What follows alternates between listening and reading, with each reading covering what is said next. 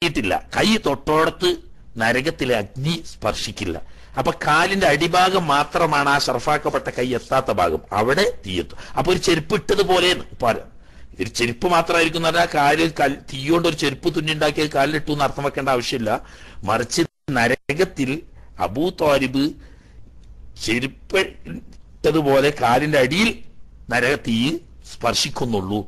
അത് തന്നെ ഭയങ്കര അത് വൻദോഷമായി പോയി. ആ സന്തോഷത്തിനായിരിക്കാം. ആട്ടെ അദ്ദേഹത്തിന്റെ മക്കളുടെ കൂട്ടത്തിൽ.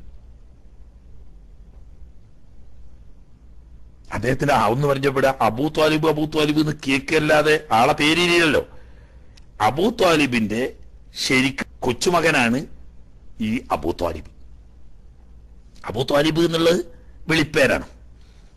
അബ്ദു മനാഫ് എന്നാണ് അദ്ദേഹത്തിന്റെ പേര്. പക്ഷേ പേര് ചരിത്രത്തിൽ നിന്ന് അറിയപ്പെടാതിരിക്കുമാർ വിളിപ്പേര് പ്രസിദ്ധനായവരാണ് Abu Talib Abu Talib Abu Talib എന്ന് പറഞ്ഞാൽ അദ്ദേഹത്തെ മകനെ കൂട്ടി ചേർത്തുകൊണ്ട് വിളിക്കുന്ന വിളിപ്പേരാണ്. മൂത്ത മകനാണ് ത്വാലിബ് എന്നത്. അദ്ദേഹത്തിന് നാല് ആൺമക്കളും രണ്ട് പെൺമക്കളും ഉണ്ടായിരുന്നു. ഈ അബൂ താലിബ് എന്നവർക്ക് നാല് ആൺകുട്ടികളും രണ്ട് പെൺകുട്ടികളും ഉണ്ടായിരുന്നു. അതിൽ മൂത്ത മകൻ ത്വാലിബ് ഒഴിച്ച് പെൺകുട്ടികൾ രണ്ടും ആൺകുട്ടികൾ മൂന്നും സഹാബികളാണ്. താലിബ് ഷാബബി നബി നബ്സല്ലാ അലൈഹി സ്വലം തങ്ങളോട് ഒന്നിച്ച് പിതാവിനെ പോലെ തന്നെ അബൂ ത്വാലിബിനെ പോലെ തന്നെ ഷാബിൽ താമസിച്ച് കഷ്ടപ്പെടുകയും അധികം താമസിക്കാതെ അദ്ദേഹം രോഗബാധിതനാവുകയും ഷാബിൽ നിന്ന് തിരിച്ചു വന്ന ദിവസങ്ങൾക്കകം അബൂ ത്വാലിബ് വഫാത്തായി അധികം താമസിയാതെ അദ്ദേഹവും മരണപ്പെട്ടു പോയി അദ്ദേഹം പറഞ്ഞേക്ക് ഇസ്ലാം മതം സ്വീകരിച്ചതായോ സഹാബാക്കളുടെ കൂട്ടത്തിൽ എണ്ണപ്പെട്ടതായോ കാണുന്നില്ല. അതുകൊണ്ട് തന്നെ അദ്ദേഹത്തിന്റെ മക്കൾ പരമ്പരയും അറിയപ്പെട്ടിട്ടില്ല. മൂത്ത മകന്. അത് കഴിഞ്ഞാൽ രണ്ടാമത്തെ മകൻ ഒക്കയിൽ അഖീൽ രണ്ട് പ്രയോഗവും വായനയിലുണ്ട്. രണ്ടാമത്തെ മകൻ അഖീൽ. മൂന്നാമത്തെ മകൻ ജാഫർ. നാലാമത്തെ മകൻ അലി റളിയല്ലാഹു തആല ഈ അഖീലും അബൂ ജാഫറും അലിയും റളിയല്ലാഹു ഈ നാല് മക്കളും ഒരു പ്രത്യേക പുതുമയുള്ള കുടുംബ ചരിത്ര എന്ന് പറഞ്ഞാൽ മൂത്ത മകൻ ത്വാലിബിനേക്കാൾ പത്ത് വയസ്സ് കുറവാണ് അഖീലിന്. അഖീലിനേക്കാളും പത്ത് വയസ്സ് താഴെയാണ് ജാഫർ അലി ജാഫർ അലി അള്ളാഹു പത്ത് വയസ്സ് താഴെയാണ് Ali bin Abi Talib Ali അള്ളാഹു പറഞ്ഞാൽ ഈ നാല് ആൺമക്കൾക്കിടയിൽ പൗപ്പത്ത് കൊല്ലം മാറ്റാണ് അതിൽ ഇവർ മൂന്ന് പേരും ഇസ്ലാം മതം സ്വീകരിക്കുകയും സഹാബാക്കളുടെ കൂട്ടത്തിൽ എണ്ണപ്പെടുകയും ചെയ്യുന്നവരാണ്. അഖീൽ അറബി ചരിത്ര പണ്ഡിതനായിരുന്നു. സിദ്ദീഖ് റബി അള്ളാഹു തലാഹു സഹാബാക്കളുടെ കൂട്ടത്തിൽ വലിയ പ്രസിദ്ധനായ അറബി ചരിത്രകാരനാണ് അറബി ചരിത്രം എന്ന് പറഞ്ഞാൽ അതിൽ രണ്ട് കാര്യമാണ് അവർ പ്രത്യേകം പരിഗണിക്കുക. ഒന്ന് ഗോത്ര വംശ ചരിത്രം. കൃത്യമായി ഓരോ ഗോത്രത്തിന്റെയും വംശത്തിന്റെയും ചരിത്രം വളരെ കൃത്യമായി പറയുക. അത് അറബികളുടെ വിജ്ഞാന ശാഖയിൽ ഏറ്റവും പ്രധാനപ്പെട്ടതായിട്ടാണ് അവർ കണക്കാക്കുന്നത്. രണ്ടാമത് അയ്യാമുൽ അറബ് എന്ന് പറഞ്ഞാൽ ജാഹിദിയ കാലത്ത് നടന്ന യുദ്ധങ്ങളും അതിന്റെ പരിണിതിയും. ഇത് രണ്ടുമാണ് അവരുടെ അന്തസ്സിന്റെയും അഭിമാനത്തിന്റെയും മാനദണ്ഡം. അയ്യാമുൽ ഹർബും അൻസാബുൽ അറബും എന്നിങ്ങനെ പറയും. അറബികളുടെ കുടുംബ ചരിത്രം അതുപോലെ തന്നെ അറബികളുടെ പ്രസിദ്ധമായ യുദ്ധചരിത്രം. ഈ രണ്ട് ചരിത്ര ശാഖകളിലും മഹാപണ്ഡിതനായിരുന്നു അഖീൽ റളിയല്ലാഹു തലാൻ തന്നെയല്ല അദ്ദേഹം പലപ്പോഴും ഇതിനുവേണ്ടി സഭ കൂടുമായിരുന്നു. മദീനയിലായിരുന്ന സമയത്ത് സാബിയായിട്ട് കാരണം അത് അവർ അറബി ഗോത്രത്തിന്റെ ഒരു വലിയ ഇസത്തിന്റെ പ്രധാന കാരണമായതുകൊണ്ട് സഹാബാക്കൾ പലരും അദ്ദേഹത്തിനെ സമീപിക്കും. അങ്ങനെ ആളുകൾ തടിച്ചുകൂടും. അങ്ങനെ ചിലപ്പോൾ അയ്യാമുൽ അറബ് എന്ന് പറയുന്ന യുദ്ധചരിത്രം പറഞ്ഞ് വിശദീകരിച്ചു കൊടുക്കും. അതുപോലെ തന്നെ അൻസാബുൽ അറബ് അറബി ഗോത്രങ്ങളെ സംബന്ധിച്ച് അങ്ങനെ. അബൂ സയ്യിദ് എന്ന പേരിൽ അദ്ദേഹം പ്രസിദ്ധനാണ്. ഈ അക്കീൽ അൻഹു അബൂ സയ്യിദ് എന്ന പേരിലാണ് ഒരിക്കൽ നബ്സല്ലാ അലൈഹി സ്വലം തങ്ങൾ മഹാനവർകളോട് പറയാണ് യാ ഇന്നി ലി ഖറാബതിക കുന്തു മിൻ അമ്മി ഇയാക് ഓ അബൂ നിങ്ങളെ ഞാൻ രണ്ട് നിലയ്ക്ക് മഹബത്ത് വെക്കുന്നു. സല്ലാ അലൈഹി സ്വലം തങ്ങളുടെ മഹബത്ത് കിട്ടുക എന്ന് പറഞ്ഞാൽ വലിയൊരു ഭാഗ്യാണത്. നമ്മൾ അങ്ങോട്ട് മഹബത്ത് വെക്കുക എന്ന് പറയുന്നത് തന്നെ വലിയ ഭാഗ്യമാണ് നമ്മൾ അങ്ങോട്ട് മഹബത്ത് വെച്ചിട്ട് ഇങ്ങോട്ട് കൂടി മഹബത്ത് വെക്കുമ്പോഴേ അർത്ഥമുള്ളൂ. അല്ലെങ്കിൽ പണ്ട് അറക്കല ബീവിനെ കെട്ടു പറഞ്ഞ കഥ പറയലുണ്ട് കണ്ണൂർക്കാർ ഒരു കാക്ക പോയിട്ട് അറക്കല ബീവിനെ കല്യാണം കെട്ടു പറഞ്ഞു. തിരിച്ചു വന്നിട്ട് പിന്നോട് ചോദിച്ചു എങ്ങനെയുണ്ട് എന്ന് ചോദിച്ചു. അമ്പത് ശതമാനം സമ്മ- സമ്മതാണ് അപ്പൊ ആളുകൾ കരുതി ഏകദേശം നടക്കുന്നു. കാരണം പിന്നെ അന്വേഷിച്ച് നോക്കുമ്പോഴാണ് തിരിയുന്നത്. ഇയാൾക്ക് നൂറ് ശതമാനം സമ്മത ബീവിക്ക് ഒരു ശതമാനം സമ്മതമല്ല. അപ്പൊ ഇങ്ങനെ കൂട്ടിയത് ഇയാളെ അൻപതും ബീവിന്റെ അൻപതും കൂട്ടിയിട്ടുള്ള നൂറാ. അപ്പൊ അമ്പത് ശതമാനം എന്നതുപോലെയാണ് മഹബത്ത്. നമ്മൾ അങ്ങോട്ട് മഹബത്ത് വെക്കുന്നത് നല്ലൊരു കാര്യം തന്നെ. പക്ഷെ അതിനേക്കാൾ വലുത് അവർ നമ്മളെ ഇങ്ങോട്ട് മഹബത്ത് വെക്കലാണ്. അത് നമ്മൾ എപ്പോഴും പഠിച്ചു വെക്കേണ്ട മറ്റൊരു കാര്യമാണ്. മഹാന്മാരായ സൂഫികൾ സ്വാരഹ്യങ്ങളായ ആളുകൾ സാദാത്യങ്ങൾ ഉലമാക്കൾ പോലെയുള്ള നല്ലവരായ ആളുകളുടെ മനസ്സിൽ നമ്മളോടൊരു മഹബത്ത് ഉണ്ടാകാനുള്ള എന്തെങ്കിലും ഒന്ന് നമ്മൾ ചെയ്തു വെക്കണം. കാരണം അവരുടെ മഹബത്ത് അവരുടെ കൽബ് ഔലിയാക്കന്മാരുടെ ആരിഫീങ്ങളുടെ സ്വാലിഹ്യങ്ങളുടെയൊക്കെ കൽബ് അള്ളാഹുവിന്റെ തിരുനോട്ടത്തിന്റെ കേന്ദ്രങ്ങളാണ്. അപ്പൊ ആ കൽബിൽ നമ്മളുണ്ടെങ്കിൽ ആ തിരുനോട്ടത്തിന്റെ സമയത്ത് നമ്മളും കൂടി അതിൽ ഉൾപ്പെടും. അതിപ്പോ നമ്മൾ അങ്ങോട്ട് മഹബത്ത് വെച്ചത് അതിൽ അതൊരു ഇബാദത്താണ് സ്വാലിഹ്യങ്ങളെ മഹബത്ത് വെക്കുക എന്ന് പറയുന്നത് നമ്മളെ സംബന്ധിച്ച് ഒരു വലിയ ഈമാന്റെ ഭാഗത്തുപ്പെട്ട ഒരു ഇബാദത്താണ്. അതിന് നമുക്ക് കൂലിട്ടും. അതേ സമയത്ത് നമ്മളെ അവർ മഹബത്ത് വെച്ചു കഴിഞ്ഞാൽ നമ്മളുടെ ദുന്യാവും മാഹറും രക്ഷപ്പെടാൻ ഒറ്റ കാര്യം മതി. ആ ഒറ്റ കാര്യം മതി. അത് നമ്മൾ പ്രത്യേകം ശ്രദ്ധിക്കേണ്ട ഒരു കാര്യമാണ്. സ്വാലിഹ്യങ്ങളായ സൂഫിവര്യന്മാരായ ആലിമീങ്ങൾ സാദാത്യങ്ങൾ പോലെയുള്ളവരുമായി അവർക്ക് നമ്മളോടൊരു മഹബത്ത് ഉണ്ടാകാൻ പറ്റുന്ന ഒരു കാര്യങ്ങൾ എന്തെങ്കിലും ചെയ്തു വെക്കുക. അങ്ങനെ അവരെ മനസ്സിൽ നമ്മൾ സ്ഥാനം പിടിക്കും. എന്നാൽ ആ ഒറ്റ കാര്യം കൊണ്ട് നമ്മൾ രക്ഷപ്പെടും. ഞാൻ വിഷയത്തിൽ നിന്ന് മാറിയതല്ല. ഈ മഹാനായ അഖീൽ റതി തലാനുവിനും നബിത്തങ്ങൾ രണ്ട് കാരണം കൊണ്ട് നിങ്ങളെ ഞാൻ മഹബത്ത് വെക്കുന്നു എന്ന് പറഞ്ഞു അള്ളാഹിന്റെ ഹബീബ് ഇങ്ങോട്ട് മഹബത്ത് വെച്ചാൽ ആ മനുഷ്യന്റെ അവസ്ഥ എന്താണ്? എന്താണ്? ഒന്ന് ഹുബല്ലി ഖറാബത്തി മിന്നി. എന്റെ അടുത്ത കുടുംബക്കാരനാണ്. എന്റെ ജ്യേഷ്ഠനായിട്ട് വരുമല്ലോ. നബ്സല്ലാ അലൈഹി സ്വലം നമ്മുടെ മൂത്താപ്പാന്റെ മോനല്ലേ? അപ്പോ ഒന്ന് എന്റെ മൂത്താപ്പാന്റെ മോൻ ജ്യേഷ്ഠൻ എന്നുള്ള നിലക്കും പ്രിയപ്പെട്ട അബൂ താലിബ് തന്റെ മക്കളുടെ കൂട്ടത്തിൽ ഏറെ സ്നേഹിച്ചിരുന്നത് നിങ്ങളെയാണ്.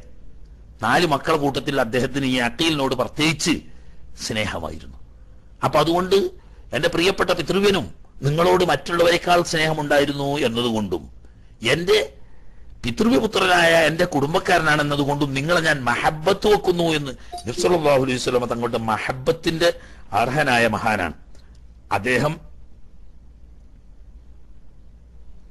ബഹുമാനപ്പെട്ട അഖീൽ അൻഹു ഖുലഫാഉർ റാഷിദുകൾക്ക് ശേഷം മാവിയ അൻഹു ഭരണം നടത്തിക്കൊണ്ടിരിക്കുന്ന സമയത്താണ് മഹാനവറുകൾ വഫാത്താവുന്നത്. അപ്പൊ ദീർഘകാലം ജീവിച്ച ആളുകളിൽ ആളാണ്.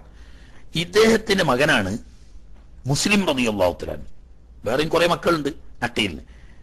മുസ്ലിം അഖീൽ റളിയല്ലാഹു തആല അൻഹുവിനെയാണ് ബഹുമാനപ്പെട്ട ഹുസൈൻ നദി അള്ളാഹുത്തലാനു അതിലേക്ക് കടന്നപ്പോ വിഷയം തന്നെ ഇവിടെ എത്തും ബഹുമാനപ്പെട്ട ഹുസൈൻ നദി അള്ളാഹുത്തലാനുവിനെ ഇറാഖുകാരായിരിക്കുന്ന ആളുകൾ ഇറാഖിലേക്ക് ക്ഷണിച്ചുകൊണ്ടും താങ്കൾ താങ്കളെ കാത്തിരിക്കുകയാണെന്നും അവിടുത്തെ ആഗമനം അള്ളാഹുവിന്റെ ദീനിന്റെ രക്ഷക്കും തിരുനബി സല്ലാ അലൈഹി സ്വലം തങ്ങളുടെ സുന്നത്തിന്റെ പരിരക്ഷക്കും അനിവാര്യമായ ഘട്ടമാണെന്നും യസീദിനെ ഞങ്ങൾ ഭരണാധികാരിയായി അംഗീകരിക്കുന്നില്ല.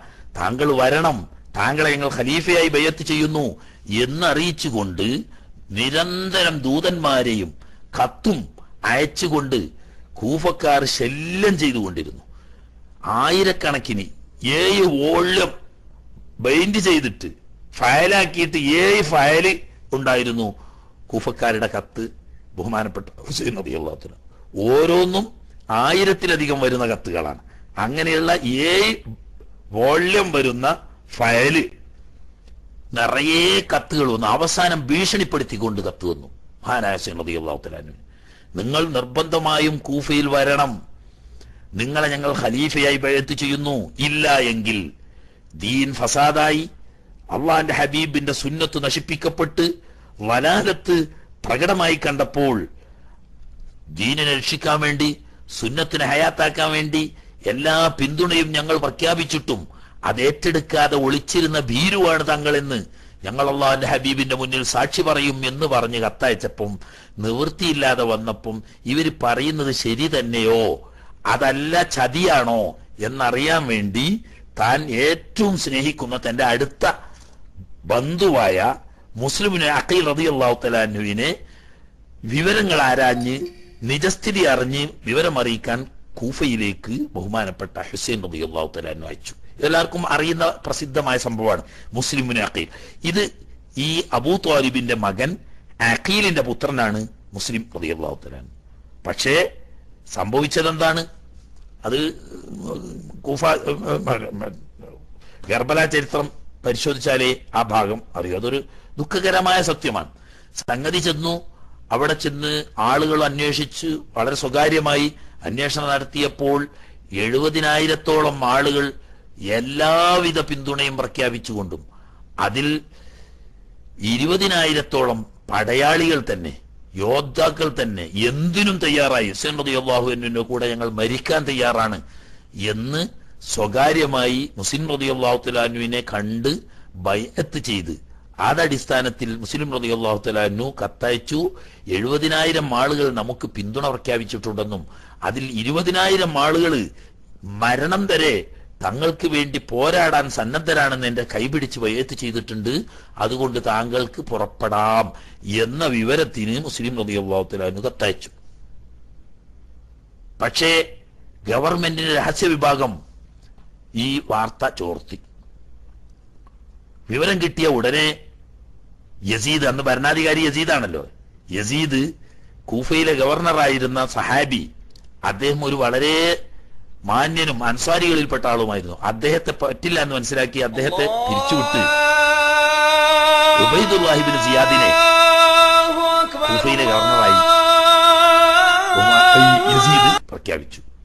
ഈ കൂഫയിലെ ഗവർണറായ ഉബൈദുല്ലാഹിബിൻ സിയാദ് ഉടനെ ഗവൺമെന്റിന്റെ മുഴുവൻ ശക്തിയും ഉപയോഗപ്പെടുത്തിക്കൊണ്ട് രഹസ്യാന്വേഷണ വിഭാഗത്തെ ഈ വിഷയം കണ്ടുപിടിച്ചതിന്റെ വേറിറക്കാൻ വേണ്ടി ഏർപ്പാട് ചെയ്യുകയും അങ്ങനെ ബഹുമാനപ്പെട്ട മുസ്ലിമിനൊക്കെ റതിയല്ലാഹു എന്നുമാണ് ഈ സംഗതിക്ക് നേതൃത്വം വഹിക്കുന്നത് എന്നും ഇന്ന വീട്ടിലാണ് ഉള്ളത് എന്നും മനസ്സിലാക്കുകയും അങ്ങനെ പോലീസ് മഹാനായ മുസ്ലിമിനൊക്കെ റതിയല്ലാഹു തലാവിനെ അറസ്റ്റ് ചെയ്യപ്പെടുകയും അറസ്റ്റ് ചെയ്ത് അമീർ ഹൗസിൽ ഹാജരാക്കി വിചാരണ ചെയ്ത് മഹാനവർകളെ കൊല്ലാൻ വിധിച്ചു. കൊല്ലാൻ വിധിച്ച സമയത്ത് മഹാനായ മുസ്ലിം റബിഅള്ളാഹുത്തലാന് കരഞ്ഞുപോയി.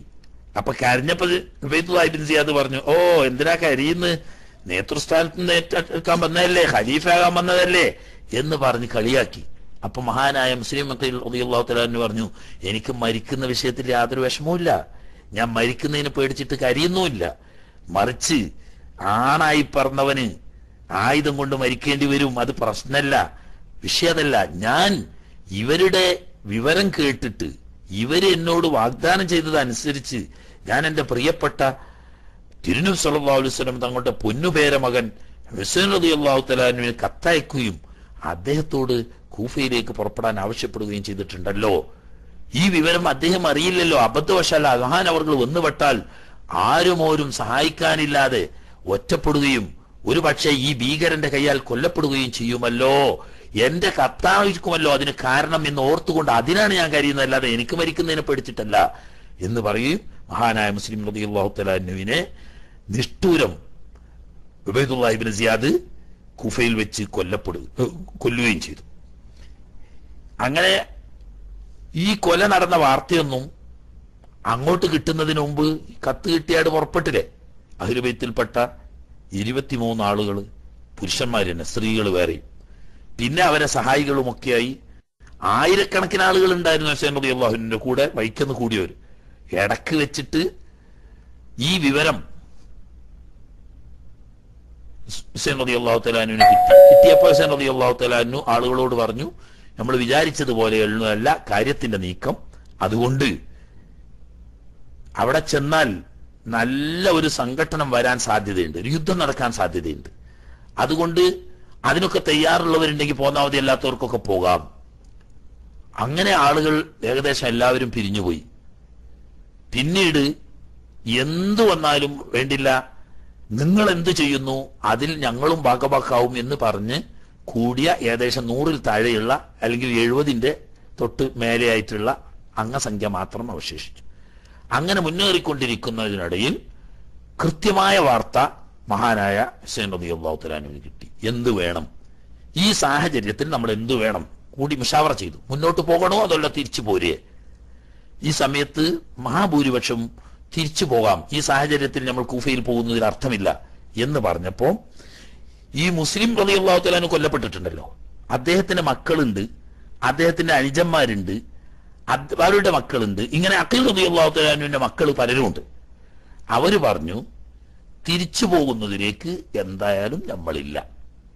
ഒരു പക്ഷേ അള്ളാഹു വിജയിച്ച് അള്ളാഹു വേണ്ടി വെച്ചിട്ടുണ്ടെങ്കിൽ നമുക്ക് വിജയം കിട്ടും. അതില്ലെങ്കിൽ ഞങ്ങളെ പ്രിയപ്പെട്ട മുസ്ലിം കൊല്ലപ്പെട്ടില്ലേ ആ വഴിക്ക് ഞങ്ങളും മരിക്കാൻ തയ്യാറാണ്. അള്ളാഹു രണ്ടാലൊരു വിധി തീരുമാനിക്കട്ടെ തിരിച്ചു പോകാൻ ഞങ്ങളില്ല എന്ന് പറഞ്ഞപ്പോൾ റബി അള്ളാഹു നിങ്ങളൊക്കെ പോയിട്ട് ഞാൻ പിന്നെ തിരിച്ചു പോയിട്ട് അതിൽ എന്താ അന്തസ്സാണുള്ളത് അതുകൊണ്ട് പിന്നെയും കൂടെ നിൽക്കുന്നവരോട് പറഞ്ഞു പിരിഞ്ഞു പോകുന്നവർക്ക് പോകാം. ഞാൻ അള്ളാഹുവിന്റെ കള എന്തായാലും അത് സ്വീകരിച്ച് ഞാൻ മുന്നോട്ട് തന്നെ നീങ്ങുന്നു.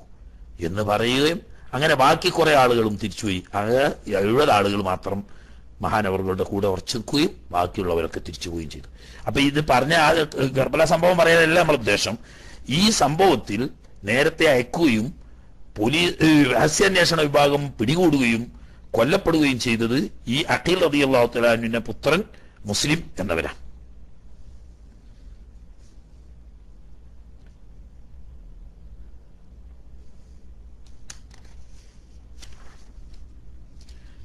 അഖിൽ റബി അള്ളാഹു തലാനുവിന്റെ മക്കൾ ഒന്നിപ്പോ മുസ്ലിം നേരത്തെ കൊല്ലപ്പെട്ടു. ഇനി നോക്ക നമ്മൾ. ബഹുമാനപ്പെട്ട മുസ്ലിം അദ്ദേഹത്തിന്റെ മകൻ ഉണ്ടായിരുന്നു അബ്ദുള്ള. മുസ്ലിം നബി അള്ളാഹു നേരത്തെ കൊല്ലപ്പെട്ടു. മുസ്ലിം എന്നവരുടെ മകൻ അബ്ദുല്ലാഹിബിന് മുസ്ലിം ഗർഭലയിൽ വെച്ച് മഹാനും കൊല്ലപ്പെട്ടു. അദ്ദേഹത്തിന്റെ മക്കൾ ഉണ്ടായിരുന്നു മൂന്ന് പേര്. രണ്ടുപേര് അബ്ദുറഹ്മാൻ. അദ്ദേഹവും ഗർഭലയിൽ കൊല്ലപ്പെട്ടു.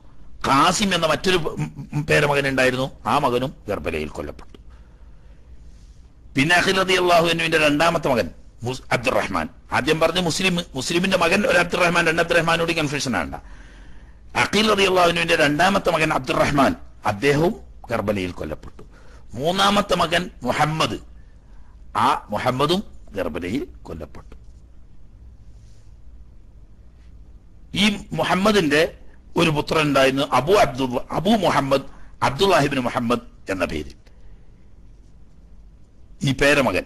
അദ്ദേഹം വകയാണ് പിന്നെ മക്കൾ നിലനിൽക്കുന്നത്. അതായത് അഖീലിന്റെ മകൻ മുഹമ്മദിന്റെ പുത്രൻ അബ്ദുള്ള. അബു മുഹമ്മദ് എന്ന പേരിലാണ് അദ്ദേഹം അറിയപ്പെടുക. Abdullah ibn Muhammad. അദ്ദേഹത്തിന്റെ മക്കൾ Muhammad Aqeel Ibrahim Tahir Ali Qasim. ഇത്രയും മക്കൾ. ഈ ഖാസിം എന്ന മകന്റെ പരമ്പരയിൽ അബ്ദുറഹ്മാന് അഖീൽ മുഹമ്മദുൽ മർഫോ ഇങ്ങനെ പേരമക്കൾ ഇന്നും തുബുരിസ്ഥാനിൽ അറിയപ്പെട്ട വലിയ സാദാത്ത് കുടുംബമാണ് ഈ മുഹമ്മദുൽ മർഫുവിന്റെ കുടുംബം. ബനി മർഫു എന്ന പേരിലാണ് ഈ അഹ്ലുബൈത്ത് അവിടെ അറിയപ്പെടുന്നത്. ഈ മുഹമ്മദ് ബിൻ അബി മുഹമ്മദിന്റെ മക്കളെ കൂട്ടത്തിൽപ്പെട്ടവരാണ് പ്രസിദ്ധനായ മുസ്ലിം അതുപോലെ തന്നെ അബ്ദുള്ള അഹ്മദ് കാസിം അദ്ദേഹത്തിന്റെ ഈ കാസിമിന്റെ പുത്രനാണ് മുഹമ്മദുൽ അൻസാർ എന്ന് പറയുന്നത്. ഈ മുഹമ്മദുൽ അൻസാറിന്റെ ഗോത്രം ധാരാളം ലോകത്തിന്റെ പല ഭാഗത്തുണ്ട്. അഖീൽ റതി അള്ളാഹു തലാന്റെ മക്കൾ പരമ്പരയാണ് അവിടെ ആ ഭാഗം നിർത്ത. ഇനി അബൂ താലിബ് അബൂ താലിബിന്റെ മറ്റൊരു മകനാവുന്ന ജാഫർ തയ്യാർ റതി അള്ളാഹുത്തലാൻ ആദ്യകാലത്ത് വിശ്വാസികളിൽപ്പെട്ട മഹാനും എല്ലാവർക്കും അറിയുന്നതുകൊണ്ട് ഞാൻ ചരിത്രത്തിലേക്ക് അധികം കടക്കുന്നില്ല. ജാഫർ റതി അള്ളാഹു തലാൻഹു ഭാര്യ അസ്മാർ റതി അള്ളാഹു തലാനെയും ഹബിഷയിലേക്ക് ഹിജറ പോയി. ഹബിഷയിൽ ദീർഘകാലം താമസിക്കുകയും തന്റെ പ്രഭാഷണവും തന്റെ പ്രവർത്തനവും കണ്ട് ഹബഷയിൽ വലിയൊരു ഭാഗം ഇസ്ലാമിലേക്ക് വരികയും രാജാവ് തന്നെ മുസ്ലിങ്ങളെ അംഗീകരിക്കാനും അവർക്ക് അവിടെ സ്വാതന്ത്ര്യം ലഭിക്കാനുമുള്ള കാരണം ഈ ജാഫർ റതി അള്ളാഹുത്തലിന്റെ പ്രഭാഷണമാണ്. അദ്ദേഹത്തിന്റെ പ്രവർത്തനത്തിലൂടെ ഹബിഷികളായ വലിയൊരു ഭാഗം ഇസ്ലാമം സ്വീകരിച്ചു. പിന്നീട് താൻ ഹിജ്റ മദീനയിലേക്ക് ഹിജ്റ പോകുന്നത് ഹൈബർ യുദ്ധം നടന്നുകൊണ്ടിരിക്കുമ്പോഴാണ്. ആ നബ്സല്ലാഹു അലൈഹി വസല്ലം തങ്ങൾ പറയുന്നത് ഹൈബർ യുദ്ധം കഴിഞ്ഞ സമയത്ത്. മാ അതിരി അന അഫറഹു ബി ഫത്തിഹ് ഖൈബറ ഔ ബി ഖുദൂമി ജാഫറ. ജാഫർ റളിയല്ലാഹു തആലാനും കൂടും കൂട്ടരും അഭിഷേന്ന് വന്നതുകൊണ്ടാണോ കൂടുതൽ എനിക്ക് സന്തോഷം? അതല്ല ഹൈബർ വിജയം കൊണ്ടാണോ എന്ന് അറിയില്ല രണ്ടും തുല്യ സന്തോഷമാണ്. അങ്ങനെ ഹൈബർ യുദ്ധ സമയത്താണ് അത് കഴിയുന്ന സമയത്താണ് ഈ സംഘം ജാഫർ റളിയല്ലാഹു തആലാനുവിന്റെ നേതൃത്വത്തിലുണ്ടായിരുന്ന ഹബിഷയിൽ താമസിച്ചിരുന്ന മുസ്ലിങ്ങൾ തിരിച്ചു വരുന്നത്.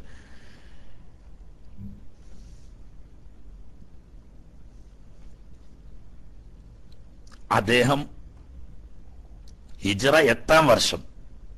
അപ്പം മദീനത്ത് അധിക കാലം താമസിച്ചിട്ടില്ല. എട്ടാം വർഷം ആണ് പ്രസിദ്ധമായ മൂത്തത്ത് യുദ്ധം നടക്കുന്നത്. അറിയാലോ മൂത്തത്ത് യുദ്ധത്തിലേക്ക് പോകുമ്പോൾ തന്നെ മൂന്ന് നേതാക്കന്മാരെ നിർദ്ദേശിക്കുകയും ആവശ്യമെങ്കിൽ നാലാമതൊരാളെ നിങ്ങൾ തിരഞ്ഞെടുക്കണമെന്ന് പറയുകയും ചെയ്ത കൂട്ടത്തിൽ പതാകവാഹകരായി നിശ്ചയിക്കപ്പെട്ട മഹാനായ സെയ്ദ് നബ്സല്ലാ അലുസ്ലം തങ്ങളുടെ പോറ്റുപുത്രനായി അറിയപ്പെട്ടിരുന്ന സെയ്ദ് ബിൻ ഹാരിസത്ത് റളിയല്ലാഹു തലാന്നു ജാഫർ ബിൻ അബി ത്വാലിബ് റളിയല്ലാഹു തലാന്നു അൻസ്വാരികളിൽപ്പെട്ട അബ്ദുറ അബ്ദുല്ലാഹിബിൻ റവാഹ റളിയല്ലാഹു തലാന്നു രണ്ട് മുഹാജിറുകളും ഒരു അൻസ്വാരിയുമായിരുന്നു അതിൽ നേതൃത്വം കൊടുത്തിരുന്നു അവർ മൂന്നാളും കൊല്ലപ്പെട്ടാൽ പിന്നെ ഒരാളെ തെരഞ്ഞെടുക്കണം എന്ന് പറഞ്ഞ സാഹബത്ത് തെരഞ്ഞെടുത്തതാണ് ഖാലിദ് ബിൻ വലീദ് റളിയല്ലാഹു തലാൻഹുവിന് ഈ യുദ്ധത്തിലാണ് മഹാനവറുകൾ ഷഹീദാകുന്നത്. നാൽപ്പത്തൊന്നാമത്തെ വയസ്സിലാണ് മഹാനായ ജാഫർ ബിൻ തോലിബ് അബി താലിബ് റബി അള്ളാഹുത്തലു മൂത്തത്തിൽ ഷഹീദാവുന്ന സമയത്ത് മഹാനവർകൾക്ക് നാൽപ്പത്തൊന്ന് വയസ്സുണ്ടായിരുന്നു. മഹാനവർകൾക്ക് നാല് കുട്ടികളാണ്ടായിരുന്നു ആ ഭാഗം പറഞ്ഞിട്ട് നമുക്ക് ഇവിടെ നിർത്താം. പിന്നെ അലീബിൻ അബി താലിബ് അള്ളാഹുത്തലു അത് പറഞ്ഞാൽ കുറെ പറയാണ്ട് അതുകൊണ്ട് ഇൻഷാല്ല നാളെ സൗകര്യം കിട്ടുകയാണെങ്കിൽ നാളെ പറയാം. ജാഫർ റളിയല്ലാഹു തആലാനുവിന് നാല് ആൺമക്കളാണ് ഉണ്ടായിരുന്നത്. ഒന്ന് അബ്ദുല്ലാഹിബിന് ജാഫർ റളിയല്ലാഹു തആലാനു ഇദ്ദേഹത്തിനുള്ള ഒരു പ്രത്യേകത മക്ക ഷെരീഫിൽ നിന്നും ഹബിഷയിലേക്ക് ഹിജറ പോയ മോമിനിയങ്ങൾക്ക് ഹബിഷയിൽ വെച്ച് ആദ്യമായി ജനിച്ച കുട്ടിയാണ് അബ്ദുല്ലാഹിബിന് ജാഫർ റളിയല്ലാഹു ലോക പ്രശസ്ത ധർമ്മിഷ്ഠന്മാരിൽ എണ്ണപ്പെടുന്ന വ്യക്തിയാണ് ബഹറുൽ ജൂദ് എന്നാണ് മുസ്ലിം ചരിത്രം ബഹുമാനപ്പെട്ട അബ്ദുല്ലാഹിബിൻ ജാഫർ റതി അള്ളാഹു തലാനുവിനെ പറ്റി ഒരുപാട് ചരിത്ര സംഭവങ്ങൾ കാണാം. ബഹ്റുൽ ജൂദിന്റെ ഒരുപാട് ചരിത്ര സംഭവങ്ങൾ. അങ്ങനെ വലിയ ധർമ്മിഷനും വലിയ ധനാഢ്യനാണ്. വലിയ ധനാഢ്യനാണ്. അതുപോലെ തന്നെ വല്ല മലവെള്ളം കണക്കെ ധർമ്മം ചെയ്തുകൊണ്ടിരുന്ന മഹാനാണ്. അതുപോലെ തന്നെ ധാരാളം ഇബാദത്ത് ചെയ്യുകയും ചെയ്തു. മഹാനവർകൾ തൊണ്ണൂറ് വയസ്സ് വരെ ജീവിച്ച് തന്റെ ഹിജറ എൺപതിൽ തന്റെ തൊണ്ണൂറാമത്തെ വയസ്സിലാണ് മദീന ഷെരീഫിൽ മഹാനവറുകൾ അന്ത്യവിശ്രമം കൊടുക്കുന്നത് ഈ അബ്ദുല്ലാഹിബിൻ ജാഫർ നേരത്തെ നമ്മൾ പറഞ്ഞിട്ടുണ്ട്. ഈ അബ്ദുല്ലാഹിബിൻ ജാഫർ അലി അള്ളാഹു തലാനു ആണ് ഫാത്തിമത്തു സുഹറ അലി അള്ളാഹു തലാനുവിന്റെ മൂത്ത മകൾ സൈനബ അലി അള്ളാഹു തലാനയെ കല്യാണം കഴിച്ചിരുന്നത്. ഇദ്ദേഹത്തിന്റെ മകൻ ഈ അബ്ദുല്ലാഹിബിൻ ജാഫർ അലി അള്ളാഹു തലാനുവിന്റെ മകൻ അദി ഗർബലയിൽ ഹുസൈൻ റബി അള്ളാഹു തലാനുവിന്റെ കൂടെ ഷഹീദായ കൂട്ടത്തിൽപ്പെട്ട ആളാണ് അദി. പിന്നെ രണ്ടാമത് ഒന്ന് അബ്ദുല്ലാഹിബിൻ ജാഫർ രണ്ടാമത്തേത് ബിൻ ജാഫർ മൂന്നാമത്തേത് മുഹമ്മദ് ബിൻ ജാഫർ. അങ്ങനെയാണ് പരമ്പര പറഞ്ഞ ഒരുപാട് കീപ്പിട്ട് എണ്ണുണ്ട് ആ ഭാഗം എണ്ണാതെ നിൽക്കലയിക്കാർ എളുപ്പം നോക്ക് മനസ്സിലാണ്. ഏതായാലും ഈ ജഫർ അലി അള്ളാഹു തലാൻഹുവിന്റെ നാല് മക്കൾ. ആ മക്കളുടെ പ്രത്യേകിച്ച് അബ്ദുല്ലാഹിബിൻ ജാഫർ അലി അള്ളാഹു തലാനുവിന്റെ മക്കൾ പരമ്പര ധാരാളമായി. അബ്ദുല്ലാഹിബിൻ ജാഫർ അലി അള്ളാഹു തലാനുവിന്റെ മക്കൾ പരമ്പരയിൽ. മുആവിയ അലിയു സൈനബി ഇസാഖുൽ അലീഫി ഇസ്മായിലു സാഹിദ് മുഹമ്മദ് അദീയ് ഔന്. ഇത്രയും മക്കളുണ്ട്. അതിൽ ഈ ഔന് അദീയ് മുഹമ്മദ് ഇവർ മക്കയിൽ അല്ല ഗർബലയിൽ കൊല്ലപ്പെട്ടിട്ടുണ്ട്. പിന്നെ മറ്റൊരു മകൻ മുഹമ്മദ് അക്ബറിന് മക്കളായി അബ്ദുള്ള കാസിം ഇങ്ങനെ വരുന്നു. ഔനിന്റെ മക്കൾ സാവിർ എന്ന് പറഞ്ഞിട്ട് ഒരാൾ അതുപോലെ തന്നെ മുഹമ്മദ് അസ്ഹർ ഹുമൈദ് ഹുസൈൻ അബ്ദുല്ലാഹിൽ അസ്ഹർ ഇങ്ങനെ ധാരാളം ആ പരമ്പരയൊക്കെ ജീവിച്ചിരിക്കുന്നുണ്ട്. അതിലൂടെ അതിന്റെ കീപ്പോട്ടുള്ള പരമ്പരയിലേക്ക് എണ്ണിയാൽ നമ്മളെ വിഷയം ഞൊടി എത്തൂല. ഇനി ഇൻഷാല്ല അലീബിൻ അബി ത്വാലിബ് റളിയല്ലാഹു തആല അൻഹുവും അദ്ദേഹത്തിന്റെ മക്കളുമാണ്. നമ്മൾ സാധാരണ അറിയപ്പെടുക ഹസൻ ഹുസൈൻ റളിയല്ലാഹു അൻഹുമ. മെസ്സിൻ നേരത്തെ കുട്ടിയായിരുന്ന സമയത്ത് മരണപ്പെട്ടു പോയി എന്നും പറഞ്ഞ്. അതുപോലെ തന്നെ സൈനബ ഉമ്മുകുൽസും രണ്ടാളും. അവരാ മറ്റേ ഒരു പെൺകുട്ടിയും തന്നെ ചെറുപ്പത്തിൽ മരണപ്പെട്ടു പോയി. അതല്ലാതെ മൊത്തം ബഹുമാനപ്പെട്ട അരീബിൻ അബി താലിബ് റളിയല്ലാഹു തലാനുവിന് പതിനെട്ട് ആൺമക്കളും അതുപോലെ പത്തൊമ്പത് പെൺമക്കളും ഉണ്ട്. അതല്ലെങ്കിൽ പതിനെട്ട് പെൺമക്കളും പത്തൊമ്പത് ആൺമക്കളുമുണ്ട്. വ്യത്യസ്ത. ഏതായാലും പതിനെട്ടിൽ കുറയില്ല. പതിനെട്ടോ പത്തൊമ്പതോ ആൺമക്കളും പതിനെട്ട് പെൺമക്കളും ഉണ്ടായിരുന്നു വിവിധ ഭാര്യമാരിലായിട്ട് ബഹുമാനപ്പെട്ട അരീബ് നബി ത്വാലിബ്. അതിൽ പിന്നീട് പേരമക്കളും പരമ്പരയും നിലനിൽക്കുന്നവരുണ്ട് ഇല്ലാത്തവരുണ്ട് ആ ഭാഗം കൂടി ചുരുക്കി ഇൻഷാല്ല നാളെ പറയാം. ഇതൊന്നും കാരണം ഒരു ഒരു ചരിത്രം പറയുന്ന ഭംഗിയിൽ പറയാൻ കഴിയാത്തത് കൊണ്ട് കേട്ടിരിക്കുന്നവർക്ക് മടുപ്പ് തോന്നണ്ട എന്നുള്ള ആൾക്ക് ഇപ്പൊ തന്നെ അത്യാവശ്യം സമയവും ആയി. ഇനി കുറച്ച് സമയം നമുക്ക് ഇൻഷാല്ല എന്തെങ്കിലുമൊക്കെ ഇതുമായി ബന്ധപ്പെട്ടതോ അല്ലാതെ അത്യാവശ്യപ്പെട്ട എന്തെങ്കിലും ഫിഖിയായ കാര്യങ്ങളോ മറ്റോ ഒക്കെ ബന്ധപ്പെട്ടത് കുറച്ച് സമയം സംശയം ചോദിക്കലാവാം എന്നിട്ട് നമുക്ക് മതിയാക്കാം. അള്ളാഹു സുബാനുഭവത്തിൽ ഈ പറയപ്പെട്ട ബഹുമാനപ്പെട്ട അൽബൈത്ത് അവരൊക്കെ വലിയ വലിയ വലിയ ആളുകളാണ്. അവരെന്ന് പേര് പറയാൻ പോലും നമ്മളില്ല. ബഹുമാനപ്പെട്ട ഹബീബ് സല്ലല്ലാഹു അലൈഹി വസല്ലം തങ്ങളുമായി രക്തബന്ധത്തിലുള്ളവരും അതോടുകൂടി സഹാബാക്കിറാമുകളും ആ സഹാബാക്കിറാമുകളുടെ മക്കളുമായ വലിയ മഹാന്മാരാണ്. അവരെയൊക്കെ പേരുച്ചരിക്കുക എന്ന് പറയുന്നത് തന്നെ ഒരു വലിയ ദിക്കറാണ് അള്ളാഹുവിന് പൊരുത്തപ്പെട്ട. കാരണം അള്ളാഹുവിന്റെ മുഹബീങ്ങൾ അവന്റെ ഹബീബിന്റെ കുടുംബങ്ങളും അവരുടെ സഹാബത്തും ആ സഹാബത്തിന്റെ മക്കളും എന്ന് പറഞ്ഞാൽ അവരാണ് ലോകത്തിന്റെ നായകന്മാർ അവരാണ് ഹിതായത്തിന്റെ വെളിച്ചങ്ങൾ.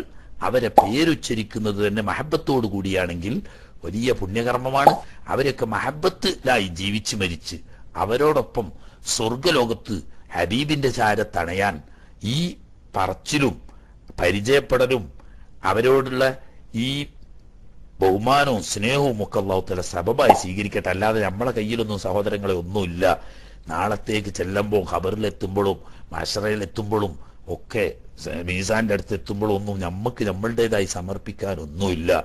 ഇങ്ങനെയുള്ള വലിയ വലിയ ആളുകളോടൊക്കെയുള്ള മഹബത്തും അവരോടൊക്കെ ഉള്ളതായിരിക്കുന്ന ആ കൽബിലുള്ളതായിരിക്കുന്ന ആദരവും അതെന്തെങ്കിലും ബാക്കിയുണ്ടെങ്കിൽ ഉണ്ടാവും. അതെങ്കിലും അള്ളാഹുത്തല നിലനിർത്തി അവരുടെ വർക്കത്തുകൊണ്ട് നമ്മളെ ആഹ്റം അള്ളാഹുത്തല സലാമത്താക്കി തരികയും ദുന്യാവിൽ അള്ളാഹുത്തല ഹയറും ബർക്കത്തും നൽകുകയും ചെയ്യുമാറാകട്ടെ എന്ന് ദുവാ ചെയ്യുന്നു. ഇനി ചോദ്യകർത്താക്കൾക്ക് വേണ്ടി മൈക്ക് കൈമാറുന്നു. അസ്സലാമലൈക്കും വറഹമത്തല്ലാഹി വബറകാതുഹു.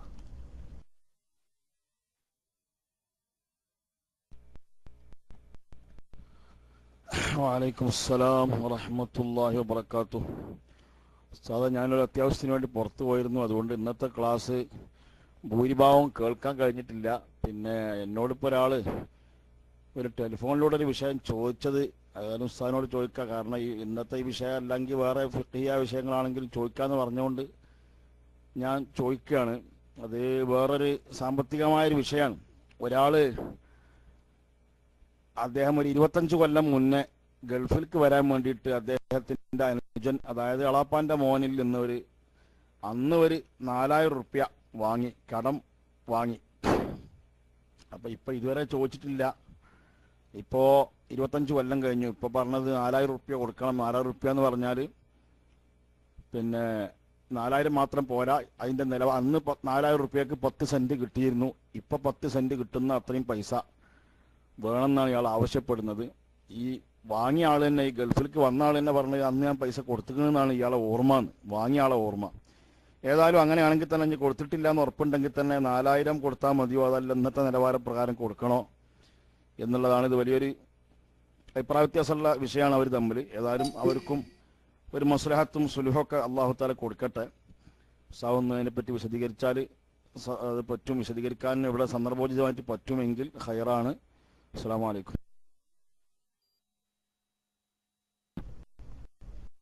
വാലൈക്കും അസ്സലാം വറഹ്മത്തുള്ളാഹി. ഏകദേശം ഇതിന് സമാനമായ ഒരു മസല മുമ്പ് ഒരിക്കൽ ഇവിടെ തന്നെ വന്നിട്ടുണ്ട്. ഇവിടെ രണ്ട് വശമുണ്ട് ഈ പ്രശ്നത്തിൽ. ഒന്ന് നിയമത്തിന്റെ വശം മറ്റൊന്ന് ധാർമ്മികതയുടെ വശം. നിയമത്തിന്റെ വശം എന്ന് പറഞ്ഞാൽ നൂറ് കൊല്ലം കഴിഞ്ഞിട്ടാണെങ്കിലും നാലായിരം വാങ്ങിയതിന് നാലായിരം തന്നെ കൊടുത്താൽ മതി. എന്നാ കടം വീടും. അത്രേ ഹക്കുള്ളൂ. അതാണ് നിയമത്തിന്റെ വശം. നിയമം എന്ന് പറയുന്നത് അത് നേരെ വാ നേരെ പോന്ന. ഇങ്ങോട്ട് വാങ്ങിയത് നാലായിരം ആണെങ്കിൽ തിരിച്ചു കൊടുക്കേണ്ടത് നാലായിരം. അത് ഹക്കാണ്. അത് കൊടുത്തിട്ടില്ലെങ്കിൽ അള്ളാന്റെ അടുക്കൽ കുറ്റക്കാരനാകും. പക്ഷേ പത്ത് കൊല്ലം മുമ്പുണ്ടായിരുന്ന നാലായിരം അല്ലെങ്കിൽ ഇരുപത്തഞ്ച് കൊല്ലം മുമ്പുണ്ടായിരുന്ന നാലായിരം ഇന്നത്തെ നാൽപ്പതിനായിരം അല്ല നാല് ലക്ഷം അല്ല അതൊക്കെ മൂല്യങ്ങളുടെ പ്രശ്നമാണ്. ഇവിടെ നാലായിരത്തിന് നാലായിരം കൊടുത്ത നിയമപരമായി കടം വീടും. അതാണ് ഇപ്പൊ നിയമത്തിന്റെ വശം. അള്ളാന്റെ അടുക്കൽ കുറ്റക്കാരനാവൂല. ഞാൻ കൊടുക്കാനുള്ളത് കൊടുത്ത് ഞാൻ അത്രേ വാങ്ങിയിട്ടുള്ളൂ അത് ഞാൻ കൊടുത്തു. അതോടുകൂടി ഹക്ക് വീടി. അതേ സമയത്ത് ഈ വാങ്ങിയത് പൊന്നാണോ കൂട്ടിക്കോളി? എന്നാലോ? അന്ന് പത്ത് പവൻ സ്വർണം വാങ്ങിയിരുന്നു വാങ്ങിയിരുന്നു ഇന്ന് അതിന് തിരിച്ച് അന്ന് തന്നെ പറഞ്ഞു നിനക്ക് തിരിച്ച് പൊന്നായിട്ട് തന്നെ വേണം എന്ന് പറഞ്ഞിട്ട് കടന്നെന്നിരുന്നു നോട്ടിക്കോളി എന്നാൽ ഇരുപത്തഞ്ച് കൊല്ലം കഴിഞ്ഞിട്ട് ഇപ്പോൾ പത്ത് പവൻ കൊടുക്കണം എന്ന് പറഞ്ഞാൽ പത്ത് പവൻ തന്നെ കൊടുക്കണം. ഈ വാങ്ങിയവൻ പറയാണ് അന്ന് പവന് ഈ നൂറ്റി തൊണ്ണൂറ് ഉറുപ്പ്യുള്ളൂ ഇനി. അല്ലെങ്കിൽ ഇരുന്നൂറ് ഉറുപ്പ്യുള്ളൂ ഇനി ഒരു പവന്. ഇപ്പോ ഒരു പവൻ കിട്ടണമെങ്കിൽ ഇരുപത്തിനാലായിരം അല്ലെങ്കിൽ ഇരുപത്തി മൂവായിരം ഉറുപ്പ്യ കൊടുക്കണം. അതുകൊണ്ട് അതൊന്നും ഞാൻ കൊടുക്കൂല. പത്ത് പവന് അന്നത്തെ വില വെച്ചിട്ട് രണ്ടായിരം ഉറുപ്പ്യ ഉണ്ടായാൽ മതി. ആ രണ്ടായിരം ഉറുപ്പ്യ ഞാൻ കൊടുക്കുള്ളൂ എന്ന് പറഞ്ഞാൽ സമ്മതിക്കൂല അവന്റെ കടം വിടൂല. പവൻ പത്ത് വാങ്ങിയിട്ടുണ്ടെങ്കിൽ അന്നത്തെ വില എന്താണ്? അതല്ല നോട്ടം. ഇന്നത്തെ വില എന്താണ്? അതുമല്ല നോട്ടം. പത്ത് പവൻ വാങ്ങിയോ പത്ത് പവൻ തിരിച്ചു കൊടുക്കണം. അവിടെ അതിന്റെ മൂല്യവും മൂല്യക്കുറവും ഏറ്റവും ഒന്നും അവിടെ നോട്ടമില്ല. വാങ്ങിയ സാധനം കൊടുക്കണം. എന്നതുപോലെ ഉറുപ്പിയാണ് വാങ്ങിയത് എന്നതുകൊണ്ട് ഉറുപ്പിയുടെ മൂല്യം കുറഞ്ഞിട്ടുണ്ട്. അതുകൊണ്ട് കൂടിയ മൂല്യം കൂട്ടി കൊടുക്കണം എന്ന് പറയുന്നത് നിയമപരമായിട്ട് ന്യായമല്ല. അതുകൊണ്ട് തന്നെ നിയമപരമായിട്ട് അതിൽ കൂടുതൽ കൊടുക്കാൻ ഹക്കില്ല. പക്ഷേ ധാർമ്മിക വശം അത് മറ്റൊന്നാണ്. അത് നിയമത്തിൽ പറയാൻ പറ്റൂല. അന്ന് അങ്ങനെ വാങ്ങിയിട്ടുണ്ടെങ്കിൽ നമുക്ക് വലിയൊരു ഉപകാരം കിട്ടിയതാണ് ഇന്ന് അതിനനുസരിച്ച് ഞാൻ എന്തെങ്കിലും കാര്യമായ ഒരു സംഖ്യ എന്റെ വക കൊടുക്കട്ടെ എന്ന് വെച്ചാൽ അതാണ് നല്ല വഴി. അതേസമയത്ത് മറ്റേയാൾക്ക് എനിക്ക് നാലായിരം പോരാ. അന്ന് നാലായിരത്തിന് പത്ത് സെന്റ് കിട്ടുമായിരുന്നു. ഇന്ന് പത്ത് സെന്റിന് നാൽപ്പത് ലക്ഷം കൊടുക്കണം. അതുകൊണ്ട് എനിക്ക് നാൽപ്പത് ലക്ഷം വാങ്ങണം എന്ന് പറയാൻ യാതൊരു ന്യായവുമില്ല ധാർമ്മികമായും ന്യായമില്ല. നിയമപരമായും ന്യായമില്ല. തികച്ചും അന്യായമാണ്. അതേസമയത്ത് ഇന്ന് അന്നത്തെ ഇന്നത്തെ മൂല്യവ്യത്യാസം കണക്കിലെടുത്ത് ധാർമ്മിക വശം പരിഗണിച്ച് എന്തെങ്കിലും കാര്യമായ ഒരു സംഖ്യ ഇയാളുടെ വക കൊടുക്കുകയാണെങ്കിൽ അത് നല്ലൊരു കാര്യമാണ്. അത്രേ ഉള്ളൂ. അപ്പൊ നിയമത്തിന്റെ കണക്കിന് വാങ്ങിയ സംഖ്യ എത്രയാണോ ആ സംഖ്യ മാത്രം കൊടുത്താൽ മതി. ധാർമ്മിക വശം ചിന്തിച്ചാൽ വലിയ അന്നത്തെ ഇന്നത്തെയും വ്യത്യാസം കണക്കാക്കിയിട്ടും അന്ന് തനിക്കത് അതുകൊണ്ട് കിട്ടിയ നേട്ടം ചോദിച്ച പലിശയാണ്. ഏറെ ചോദിക്കുന്നത് പലിശയാണ് കൊടുക്കാൻ പാടില്ല. ആ നിലയ്ക്ക് ചോദിച്ചു കൊടുക്കാൻ പാടില്ല ഹറാമാണ്. വകയായിട്ട് കൊടുക്കുകയാണെങ്കിൽ സുന്നത്താണ് നല്ലതാണ്. ആണ്. ചോദിക്കുന്നു സിയാത്ത് ചോദിക്കുന്നുണ്ട് ചോദിക്കുന്നുണ്ടെങ്കിൽ കൊടുക്കാൻ പാടില്ല എന്നാ പിന്നെ പലിശ കൊടുത്തൂടെ അയാൾക്ക്? അപ്പലിശന്റെ വെച്ച് കുല്ലു കർദിൻ ജറ മംഫാത്തം ഓവർ ഇബാദ് നബ്സല്ലാ അലിസ്ലം തങ്ങൾ പറഞ്ഞു. ഏതൊരു കടവും ആ കടം മുഖേന ഒരു ഉപകാരം നീ നേടുന്നുണ്ടെങ്കിൽ അത് പലിശയാണ്. അത് കൊടുക്കാൻ പാടില്ല. ചോദിച്ചാൽ എന്തായാലും കൊടുക്കാൻ പാടില്ല. ചോദിക്കാതെ എന്തെങ്കിലും കാര്യമായ ഒരു സഹായം എന്റെ വക സൗജന്യം എന്ന നിലയ്ക്ക് കൊടുക്കുകയാണെങ്കിൽ നല്ലതാണ്. കൊടുത്തിട്ടില്ലെങ്കിൽ കുറ്റക്കാരനാവുന്നതല്ല. കടമ ഹക്കായിട്ടുള്ളത് വാങ്ങിയ സംഖ്യ തിരിച്ചു കൊടുക്കലാണ്. ഓക്കെ.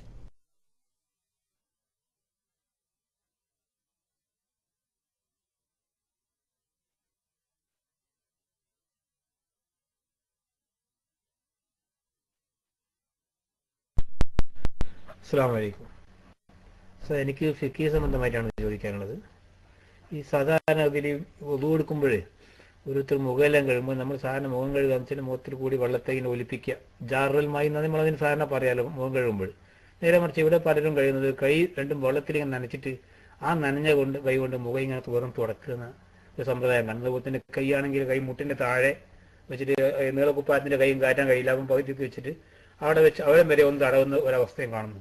ഇങ്ങനെ ഏതെങ്കിലും മധുബിൽ ഈ രൂപത്തിൽ ഒതുകൊടുത്താൽ ശരിയാകുന്ന ഒരു അറിഞ്ഞാൽ കൊള്ളാമായിരുന്നു. അസ്സാം വലൈക്കും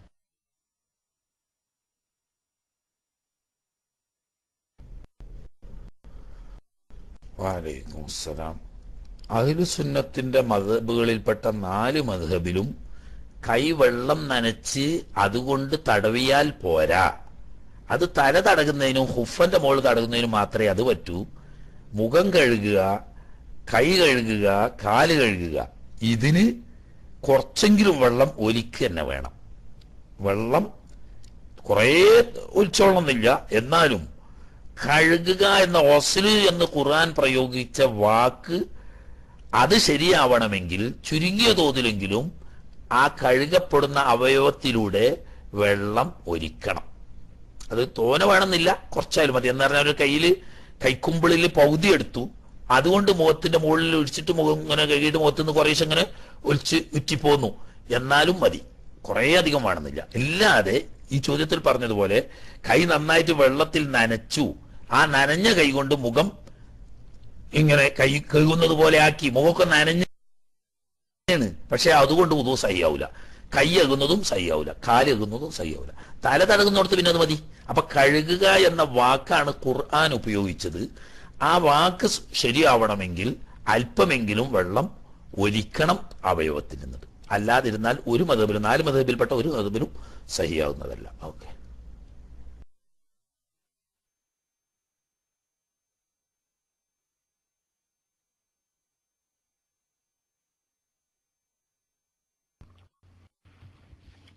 അസ്സാം വലൈക്കും വാഹമത്തല്ലാ വബർക്കാത്തു ഉസ്താദിന്റെ ക്ലാസ് തുടങ്ങുന്നതിന് മുന്നേ ഞാൻ വേദന ഉണ്ടെന്ന് പറഞ്ഞായിരുന്നു. അപ്പോൾ ഭയങ്കര വേദനയായിരുന്നു പൊളയായിരുന്നു. ക്ലാസ് പകുതി ആയപ്പോ വേദന പോയിട്ടുണ്ട്. അത് നന്ദി നെക്സ്റ്റ് ജിയുടെ മാത്രമാണ്. ഇനി ബാക്കിയൊക്കെ നാളെ കൺഫേം ആവുള്ളൂ രോഗമാണോ അല്ലേന്ന്. കിഡ്നി കല്ലുണ്ടോ ഇല്ലേ? ഏതായാലും വേദന നിന്നിട്ടുണ്ട്. എല്ലാവരോടും നന്ദി പറയുന്നു. ദുആ വീണ്ടും ചെയ്യണമെന്ന് വസിയത്ത് ചെയ്യുന്നു. അത് ഒരു കല്ലായി മാറാതിരിക്കട്ടെ. ഭയങ്കര വേദന ഇനി ഒന്നാമതായിട്ട് ഞാൻ ഇവിടെ ഒറ്റക്കാണ് റൂമിൽ യൂറോപ്പിലാണ്. ഇവിടെ പഠിച്ചുകൊണ്ടിരിക്കുകയാണ് അപ്പോൾ ഒക്കെപാട് ആലോചിച്ചപ്പോൾ ആകെ സങ്കടമായി പോയി. ആരും ഇല്ല അടുത്ത്. അപ്പോൾ ഇങ്ങനെ ഒരു സംഭവം ഏഹ് ആരോടെങ്കിലുമൊക്കെ പറയാനും ദുവാ കിട്ടാനൊക്കെ കഴിഞ്ഞു. എല്ലാവരോടും ഒരിക്കൽ കൂടി നന്ദി പറയുന്നു. അസ്സാം വലൈക്കും വറഹ്മത്തുള്ളാഹി വബറകാതുഹു.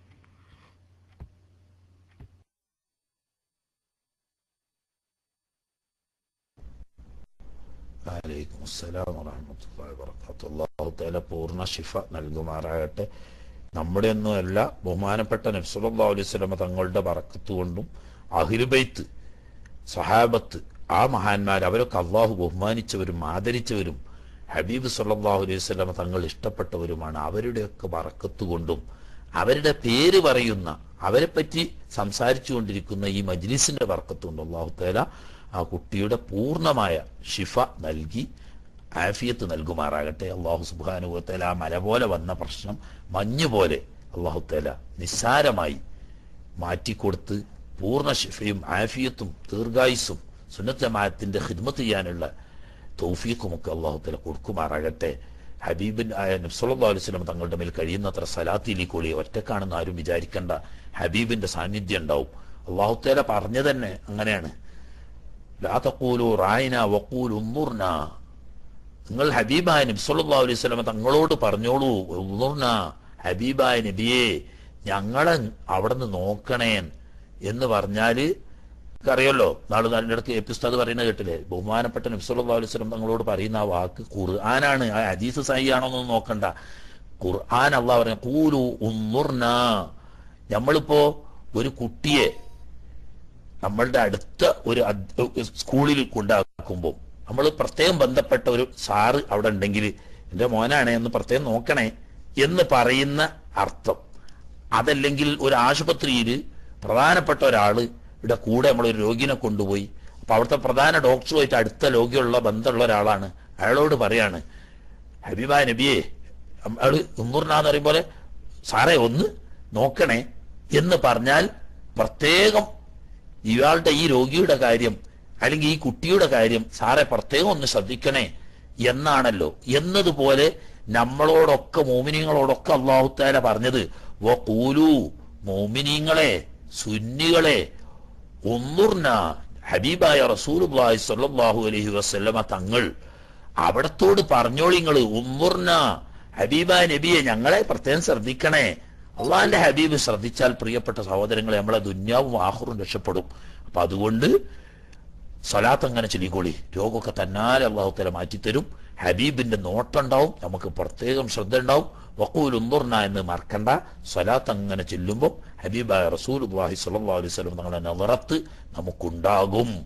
അവിടുത്തെ കുടുംബങ്ങളെ പറ്റിയാണല്ലോ നമ്മൾ പറയുന്നത്. അത് അള്ളാഹിന്റെ ഹബീബിന് ഇഷ്ടപ്പെട്ട കാര്യമാണ്. അതുകൊണ്ട് നമുക്കും പറയാനുള്ളത് അക്കൂലും ഉന്തുർന ഹബീബായ നബിയെ ഞങ്ങളെ കാര്യം പ്രത്യേകിച്ച് ആ സുഖമില്ലാത്ത ആ കുട്ടിയുടെ കാര്യം അവിടെ നിന്ന് പ്രത്യേകം ശ്രദ്ധിക്കണേ എന്ന് നമ്മൾ അവിടത്തോട് അപേക്ഷിക്കുകയാണ്. അള്ളാഹുത്തല പൂർണമായ ശിഫ നൽകുമാറാകട്ടെ. അതുപോലെ നമുക്കും ഒക്കെ എല്ലാ വിഷമങ്ങളും അള്ളാഹുത്തല തീർത്ത് തരുമാറാകട്ടെ. റഹ്മത്തിക്ക് റഹ്മൻ റഹ്മീനമായിക്കോട്ടെ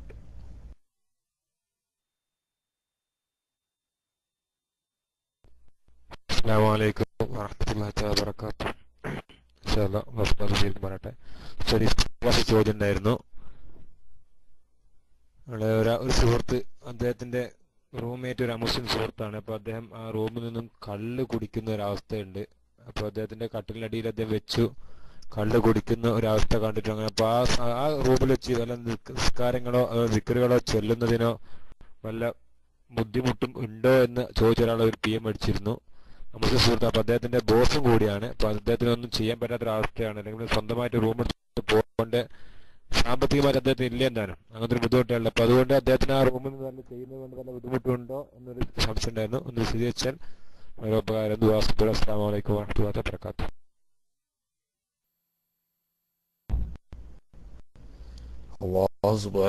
സലാമത്താക്കുമാറാകട്ടെ എന്ന് ദുബായ ചെയ്യ ഹബീബ് സല്ലാ അലൈഹി വസല്ലം തങ്ങളുടെ അവിടുത്തെ അഹിർവൈത്തിന്റെയും ബർക്കത്തുകൊണ്ട് അള്ളാഹുത്തേരെ സലാമത്ത് നൽകുമാറാകട്ടെ വലിയൊരു പ്രശ്നമാണിത് നമ്മൾ ഒരു കാര്യം ശ്രദ്ധിക്കണം. അദ്ദേഹത്തിന് ഭീഷണിപ്പെടുത്തി ഭയപ്പെടുത്തി അയാളൊന്നും ചെയ്യാൻ കഴിയില്ല. കാരണം ഇയാളൊരു സാധുവാണല്ലോ. എന്നാലും നല്ല നിലയ്ക്ക്. അത് നമ്മളെ ആളുകൾ ശ്രദ്ധിക്കാത്തൊരു പോയിന്റാണ്. അമുസ്ലിങ്ങളായ ആളുകൾ അവരോട് ഇസ്ലാമിനെ പറ്റിയും മഹാനാനബ് സല്ലല്ലാഹു അലൈഹി വസല്ലം തങ്ങളെ പറ്റിയൊക്കെ ഇങ്ങനെ കുറേശ്ശെ കുറേശ്ശെ പറഞ്ഞു കൊടുത്തുകൊണ്ട് ഇസ്ലാമിലേക്ക് ഒരു മഹബത്ത് ഉണ്ടാക്കിയെടുത്ത് അയാളെ കള്ളുകുടി മാത്രമല്ല ചിലപ്പോൾ അദ്ദേഹത്തെ തന്നെ മാറ്റിയെടുത്ത് നമ്മളെക്കാളും നല്ലൊരു മുഗ്മിനാക്കി മാറ്റിയെടുക്കാൻ കഴിയും. ആ മാർഗം നമ്മൾ ഉപയോഗപ്പെടുത്തണം. അതൊരു ഭീഷണിയിലൂടെയോ അല്ലെങ്കിൽ മറ്റെന്തെങ്കിലും താക്കീതിലൂടെയോ ഒന്നും ആവരുത്. സ്നേഹത്തിന്റെ ഭാഷയിൽ നല്ല നിലയ്ക്ക് സൗഹാർദ്ദത്തിൽ തിരുസല്ലാ അലൈഹി തങ്ങളെ സംബന്ധിച്ചും മറ്റുമൊക്കെ പറഞ്ഞ് ഈ കുടിക്കുന്ന സമയമല്ലാത്ത അയാളുടെ നല്ല ബുദ്ധി ഉണ്ടാകുന്ന സമയത്ത് അദ്ദേഹത്തിനോട് സ്നേഹത്തിനും ബഹുമാനത്തിനും പെരുമാറുകയും എന്നിട്ട് ഈ നന്മയുടെ വശം പറഞ്ഞ് കുറേശ്ശെ ഇങ്ങനെ ദാവത്ത് നടത്തുകയും ചെയ്താൽ ഇൻഷാ അള്ളാഹ് അലൈഹി സ്വലമ തങ്ങളുടെ കൊണ്ട് അദ്ദേഹം നന്നായി കിട്ടാൻ തന്നെ സാധ്യതയുണ്ട്. അത് വളരെ വിദൂരമാണെന്ന് നമ്മൾ വിചാരിക്കണ്ട. എപ്പോഴാണ് ഇത് തുറക്കപ്പെടുക എന്ന് പറയാൻ കഴിയില്ല. ഒരു അടപ്പാണിത്. കൽബിനുണ്ടാകുന്ന ഒരു മൂടിയാ. ഈ അടപ്പ് ഏത് സമയത്തും തുറക്കാം. തുറന്നു കഴിഞ്ഞാൽ നമ്മൾ വിചാരിക്കും പോലെയല്ല വളരെ വെളിഞ്ഞ വലിയ വെളിച്ചം അവരുടെ ഉള്ളിൽ കിട്ടും. അങ്ങനെ അദ്ദേഹത്തിന് ഹിതായത്തിന്റെ വെളിച്ചം കിട്ടാൻ ഇത് സഭവാകട്ടെ എന്ന് പറഞ്ഞിട്ട് നല്ല നിലയ്ക്ക് സ്നേഹത്തിന്റെ ഭാഷയിൽ ഇസ്ലാമിനെ പറ്റിയും അലൈഹി വസല്ലം സംബന്ധിച്ച് അദ്ദേഹത്തിന് പരിചയപ്പെടുത്തി കൊടുക്കുക. അതേപ്പോ തൽക്കാലം അദ്ദേഹത്തിന്റെ ഹിദായത്തും നമ്മളുടെ ഹിദായത്തും ഉദ്ദേശിച്ചു. അതോടുകൂടി അങ്ങനെ മറ്റൊരാൾ റൂമിൽ വെച്ച് മദ്യം ഉപയോഗിക്കുന്നു എന്നതുകൊണ്ട് അതുമായി ബന്ധപ്പെടാത്തൊരു മുഗ്മിനായ മനുഷ്യന് ആ സ്ഥലത്ത് വെച്ച് നിസ്കരിക്കുന്നതിനോ അതല്ലെങ്കിൽ ദിക്ർ ചെല്ലുന്നതിനോ ഖുർആൻ ഓതുന്നതിനോ ഒന്നിനും ഒരു വിരോധമല്ല. മദ്യം നജസാണ്. നജസാണ്. അത് നമ്മുടെ വസ്ത്രത്തിലോ ശരീരത്തിലോ നമ്മൾ നിസ്കരിക്കുന്ന സ്ഥലത്തോ ആയിട്ടുണ്ടെങ്കിൽ അത് കഴുകി വൃത്തിയാക്കാതെ അവിടെ നിസ്കാരം ചെയ്യാവില്ല അയാളുടെ കട്ടിലിന്റെ ചുവട്ടിൽ അയാൾ വെക്കുന്നു. അയാൾ അത് ഉപയോഗപ്പെടുത്തുന്നു എന്നതുകൊണ്ട് നമ്മുടെ ശരീരത്തിലോ വസ്ത്രത്തിലോ നാം നിസ്കരിക്കാൻ നിൽക്കുന്ന സ്ഥലത്തോ അതായിട്ടില്ലെങ്കിൽ നിസ്കരിക്കുന്നതിനും ദുഃഖ ചെല്ലുന്നതിനും ദ്വാ ചെയ്യുന്നതിനൊന്നും അത് തടസ്സമല്ല. ഇത് പക്ഷേ ശ്രദ്ധിക്കണം. അതൊരു വലിയ ചാൻസ് ആയിട്ടാണ് ഞാൻ കാണുന്നത്. ആ ഒരു അമുസ്ലിമായ സുഹൃത്തിന്റെ കൂടെ താമസിക്കാൻ ഭാഗ്യം കിട്ടുക എന്ന് പറയുന്ന ഒരു മുസ്ലിം ബുദ്ധിയുള്ളവനാണെങ്കിൽ ഒരു മുസ്ലിമെ സംബന്ധിച്ച് ഒരു ബുദ്ധിമുട്ടല്ല ഒരു ഭാഗ്യമാണ് കാരണം എന്താണെന്നറിയോ? ഇങ്ങനെ നല്ല നിലയ്ക്ക് സൗഹാർദ്ദത്തിന്റെ ശൈലിയിൽ ഇസ്ലാമിനെ പറ്റിയും അതുപോലെ തന്നെ തിരുനബി സല്ലല്ലാഹു അലൈഹി വസല്ലം തങ്ങളെ പറ്റിയൊക്കെ ഇങ്ങനെ പരിചയപ്പെടുത്തി കൊടുക്കുക. ചിലപ്പോൾ ഇങ്ങോട്ട് ഫത്താവും ഫത്തഹായ നമ്മുടെ ജീവിതം തന്നെ മുതലായില്ലേ? ഒരു മനുഷ്യൻ നമ്മളെ കൊണ്ട് ഹിതായത്തിലേക്ക് വരാൻ കഴിഞ്ഞാൽ നമ്മളുടെ ദുന്യാവും ആഹ്റും രക്ഷപ്പെടും. ആ നിലയ്ക്ക് നമുക്ക് ദ്വാ ചെയ്യാം. ഹബീസ് സല്ലല്ലാഹു അലൈഹി സ്വലമ തങ്ങളുടെ ഹക്ക് കൊണ്ടും അവിടുത്തെ അഹിലുബൈത്തിന്റെ ഹക്ക് കൊണ്ടും. ആ അഹിലുബൈത്തിനെ പറഞ്ഞ അവനെ പറഞ്ഞുകൊണ്ടിരിക്കുന്ന ഈ ക്ലാസ് റൂമിന്റെ വറക്കത്ത് കൊണ്ടും അള്ളാഹു സുബാനുവത്തല ആ അമുസ്ലിം സഹോദരന് ഹിദായത്തിന്റെ ഈമാന്റെ വെളിച്ചം അള്ളാഹുത്തല അയാളുടെ കൽബിലേക്ക് തുറന്നു കൊടുത്ത് സത്യദീനിലേക്ക് വന്ന് ഒരു മുഗ്മിനായി ജീവിച്ച് കാണാൻ നമ്മുടെ ഈ ക്ലാസ്സിൽ ഒരുമിച്ച് കൂടാൻ ദൂരമല്ലാത്ത ഭാവിയിൽ അള്ളാഹു സുബാനുവത്തല തൗഫീഖ് ചെയ്ത് അനുഗ്രഹിക്കുമാറാകട്ടെ. ഹിദായത്തിനാണല്ലോ നമ്മളെപ്പോഴും ദ്വേർക്കേണ്ടത് ഉപദ്രവവും ശല്യവും ഇല്ലാതെ ആ മുസ്ലിം സഹോദരന് സന്തോഷമായി അവിടെ ജീവിക്കാനും ആ മറ്റേ അമുസ്ലിമായ സഹോദരന് സത്യത്തിന്റെ വെളിച്ചം കാണിച്ചു കൊടുക്കാനുള്ള ഭാഗ്യം നൽകുമാറാകട്ടെ. ഇങ്ങനെയുള്ള ബുദ്ധിമുട്ട് പരീക്ഷണങ്ങളിൽ നിന്ന് നമ്മൾ നമ്മളെല്ലാവരെയും സലാമത്താക്കുമാറാകട്ടെ എന്ന് ദുവാ ചെയ്യുന്നത് റഹ്മദിക്ക് റഹ്മറാമി അമ്മയ്ക്കൊട്ടു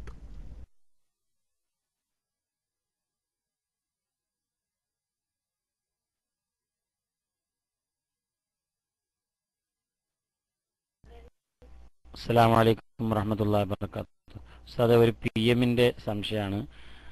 ഉസ്താദിൽ നിന്ന് തന്നെ മറുപടി പ്രതീക്ഷിക്കുന്നത് കൊണ്ടാണ് ആഭരണത്തിന് ജക്കാത്ത് ഉണ്ടോ എന്നാണ് ചോദിച്ചിരിക്കുന്നത്. ഇൻഷാല്ല ഉസ്താദിൽ നിന്ന് മറുപടി പ്രതീക്ഷിക്കുന്നു. അള്ളാഹു താല ഉസ്താദിന് അർഹമായ പ്രതിഫലങ്ങൾ നൽകുമാറാവട്ടെ. ദീനിന്റെ ഹിദമത്തിലായി ജീവിക്കാനുള്ള ദീർഘായുസ് മാഫിത്ത് നമുക്കും ഉസ്താദിന് നൽകുമാറാവട്ടെ. അമീൻ അസ്സാം വലൈക്കും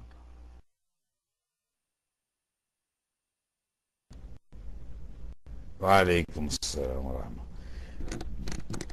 മൽ മസ്ഊൽ അന്നാബി എന്നാണ് ഇപ്പൊ അതിന് ഒന്നാമത്തെ ജവാബ്. അതായത് ചോദിക്കുന്നത് നല്ലൊരു ഉസ്താദാണ്. ചോദിക്കപ്പെടുന്ന ആൾ ഇപ്പൊ അതിനെക്കാട്ടിൽ ഇൽമുള്ള ആളല്ല. പിന്നെ ചിലപ്പുണ്ടായി ഉസ്താദിന് വേണ്ടിയിട്ടല്ല ജനങ്ങളോട് പറയാണ്. പണ്ട് ഇമാം അബു ഹനീഫ റളിയല്ലാഹു തആല തങ്ങളുടെ ഉമ്മ ഉണ്ടായിരുന്നു. ഉമ്മ എന്റെ മോന് ഒരു ആലിമാണ് ഒരു മൂല്യാരാണ് എന്നൊക്കെ അറിയാം.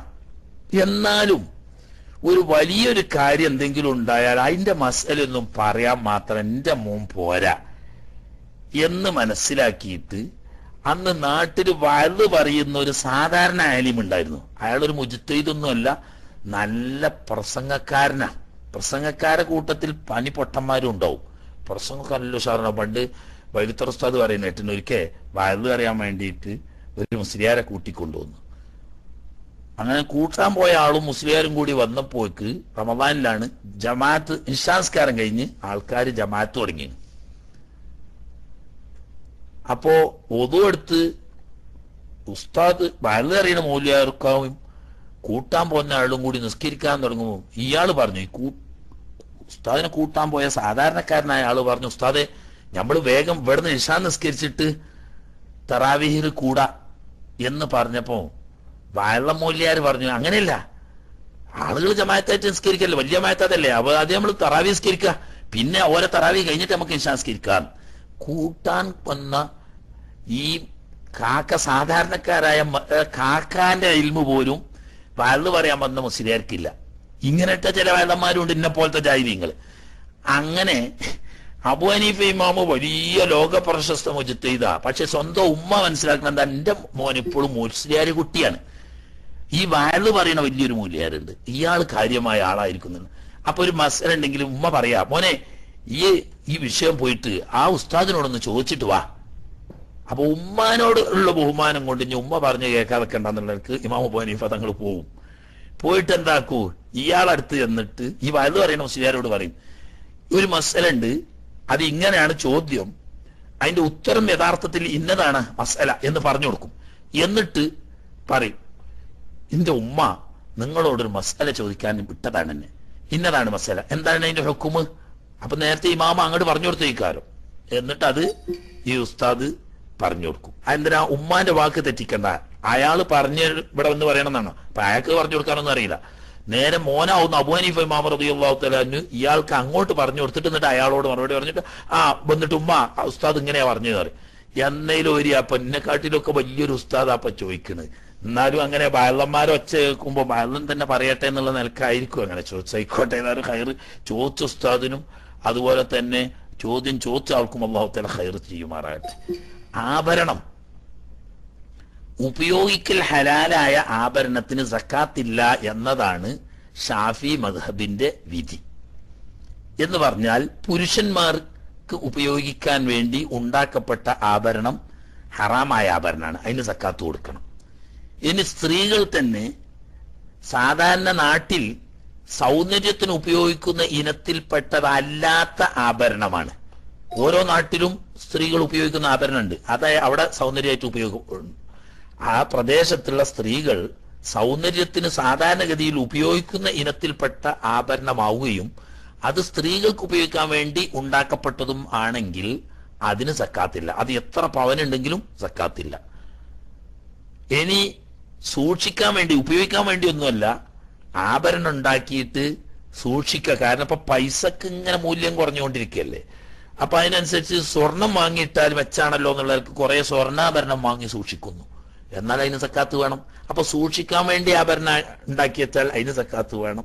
ഉപയോഗിക്കാനുള്ള ഉദ്ദേശത്തോടു കൂടി അല്ലാതെ ആഭരണം ഉണ്ടെങ്കിൽ അതിനും വേണം. ഇനി ഒരു നാട്ടിൽ സാധാരണഗതിയിൽ സ്ത്രീകൾ ഉപയോഗിക്കുന്നത് അല്ലാതെ ഉണ്ടാക്കിയ ആഭരണമാണെങ്കിൽ അതിനും സക്കാത്ത് വേണം.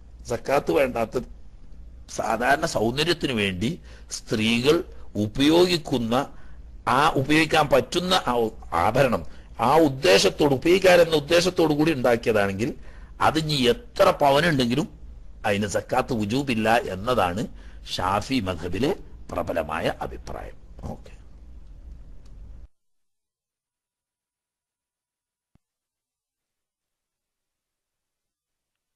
ഓക്കെ അസ്സാം വലൈക്കും ഓക്കെ അസ്സാം വലൈക്കും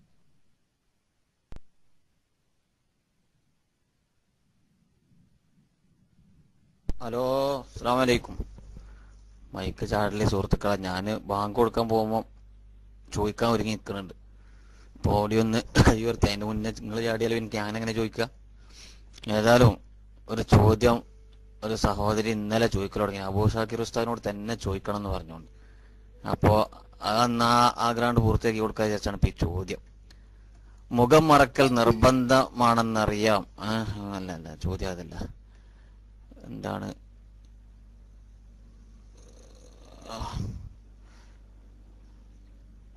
മുഖം മറക്കാതെ മറക്കല്ല മുഖം മറക്കാതെ സ്ത്രീകളുടെ മുഖത്തേക്ക് റസൂലുള്ള നോക്കിയില്ല എന്ന് പറഞ്ഞ ഹദീസിനെ കുറിച്ച് ഉസ്താദ് വിശദീകരിക്കാമോ? അങ്ങനെ ഹദീസ് ഉണ്ട് എന്നാണ് ആ സഹോദരി മനസ്സിലാക്കിയത്.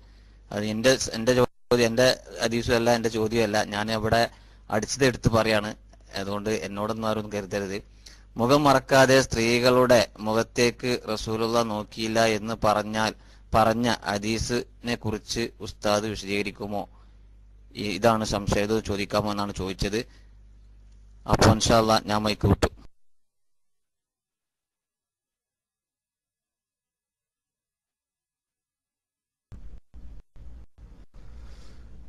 കീശീരിന്റെ അടുത്ത് ചോദ്യങ്ങൾ ഇങ്ങനെ വന്നിട്ട് സ്റ്റോക്ക് എല്ലാരും അടിച്ചു ചോദിക്കുകയാണല്ലോ? കാരണം കൂലി എത്ര കിട്ടും കീശിരിക്കാരോ? ഷഫായത്താണതേ.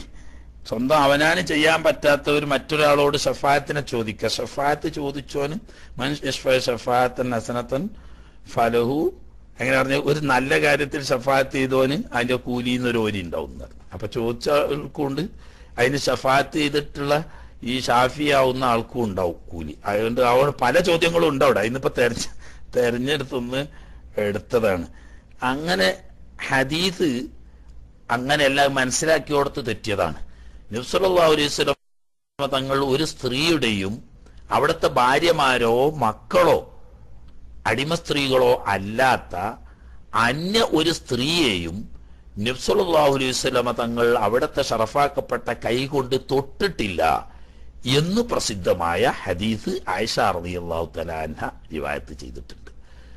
എന്ന് പറഞ്ഞാൽ നബ്സല്ലാ അലൈഹി സ്വലമ തങ്ങളുടെ അടുക്കൽ വന്ന് പുരുഷന്മാര് ബൈഅത്ത് ചെയ്യുമ്പോൾ കൈ പിടിച്ച ആ ഷർഫാക്കപ്പെട്ട കൈ പിടിച്ചുകൊണ്ടായിരുന്നു ഷഫ ഈ ബൈഅത്ത് ചെയ്തിരുന്നത്. അതനുസരിച്ച് സഹാബിയാത്തുകളായ വനിതകൾ അവർക്ക് വലിയ ആഗ്രഹം അള്ളാന്റെ ഹബീബ് മുത്ത മുസ്തഫായ റസൂർ സല്ലാ അലുവലം തങ്ങളുടെ ഷർഫാക്കപ്പെട്ട ആ കൈയൊന്ന് പിടിച്ച് ബൈഅത്ത് ചെയ്തെങ്കിലോ? അങ്ങനെ അവരെ ആഗ്രഹം പ്രകടിപ്പിച്ചപ്പോൾ അലൈഹി വസല്ലം തങ്ങൾ പറഞ്ഞു ഞാൻ സ്ത്രീകളോട് ആരോടും കൈപിടിച്ച് ബൈഅത്ത് ചെയ്യില്ല. ഒരു സ്ത്രീയോടായാലും നൂറ് സ്ത്രീകളോടായാലും ഞാൻ പറയുന്ന വാക്കാണ് അവരുമായിട്ടുള്ള ബയ്യത്ത് അങ്ങനെ തൊട്ട് കൈപിടിച്ചുകൊണ്ടുള്ള ചില കള്ളശേഖന്മാരൊക്കെ ഉണ്ടല്ലോ. പെണ്ണുങ്ങളെ കൈപിടിക്കുക പെണ്ണുങ്ങളെ കൈപിടിച്ച് മുസാഫാത്ത് ചെയ്യുക കാൽ മുത്തിക്കുക കൈ മുത്തിക്കുക എന്നൊക്കെ പറയുന്നത്. അതൊക്കെ ഹബീബ് റസൂൽ സല്ലല്ലാഹു അലൈഹി വസല്ലം തങ്ങളുടെ സുന്നത്തിന്റെ എതിരാണ്. ഇത് നബ്സല്ലാ അലിസ്ലാം തങ്ങൾ പറഞ്ഞ ഇത് ഉദ്ധരിച്ചുകൊണ്ട് ആയിഷ റബി അള്ളാഹു തല പറഞ്ഞു അവിടുത്തെ ഭാര്യമാരോ മക്കളോ അടിമ സ്ത്രീകളോ അല്ലാത്ത അന്യ സ്ത്രീകളിൽപ്പെട്ട ഒരു സ്ത്രീയുടെയും കൈ തിരുനബ് സല്ലാ അലൈഹി വസല്ലം തങ്ങളുടെ ജീവിതത്തിൽ ഒരിക്കലും തൊട്ടിട്ടില്ല. ഇതാണ് ഹദീസിൽ പ്രസിദ്ധം.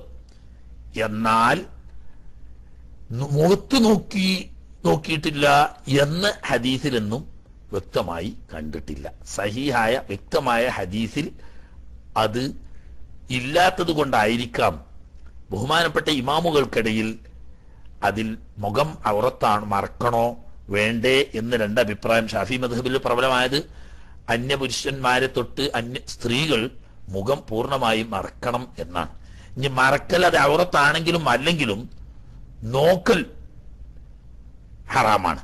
അന്യ സ്ത്രീകളെ അത്യാവശ്യ ഘട്ടത്തിലല്ലാതെ മുഖത്തേക്ക് നോക്കൽ മുഖം ഔറത്തല്ല എന്ന് പറഞ്ഞ അഭിപ്രായ പ്രകാരമാണെങ്കിലും പോലും അന്യ സ്ത്രീയുടെ മുഖത്തേക്ക് ഇടപാട് സംബന്ധമായ ആവശ്യത്തിനോ സാക്ഷി പറയേണ്ട ആവശ്യത്തിനോ പോലെയുള്ള ആവശ്യത്തിന് വേണ്ടിയല്ലാതെ നോക്കൽ ഹറാമാണ് എന്നതാണ് പ്രബലമായ അഭിപ്രായം. ഇങ്ങനൊരു അഭിപ്രായങ്ങളൊക്കെ വരാൻ കാരണം തന്നെ വ്യക്തമായ ഹദീസ് അതില്ലാത്തത് കൊണ്ടാണ് ഹദീസ് തൊടുന്നതിനെ പറ്റിയാണ് പരാമർശം നോക്കുന്നതിനെ പറ്റിയല്ല എന്നാലും നമ്മൾ അന്യ സ്ത്രീകളുടെ മുഖത്തേക്ക് ഇടപാട് ചെയ്യേണ്ട ആവശ്യത്തിന് വേണ്ടിയോ സാക്ഷി നിൽക്കേണ്ട ആവശ്യത്തിന് വേണ്ടിയോ ആണെങ്കിൽ മാത്രമേ നോക്കാവൂ അല്ലാതെ നോക്കൽ ഹറാമാണ്. ഓക്കേ.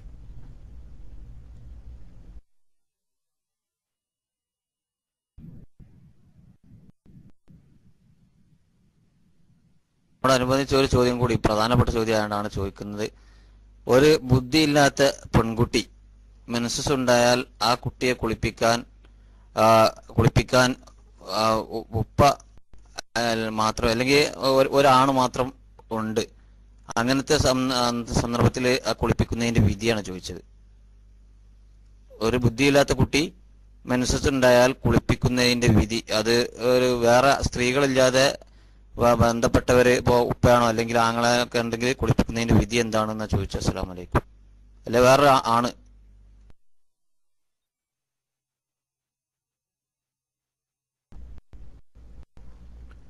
ബുദ്ധിയില്ലാത്ത കുട്ടി മുക്കല്ലഫല്ല പ്രായപൂർത്തിയും ബുദ്ധിയും ഉണ്ടാവുമ്പോഴാണ് മുക്കല്ലഫ് ആയിത്തീരുന്നത്. ഈ കുട്ടിക്ക് ഭർത്താവുണ്ടെങ്കിൽ അവളെ ഉപയോഗം ഭാര്യ എന്ന നിലയ്ക്ക് ഉപയോഗിക്കൽ ഹലാലാകാൻ വേണ്ടി ഭർത്താവ് കുളിപ്പിക്കേണ്ടതാണ്. ഭർത്താവില്ലാത്തവരാണെങ്കിൽ അവർക്ക് ഏതായാലും ബുദ്ധിയില്ലാത്തവർക്ക് സംസ്കാരം ഫർദില്ലല്ലോ. ഇനി അങ്ങനെ കുളിപ്പിക്കേണ്ട ഒരു സാഹചര്യം വരികയാണെങ്കിൽ വാപ്പ ആങ്ങള പോലുള്ളവർക്ക് മുട്ടുപൊക്കിളട അല്ലാത്ത ഭാഗം കാണുന്നത് കൊണ്ട് ആവശ്യത്തിനു വേണ്ടി തൊടുന്നത് കൊണ്ടും വിരോധമില്ല. മുട്ടുമുക്കിളട ഭർത്താവല്ലാത്ത വാപ്പയാലും ആങ്ങളെയാണെങ്കിലും കാണാനോ മറയില്ലാതെ തൊടാനോ പാടില്ല ഹറാമാണ്. പിന്നെ അവരെ സംബന്ധിച്ച് ഇപ്പൊ ബേജാറാവും വേണ്ട ബുദ്ധി ഇല്ലാത്ത ആളല്ലേ? ഭർത്താവ് ഉണ്ടെങ്കിലല്ലേ പ്രശ്നമുള്ളൂ. ബുദ്ധി ഇല്ലെങ്കിലും ഭർത്താവ് ഉണ്ടെങ്കിൽ പ്രായപൂർത്തി എത്തിയ പെൺകുട്ടി ആയതുകൊണ്ട് ഭർത്താവ് ഉണ്ടെങ്കിൽ അവന് ശാരീരികമായി ഭാര്യ എന്നുള്ള നിലയ്ക്ക് അവളെ ഉപയോഗപ്പെടുത്താം. അത് ഹലാലാവണമെങ്കിൽ അവൾക്ക് ശുദ്ധി വേണം. ഈ ശുദ്ധിയാക്കാൻ വേണ്ടി ഭർത്താവ് നെയ്യത്ത് ചെയ്തുകൊണ്ട് ഭർത്താവിന് ഹലാലാവാൻ വേണ്ടിയിട്ട് കുളിപ്പിക്കുന്നു എന്ന് നിയ്യത്ത് ചെയ്തുകൊണ്ട് ഭർത്താവ് കുളിപ്പിക്കുകയാണ് ഭർത്താവ് കുളിപ്പിക്കുന്നോടത്ത് ഈ പ്രശ്നമൊന്നും വരുന്നുമില്ല. ഇല്ലാത്തവരെ സംബന്ധിച്ച് ഭർത്താവില്ലാത്തവരെ സംബന്ധിച്ച് പിന്നെ ഭർത്താവിന് ഹലാലാകുക എന്നുള്ള ഒരു പ്രശ്നത്തിന്റെ വിധി ഉദിക്കുന്നില്ല. പിന്നെ അവൾക്ക് നിസ്കാരം ഉജൂബില്ല. ഇങ്ങനെയൊന്നും പ്രശ്നമില്ല. എന്നാലും കുളിപ്പിക്കണമെങ്കിൽ എന്തു പറ്റും? മുട്ടുപൊക്കിളിടം ഇല്ലാത്ത സ്ഥലം ബാപ്പ ആങ്ങള പോലെയുള്ള തൊട്ടാൽ ഉപമുറിയാത്ത ആളുകൾക്ക് കാണുന്നത് കൊണ്ടോ ആവശ്യത്തിന് വേണ്ടി തൊടുന്നത് കൊണ്ടോ വിരോധമില്ല മുട്ടുപൊക്കിളിട ഉള്ള സ്ഥലം കാണാനോ തൊടാനോ സ്വന്തം വാപ്പയായാലും ആങ്ങളെയായാലും പാടുള്ളതല്ല.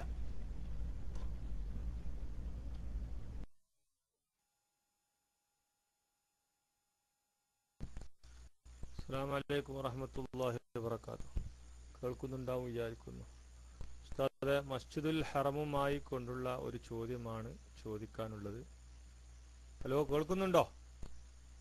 ആ ഓക്കെ അലഹമില്ല ഉസ്താദെ മത്താഫിൽ നിന്ന് ഉസ്താദിന്റെ പ്രഭാഷണത്തിൽ ഉസ്താദ് ഇവിടെ വിശദീകരിച്ചിട്ടുണ്ടോ എന്നറിയില്ല. ഞാൻ കേട്ടിട്ടില്ല. അതുകൊണ്ടാണ് ചോദിക്കുന്നത്. ബഹുമാനപ്പെട്ട ഖദീജ ബീവിയുടെ വീടിനെ കുറിച്ചുകൊണ്ട് ഉസ്താദ് ഒരു പരാമർശം കേട്ടിരുന്നു. കഴബയും ഏഴ് മുയം നൂളോ അത്ര ഡിഫറൻസിലാണ് ഖദീജ ബീവിയുടെ വീട് എന്ന്. എന്നാൽ ഇന്ന് ഇവിടെ ബാബുൽ ഉംറ എന്ന് പറയുന്ന ഒരു ബോർഡ് വെച്ചിട്ടുണ്ട് മത്താഫിൽ എന്ന് അപ്പൊ അത് വെച്ചതിന്റെ തൊട്ടടുത്ത് ഒരു തൂണിൽ നിന്ന് കുറെ അറബിയിലൊക്കെ അതിൽ എഴുതിയിട്ടുണ്ട്. അത് എഴുത്ത് വ്യക്തമായി വായിക്കാൻ സാധിക്കുന്നില്ല. പക്ഷേ അതുകൊണ്ടാണോ അവിടെ ആ അങ്ങനെ വെച്ചത് എന്ന് അറിയേണ്ടതുണ്ട്. അതിനോടനുബന്ധിച്ച് നബി തങ്ങൾ ഇസ്രായ മിറാജിന്റെ രാത്രിയിൽ പോകുന്ന സമയത്ത് മസ്ജിദുൽ അറമുവിൽ വന്ന് ബുറാഖ് എന്ന വാഹനത്തെ കെട്ടിവിട്ട ഒരു സ്ഥലത്തെക്കുറിച്ച് പറയുന്നുണ്ട് തൂണിനെ കുറിച്ച് കൊണ്ട്. അത് ബാബു മലിക് ഫഹദിലൂടെ കടക്കുമ്പോൾ അതായത് പിന്നെ മലിക് അതെ ബാബു മലിക് ഫഹദിന്റെയും ബാബു അൽ അബ്ദുൽ അസീസ് ഗേറ്റിന്റെയും നടുവിൽ ഏഴാമത്തെ എട്ടാമത്തെ തൂണിന്റെ അടുത്ത് രണ്ട് തൂണുകളായി കാണുന്നുണ്ട്. അപ്പൊ അവിടെ കുറെ ആളുകൾ കൂടി നിൽക്കുന്നത് കാണാം. അവിടെ ഇരിക്കുന്നതോ അവിടെ തൊടുന്നതോ അങ്ങനെ എന്തെങ്കിലും വല്ല കിതാബുകൾ എന്തെങ്കിലും വലിയ പരാമർശിക്കുന്നുണ്ടോ? അതിനെ കുറിച്ച് ഉസ്താദ് എന്ന് പറഞ്ഞു തന്നാൽ സന്തോഷമായിരുന്നു. അസ്സാം വലൈക്കും വാഹമത്തല്ലാ വാത്തു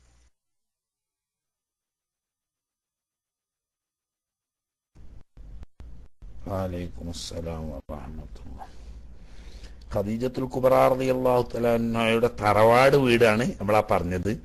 കബ ഷരീഫിന്റെ പടിഞ്ഞാറ് ഭാഗത്ത്. അതായത് കഅബത്തിന്റെ വാതിൽ കിഴക്ക് ഭാഗത്ത. അതിന്റെ നേരെ ഓപ്പോസിറ്റുള്ള പടിഞ്ഞാറ് ഭാഗത്ത് കബ ഷരീഫിൽ നിന്നും ഒമ്പത് മുഴം അകലെ മാത്രമായിക്കൊണ്ട് അതിന്റെ ചാരത്തുണ്ടായിരുന്ന വീടാണ് ഖദീജത്തുൽ കുബറ റളിയല്ലാഹു തആലയുടെ തറവാട്ട് വീട്. അവർ ജീവിച്ചിരുന്ന അവർ ജനിച്ചു വളർന്ന തറവാട്ട് വീട്. നബ്സല്ലാ അലൈഹി സ്വലാം തങ്ങളും ഹദീജ ബീവിയും ജീവിച്ചിരുന്നത് അവർ നബി തങ്ങൾ വിവാഹം കഴിച്ചതിന് ശേഷം ജീവിച്ചിരുന്നത്. ഇന്ന് സൊഫാ മർവന്റെ ഇടയിലൂടെ ബാബു നബി സല്ലാ അലൈഹി സ്വലം എന്ന് പറയുന്ന വാതിലിലൂടെ പുറത്തിറങ്ങിയിട്ട് ആ മുറ്റത്ത് കാണുന്ന ഒന്നാമത്തെ വിളക്ക് കാലിന്റെ തൊട്ടടുത്തായിട്ട് ഭൂമിന്റെ അടിയിലാണ് ഇന്ന് ആ വീടുള്ളത്. അതൊരു ഭാഗം. പിന്നെ ഇന്ന് നിലവിലുള്ള പള്ളിയിൽ ഏറ്റവും മുമ്പാകത്തുള്ള മസ് തുർക്കി കെട്ട് എന്ന് പറയുന്ന ആ കുബ്ബകളെ പോലെ നിറച്ചുള്ള അത് തന്നെ ബഹുമാനപ്പെട്ട സഹാബാക്കിറാമുകളുടെയോ ഖുലഫാഇന്റെയോ ഒന്നും കാലത്തില്ല. അബ്ബാ ഇവർ ഉസ്മാനി ഖുലഫാ എന്ന് പറയുന്ന തുർക്കി ഖലീഫമാര് ഭരിച്ചിരുന്ന കാലത്ത് നിർമ്മിച്ച ഭാഗമാണ് അത്. മുമ്പ് വളരെ ചെറിയ കാബ മാത്രമാണ് മുമ്പ് ഉണ്ടായിരുന്നത് കാബ ഷെരീഫ് മാത്രം. മസ്ജിദുൽ ഹറാം എന്ന് പറയുന്ന ഒരു കെട്ടിടം ഉണ്ടായിരുന്നില്ല. മറിച്ച് എന്തായിരുന്നു വെച്ചാൽ മഹാനായ നബി തങ്ങളുടെ ഉപ്പാപ്പ കുസൈ എന്നവര് കുറേശികളെ ഒരുമിച്ച് കൂട്ടി കബ ഷെരീഫിന്റെ നാല് ഭാഗം പ്രത്യേകം ഫ്ലോട്ടായി തിരിച്ച് പതിച്ചു കൊടുത്തു ഓരോ ഗോത്രത്തിനും ഇന്ന ഭാഗം. അങ്ങനെ നാല് ഭാഗത്തും പ്രത്യേകം പ്രത്യേകം ഫ്ലോട്ടാക്കി തിരിച്ച് ഇന്ന ഗോത്രം ഇന്ന സ്ഥലത്ത് പെരെടുക്കുക ഇന്ന സ്ഥലത്ത് പെരെടുക്കുക എന്ന് കൃത്യം കടന്നു കൊടുത്ത് നാല് ഭാഗത്തും ഒരു കോട്ട പോലെ ചുറ്റും വീടുകൾ എടുക്കുകയും ഓരോ വീടുകൾക്കിടയിലൂടെയും ആളുകൾക്ക് കടന്നു വരാനുള്ള ചെറിയ ഒരു ഗേറ്റ് പോലെ ഒരു ഇടവഴി വിട്ടുകൊടുക്കുകയും ചെയ്തു. ഇതാണ് കുറേശികളുടെ കാലത്തും നബ്സല്ലാ അലൈഹി സ്വലമ തങ്ങളുടെ കാലത്തും അബൂബക്കർ സിദ്ദീഖ് റതി അള്ളാഹു തലാന്റെ തങ്ങളുടെ കാലത്തും ഒക്കെയുള്ള മസ്ജിദ് അറാം അപ്പൊ മസ്ജിദ് അറാം എന്ന് പറഞ്ഞിട്ടൊരു കെട്ടിടം തന്നെ അന്ന് അവിടെ ഇല്ല. മറിച്ച് കാബ ഉണ്ട് കാബത്തിന്റെ ചുറ്റും കുറച്ച് കാലി സ്ഥലം മത്താഫായിട്ട്. അതാണ് യഥാർത്ഥത്തിൽ മസ്ജിദ് ഹറാം എന്ന് പറയുന്നത് ആ കാലി സ്ഥലം. എന്നിട്ട് അതിനെ അതിര് തിരിക്കുന്നത് ഈ പറഞ്ഞേക്ക് ചുറ്റുഭാഗത്തും നാല് ഭാഗത്തും അതിരിട്ട് കൊടുത്ത് ഇന്ന ഗോത്രം ഇന്ന ഭാഗത്ത് ഇന്ന ഗോത്രം ഇന്ന ഭാഗത്ത് നിന്ന് അടയാളപ്പെടുത്തി ആ ഗോത്രക്കാരെടുത്ത വീടുകളാണ്. അപ്പൊ നാല് ഭാഗത്തും ചുമര് പോലെ വീടുകളുണ്ട്. ഈ വീടിന്റെ ഇടയിൽ കൂടെ ആളുകൾക്ക് വരാനും പോകാനുള്ള ഇട ഇടവഴി പോലെ ഇട വിട്ടിട്ടും ഉണ്ടാവും ഇത് മാറ്റി ഉമറുൽ ഫാറൂഖ് തആല ഖലീഫയായ സമയത്താണ് തൊട്ടടുത്തുണ്ടായിരുന്ന വീടുകളൊക്കെ വിലക്ക് വാങ്ങി പൊളിച്ചു മാറ്റി ഈ മത്താഫ് വികസിപ്പിക്കുകയും ഇതിനൊരു അതിർത്തി എന്ന നിലയ്ക്ക് നാല് ഭാഗത്തും അരമതിൽ കെട്ടുകയും ചെയ്തു. വലിയ ചുമരായിട്ടില്ല. ഒരാളുടെ അരക്ക് മീതെ ഉയരം വരുന്ന ചുമര് ചുറ്റുഭാഗത്തും കെട്ടി. എന്നിട്ട് ആ ചുമരുമ്മൽ അവിടെ എണ്ണ എണ്ണത്തിരിയിട്ട വിളക്കുകൾ കൊണ്ടുവന്ന് കത്തിക്കുമായിരുന്നു. ഇത് രണ്ടും ഉമറുൽ ഫാറൂഖ് റളിയല്ലാഹുവിന്റെ ഭരണകാലത്താണ് നടന്നത്. അപ്പോ ചുരുക്കി പറഞ്ഞാൽ ഇന്ന് ഏതെങ്കിലും തൂണ് കാണുന്നുണ്ടെങ്കിൽ ആ പള്ളിന്റെ ഉള്ളിൽ തൂണ് കാണാൻ ആ കാലത്ത് അത് വീടുകളുടെയും ബേക്കിൽ അപ്പുറത്തുള്ള സ്ഥലമാണ്. അതൊന്നും അന്ന് മസ്ജിദുൽ ഹറാം ഒന്നും അല്ല. ഹറം എന്ന് പറയുന്ന വിശാലമായ പ്രദേശത്തിൽപ്പെട്ടതാണ് മസ്ജിദുൽ ഹറാം അന്ന് ഈ പറഞ്ഞ ചെറിയ കാലി സ്ഥലമാണ് പിന്നെ അതിനെ ഒന്നുകൂടി വികസിപ്പിക്കുകയും ചുമരുകൾ തൂണുള്ള ചുമരുകൾ ഉണ്ടാക്കുകയും ചെയ്തത് ബഹുമാനപ്പെട്ട ഉസ്മാൻ ബിൻ അഫാൻ റളിയല്ലാഹു തആലാനുവിന്റെ കാലത്താണ്. പിന്നീട് അത് ഉമവി ആ- ആ- ആ- ആ- ആ ബനു ഉമയ്യ ഗോത്രക്കാരുടെ ഉമവി ഖിലാഫത്തിന്റെ കാലത്തും പിന്നീട് അബ്ബാസി ഖിലാഫത്തിന്റെ കാലത്തും ഒക്കെ അത് വികസിപ്പിച്ച് വലുതാക്കിയെങ്കിലും അതൊക്കെ പിന്നീട് പിന്നീട് ഉണ്ടായതാണ്. അതിന്റെ ഒക്കെ ബേക്കിലാണ് ഇന്നുള്ള തുർക്കി പള്ളി. ബാക്കിയുള്ളതൊക്കെ ഒന്ന് പൊളിച്ച് മസ്താഫ് വികസിപ്പിച്ച്. ഇനിയും ഇൻഷാള്ള താമസിയാതെ മത്താഫ് വികസനം നടക്കുകയാണ്. അപ്പൊ നിങ്ങൾ ആ കാണുന്ന തൂണൊന്നും ഇന്ന് കാണുന്ന തൂണുകളൊന്നും അലൈഹി സ്വലം തങ്ങൾ മറ്റ് മേറാജിന് പോണ സമയത്ത് ബുറാക്കിനെ കെട്ടിയ തൂണെന്നോ മറ്റേ തൂണെന്നൊന്നും പറയാനുള്ള തൂണ് അക്കാലത്തില്ല. ആ സ്ഥലമൊക്കെ അന്ന് മസ്ജിദ് അറാമിന്റെ എത്രയോ അകലമായി കിടക്കുന്ന ആൾ താമസിക്കുന്നതും അല്ലാത്തതുമായ ഒഴിഞ്ഞ സ്ഥലങ്ങളും വീടുകളും ഒക്കെ ഉണ്ടായിരുന്ന സ്ഥലമാണ്. ഓക്കെ.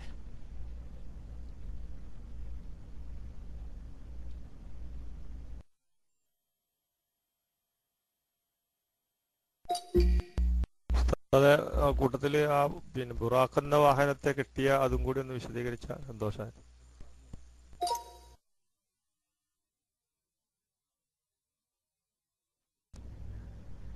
ബുറാഖിനൊന്നും അവിടെ കെട്ടിയിട്ടില്ല ഹബീബേ. ബുറാഖിനെ കെട്ടി എന്നൊക്കെ പറഞ്ഞ എവിടെയെന്ന് വെച്ചാൽ ബൈത്തുൽ മുഖത്തസിലാണ് മസ്ജിദുൽ അക്കസയിൽ ഇവിടെ അല്ല ഇവിടെ ബുറാഖിനെ കെട്ടാൻ സമയം കിട്ടിനോ ഇവിടെ ബുറാഖിനെ കൊണ്ടുവരപ്പെടുകയും ബുറാഖിന്റെ പുറത്തേറി നബ്സല്ലാ അലൈഹി സ്വലം തങ്ങൾ യാത്ര ചെയ്യുകയും ചെയ്തൊക്കെയാണ് അല്ലാതെ അവിടെ കെട്ടിയിട്ടില്ല. കെട്ടിയിട്ടില്ല. അനസല്ലാ അലൈഹി സ്വലം തങ്ങളെ ഓപ്പറേഷൻ ചെയ്തിരുന്നു അതെവിടെയെന്ന് വെച്ചാൽ അതൊരു കാര്യമാണ്. അത് ഹത്തീമിൽ വെച്ചിട്ട് മക്കാം ഇബ്രാഹിമിന്റെയും അതുപോലെ തന്നെ സംദമിന്റെയും ഇടയിലുള്ള സ്ഥലത്ത് ഹബീബ് റസൂൽ അലൈഹി വസല്ലം തങ്ങളെ കിടത്തി അവിടത്തെ നെഞ്ഞ് കീറി കൽബ് പുറത്തെടുത്ത് സംസം വെള്ളം കൊണ്ട് കഴുകി രണ്ടാമത് തൽസ്ഥാനത്ത് വെച്ച് മുറിവ് കൂട്ടി. അത് ചരിത്രത്തിലുണ്ട്. അത് ഹത്തീമിൽ വെച്ചിട്ടാണ്. അല്ലാതെ അവിടെ മസ്ജിദുൽ ഹറാമിൽ ബുറാക്കിനെ കെട്ടിയതായി ചരിത്രം എന്റെ ജീവിതത്തിൽ ഞാൻ എവിടെയും കണ്ടിട്ടില്ല. മെഹറാജിന്റെ ചരിത്രം പറയുന്ന ഒരുപാട് കിതാബുകൾ നോക്കിയിട്ടുണ്ടെങ്കിലും കഅബ ഷരീഫിൽ അതിന്റെ പരിസരത്തായി മസ്ജിദുൽ ഹറാമിൽ എവിടെയെങ്കിലും ബുറാക്കിനെ കെട്ടിയതായി കണ്ടിട്ടില്ല. അതേ സമയത്ത് ബുറാക്കിനെ കെട്ടിയിട്ടുണ്ട് മസ്ജിദുൽ അക്സയിൽ. അലൈഹി വസല്ലം തങ്ങൾ മസ്ജിദുൽ അക്സയിൽ എത്തിയപ്പോൾ അവിടെ ഒരു കല്ലുണ്ട്. ആ കല്ലിൽ ജിബ്രീൽ അലൈഹിസ്സലാം ഒരു തുളയുണ്ടാക്കുകയും ആ തുളയിൽ ഇതിനെ കെട്ടുകയും ചെയ്തു. അപ്പൊ അത് പുതിയതല്ല. മുമ്പ് അമ്പിയാക്കന്മാർ വരുമ്പോഴും അവിടെ തന്നെയായിരുന്നു കെട്ടിയിരുന്നത് എന്ന ഹദീസിലുണ്ട്. ബുറാഖ് യാത്ര എന്നത് അലുസ്ലം നിങ്ങൾക്ക് മാത്രമുള്ളതല്ല. ബഹുമാനപ്പെട്ട ഹരീറുല്ലാഹി ഇബ്രാഹിം അലൈഹിസ്സലാം മകൻ ഇസ്മായിൽ അലൈഹിസ്സലാമിനെയും ഭാര്യ ആജർ ബീവിയെയും കാണാൻ വേണ്ടി പലപ്പോഴും വരാറ്. ബുറാഖിൽ നിന്നായിരുന്നു വൈത്തുൽ മുഖദ്സിൽ നിന്നിട്ട് വരാറ്. അപ്പൊ അങ്ങനെ അമ്പിയാക്കന്മാര് ബുറാഖിനെ കെട്ടുന്ന സ്ഥലം പ്രത്യേകിച്ച് നബ്സുല്ലാ അലൈഹി തങ്ങൾ മെഹറാജിന്റെ അന്ന് കെട്ടിയ സ്ഥലം ഒക്കെ മസ്ജിദുൽ അഖസയിലുണ്ട്. അല്ലാതെ കൈബ ഷെരീഫിന്റെ അടുത്ത് മസ്ജിദുൽ ഹറാമിൽ അങ്ങനെ ബുറാഖിനെ കെട്ടിയതായി ചരിത്രത്തിൽ എവിടെയും കണ്ടിട്ടില്ല. അതേസമയത്ത് ബുറാക്കിനെ കൊണ്ടുവരപ്പെട്ടു എന്നാ ഹദീസിലുള്ളത്. കൊണ്ടുവരപ്പെട്ടു എന്നിട്ട് അതിനെ കയറാൻ വേണ്ടി പോകും അതൊന്ന് വരണ്ടു. വിരണ്ടപ്പോൾ ജിബിരി അലൈഹി ഇസ്ലാം പറഞ്ഞു നിന്റെ മുകളിൽ ഇന്ന് വരെ കയറിയ അമ്പിയാക്കന്മാരെക്കാളൊക്കെ എത്രയോ മഹാനായ മുഹമ്മദ് റസൂർബായ് സല്ലാഹു അലൈഹി സ്വലമ തങ്ങളാണ് നിന്റെ പുറത്ത് കയറാൻ പോകുന്നത്. എന്നിട്ടാണോ നീ വരണ്ടോടാൻ ശ്രമിക്കുന്നത്? എന്ന് ചോദിച്ചപ്പോൾ അത് വിയർത്തൊരിച്ചു എന്നൊക്കെ ഉണ്ട്. അവിടെയൊക്കെ കൊണ്ടുവരപ്പെട്ടു. എന്നിട്ട് സല്ലാ അലൈഹി കയറി എന്നാണ് ഹദീസിലുള്ളത്. അല്ലാതെ അവിടെ ബുറാക്കിനെ കെട്ടിയതായി ചരിത്രത്തിൽ കണ്ടിട്ടില്ല. ഓക്കെ.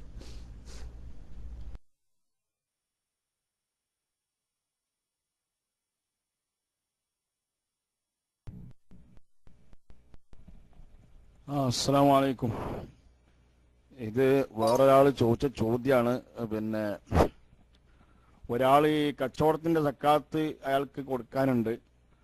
അപ്പം അയാൾ കുറേ കടങ്ങൾ വാങ്ങി പിന്നെ ബകാല തുടങ്ങി. കടങ്ങൾ നീണ്ട അവധിക്കാണ്. അവ കടം ഉണ്ടെങ്കിൽ സക്കാത്ത് കൊടുക്കുന്നതിന് തടസ്സമല്ല സക്കാത്ത് കൊടുക്കണം എന്നാണ് മസാല എന്നാണ് മൂപ്പര് മനസ്സിലാക്കിയിട്ടുള്ളത്. എനിക്ക് മസാല അറിയില്ല. അപ്പോൾ ഏതായാലും മൂപ്പര് തന്നെ ചോദിച്ചതാണ്. അങ്ങനെയാണെങ്കിൽ ഇപ്പൊ നോക്കുമ്പോൾ സാധനങ്ങൾ മുഴുവൻ കടാണ്. മാത്രമല്ല ഇയാളെ പായേരം കൊണ്ട് ഇയാളുടെ പ്രയാസം കൊണ്ട് ഈ കടങ്ങൾ വകാല തുടങ്ങാൻ വേണ്ടിയിട്ട് വാങ്ങിയ കടങ്ങൾ വീട്ടാനും പറ്റിയിട്ടില്ല. ഇപ്പോഴും ആ കടം അതുപോലെ തന്നെ ഉണ്ട്. ഇപ്പോഴും വീട്ടാൻ പറ്റുന്ന സാഹചര്യത്തിലേക്ക് എത്തിയിട്ടില്ല. അപ്പോ മാത്രമല്ല ലാഭമാണെങ്കിൽ വളരെ കച്ചവടം നഷ്ടത്തിലാണ് പോകുന്നത്. അപ്പോ എങ്ങനെയാണ് അയാൾ സക്കാത്ത് കൊടുക്കേണ്ടതുണ്ടോ ഉണ്ടെങ്കിൽ എങ്ങനെയാണ് എന്നാണ് ചോദിച്ചിട്ടുള്ളത്. അസ്സാം വലൈക്കും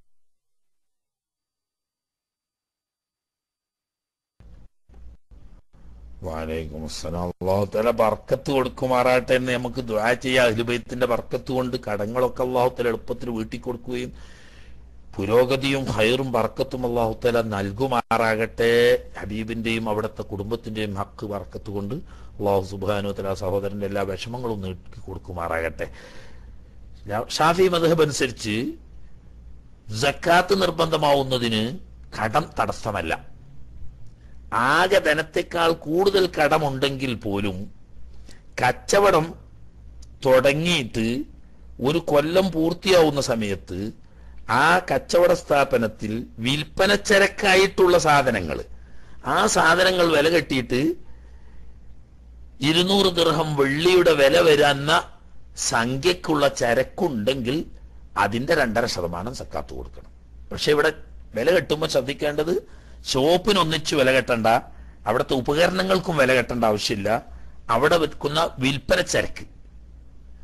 വിൽക്കാൻ വെച്ച സാധനങ്ങൾ എത്ര ഉണ്ട് എന്ന് വെച്ചിട്ട് അതിന്റെ വില കണക്ക് കൂട്ടിയിട്ട് ആ വില ഇരുന്നൂറ് ദർഹം വെള്ളിക്ക് തുല്യമായ സംഖ്യ വരും എങ്കിൽ സക്കാത്ത് കൊടുക്കണം. അപ്പൊ കട ഉണ്ടോ ഇല്ലേ നോക്കിയിട്ടല്ല.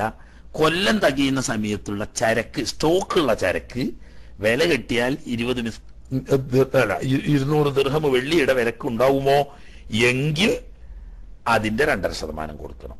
ഇതാണ്.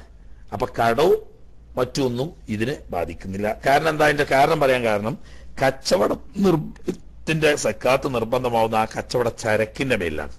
കടം ബാധ്യതപ്പെടുന്നത് ഈ വ്യക്തിയുടെ ഉത്തരവാദിത്തത്തിലാണ്. അപ്പൊ രണ്ടും രണ്ടാണ്.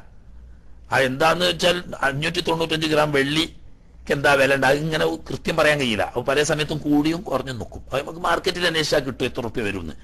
അതായത് ഇരുന്നൂറ് ദീർഘം വെള്ളി എന്ന് പറഞ്ഞാൽ ഇന്നത്തെ കണക്കനുസരിച്ച് അഞ്ഞൂറ്റി തൊണ്ണൂറ്റഞ്ച് ഗ്രാം വെള്ളിയാണ്.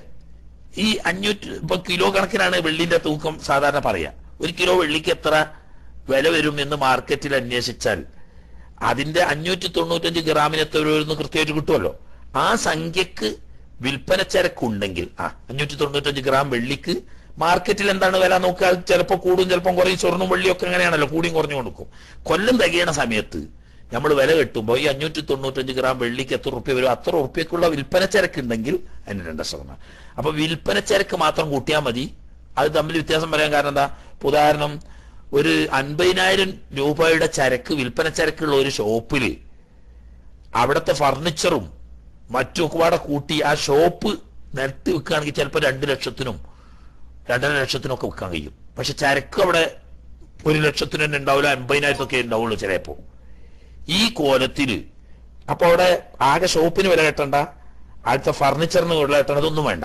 വിൽപ്പന ചരക്കായിട്ടുള്ള സാധനം എത്ര ഉണ്ട് നോക്കിയാൽ ആ ചരക്കിന്റെ വില കൂട്ടിയിട്ട് അഞ്ഞൂറ്റി തൊണ്ണൂറ്റഞ്ച് ഗ്രാം വെള്ളിയുടെ വില വരുമെങ്കിൽ അതിന് സക്കാത്ത് കൊടുക്കണം. കടവും കയറ്റി വന്നില്ല ഓക്കെ.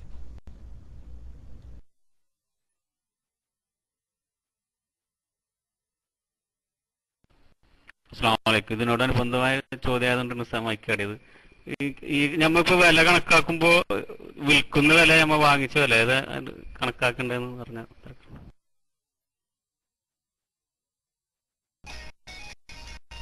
വിൽക്കുന്ന വിലയല്ല വാങ്ങിയ വിലയല്ല ഇപ്പോൾ വാങ്ങുന്ന വില. അതായത് ഈ കൊല്ലം തികയുമ്പോൾ ഇപ്പോൾ അതിന് മാർക്കറ്റിൽ എന്താണ് വില എന്നാ നോക്ക്.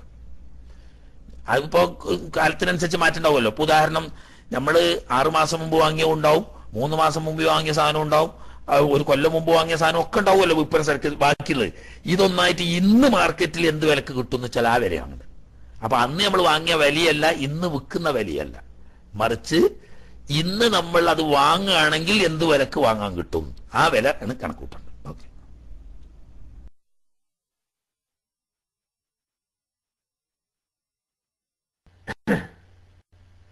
അസ്സാം വലൈക്കും കടയിൽ അതുപോലെയുള്ള ഈ ഡെഡ് സ്റ്റോക്ക് ആയിട്ട് കിടക്കുന്ന സാധനങ്ങൾ വിൽക്കാൻ പറ്റാതെ ഇങ്ങനെ മൂലക്കിട്ടെല്ലാം കെട്ടിവെച്ച് തീരെ പോകാതെ മാറ്റി വെച്ച സാധനങ്ങൾ.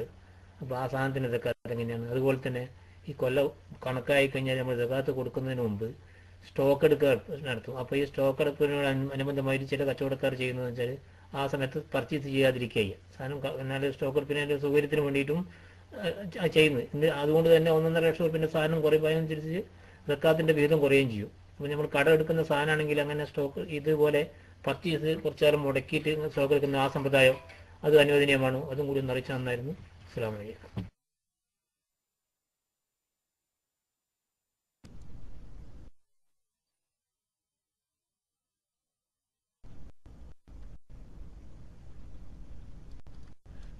കൊല്ലം തികയുന്ന സമയത്ത് സ്റ്റോക്കുള്ള സാധനമാണ് കൂട്ടുക. ആ സമയത്ത് അതിന്റെ രണ്ടു ദിവസം മുമ്പേ സാധനം പുതിയതായിട്ട് എടുക്കാതിരിക്കുക അതൊന്നും പ്രശ്നമില്ല. കൊല്ലം തികയുന്ന ഡേറ്റ് അറബി മാസ പ്രകാരമാണ് കൂട്ടേണ്ടത്. അറബി മാസ പ്രകാരം കൊല്ലം തികയുന്ന ഡേറ്റ് അന്നുള്ളതാണ് കണക്ക് കൂട്ടേണ്ടത് അന്നുള്ള ചരക്ക് നോക്കിയിട്ട് അതിന് ഇപ്പോൾ മാർക്കറ്റിൽ എന്ത് വിലക്ക് കിട്ടും നോക്കുക. ആ വില കണക്കാക്കിയിട്ട് ആണ് സക്കാത്ത് കാണേണ്ടത്. അപ്പൊ അതോടുകൂടി കച്ചവടവുമായി ബന്ധപ്പെട്ട് കച്ചവടത്തിലേക്ക് വരാനുള്ള കിട്ടാനുള്ള കാശ് അത് കിട്ടും എന്ന് ഉറപ്പുണ്ടെങ്കിൽ അതും കൂടി കണക്ക് കൂട്ടുന്നതിൽ ഇത് കൂട്ടണം.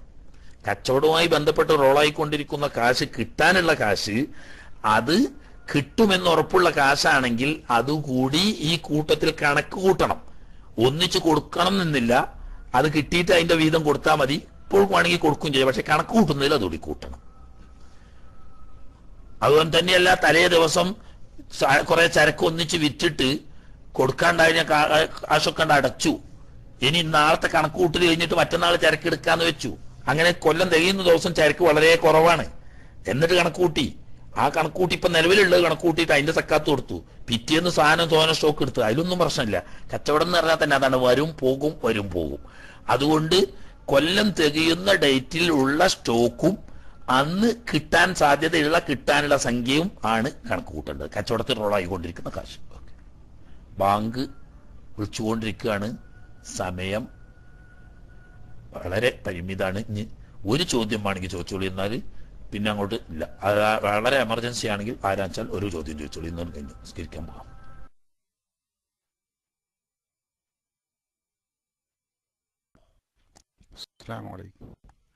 സാറേ ഈ ആഭരണത്തിന് ജക്കാത്ത് കൊടുക്കണമെന്ന് പറഞ്ഞു അല്ല ഇല്ലെന്ന് പറഞ്ഞു നമ്മൾ ആഭരണം കടം കൊടുത്താൽ അതിന് തക്കാത്തുണ്ടോന്ന് അസ്സാം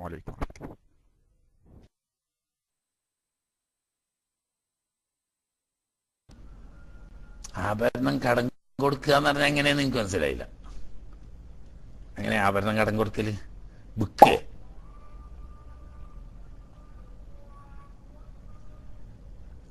ആഭരണം കടം കൊടുക്കുക എന്ന് പറഞ്ഞാൽ ഇവൻ കച്ചവടക്കാരനാണോ? ആഭരണ കച്ചവടക്കാരനാണോ?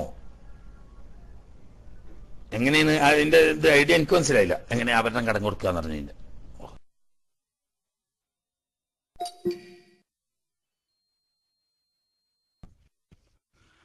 ആഭരണം നമ്മൾ ഒരാൾക്ക് ഒരു കുട്ടിയുടെ കല്യാണം ഉണ്ടാക്കുന്ന സമയത്ത് നമ്മൾ ആ ആഭരണം വാങ്ങിച്ച് കൊടുക്കുന്നു എന്നിട്ട് എനിക്ക് ആവശ്യം ഉണ്ടാകുന്ന സമയത്ത് ആ ആഭരണം തന്നെ തിരിച്ചു തരണം എന്നുള്ള വ്യവസ്ഥ വെച്ച് കൊടുക്കുന്നു. അതാണ് ഉദ്ദേശം.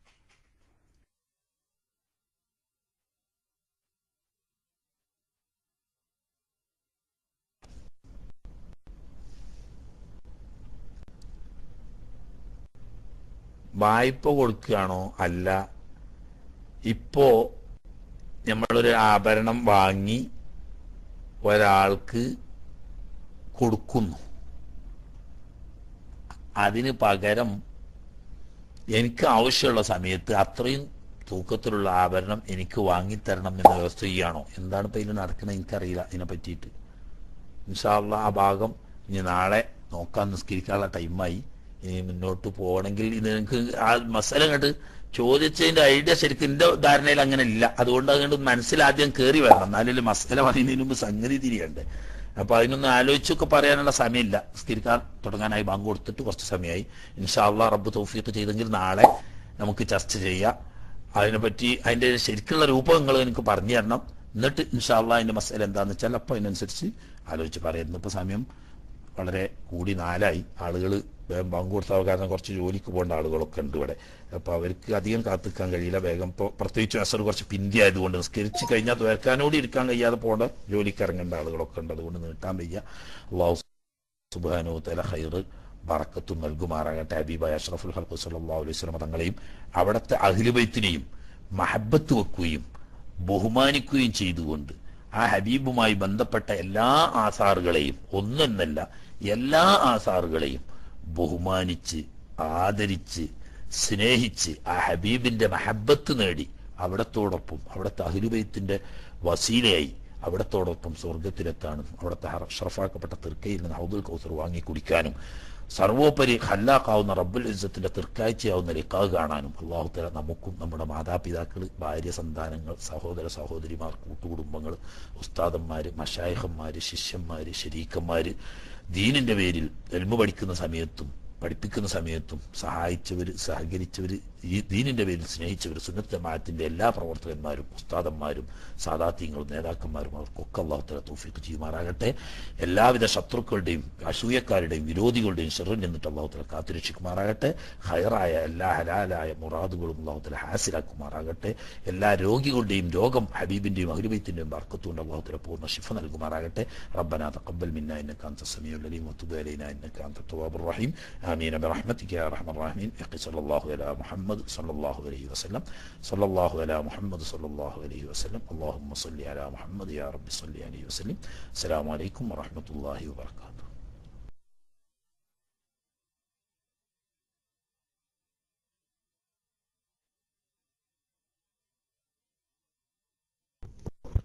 وعليكم السلام ورحمة الله وبركاته جزاكم الله خير خير الجزاء يا أستاذ الحمد لله ഒരുപാട് കാര്യങ്ങൾ ഒരുപാട് നേരം ഇപ്പൊ നിസ്കരിക്കാൻ കാമത്ത് കൊടുക്കാൻ സമയമാകുന്നവരെ നമ്മുടെ സംശയങ്ങൾക്കും നമുക്ക് വേണ്ട അറിവുകളും പകർന്നു തന്ന ഉസ്താദിന്. അലഹമ്മദില്ല അള്ളാഹു ഖൈർ പ്രദാനം ചെയ്യുമാറാവട്ടെ.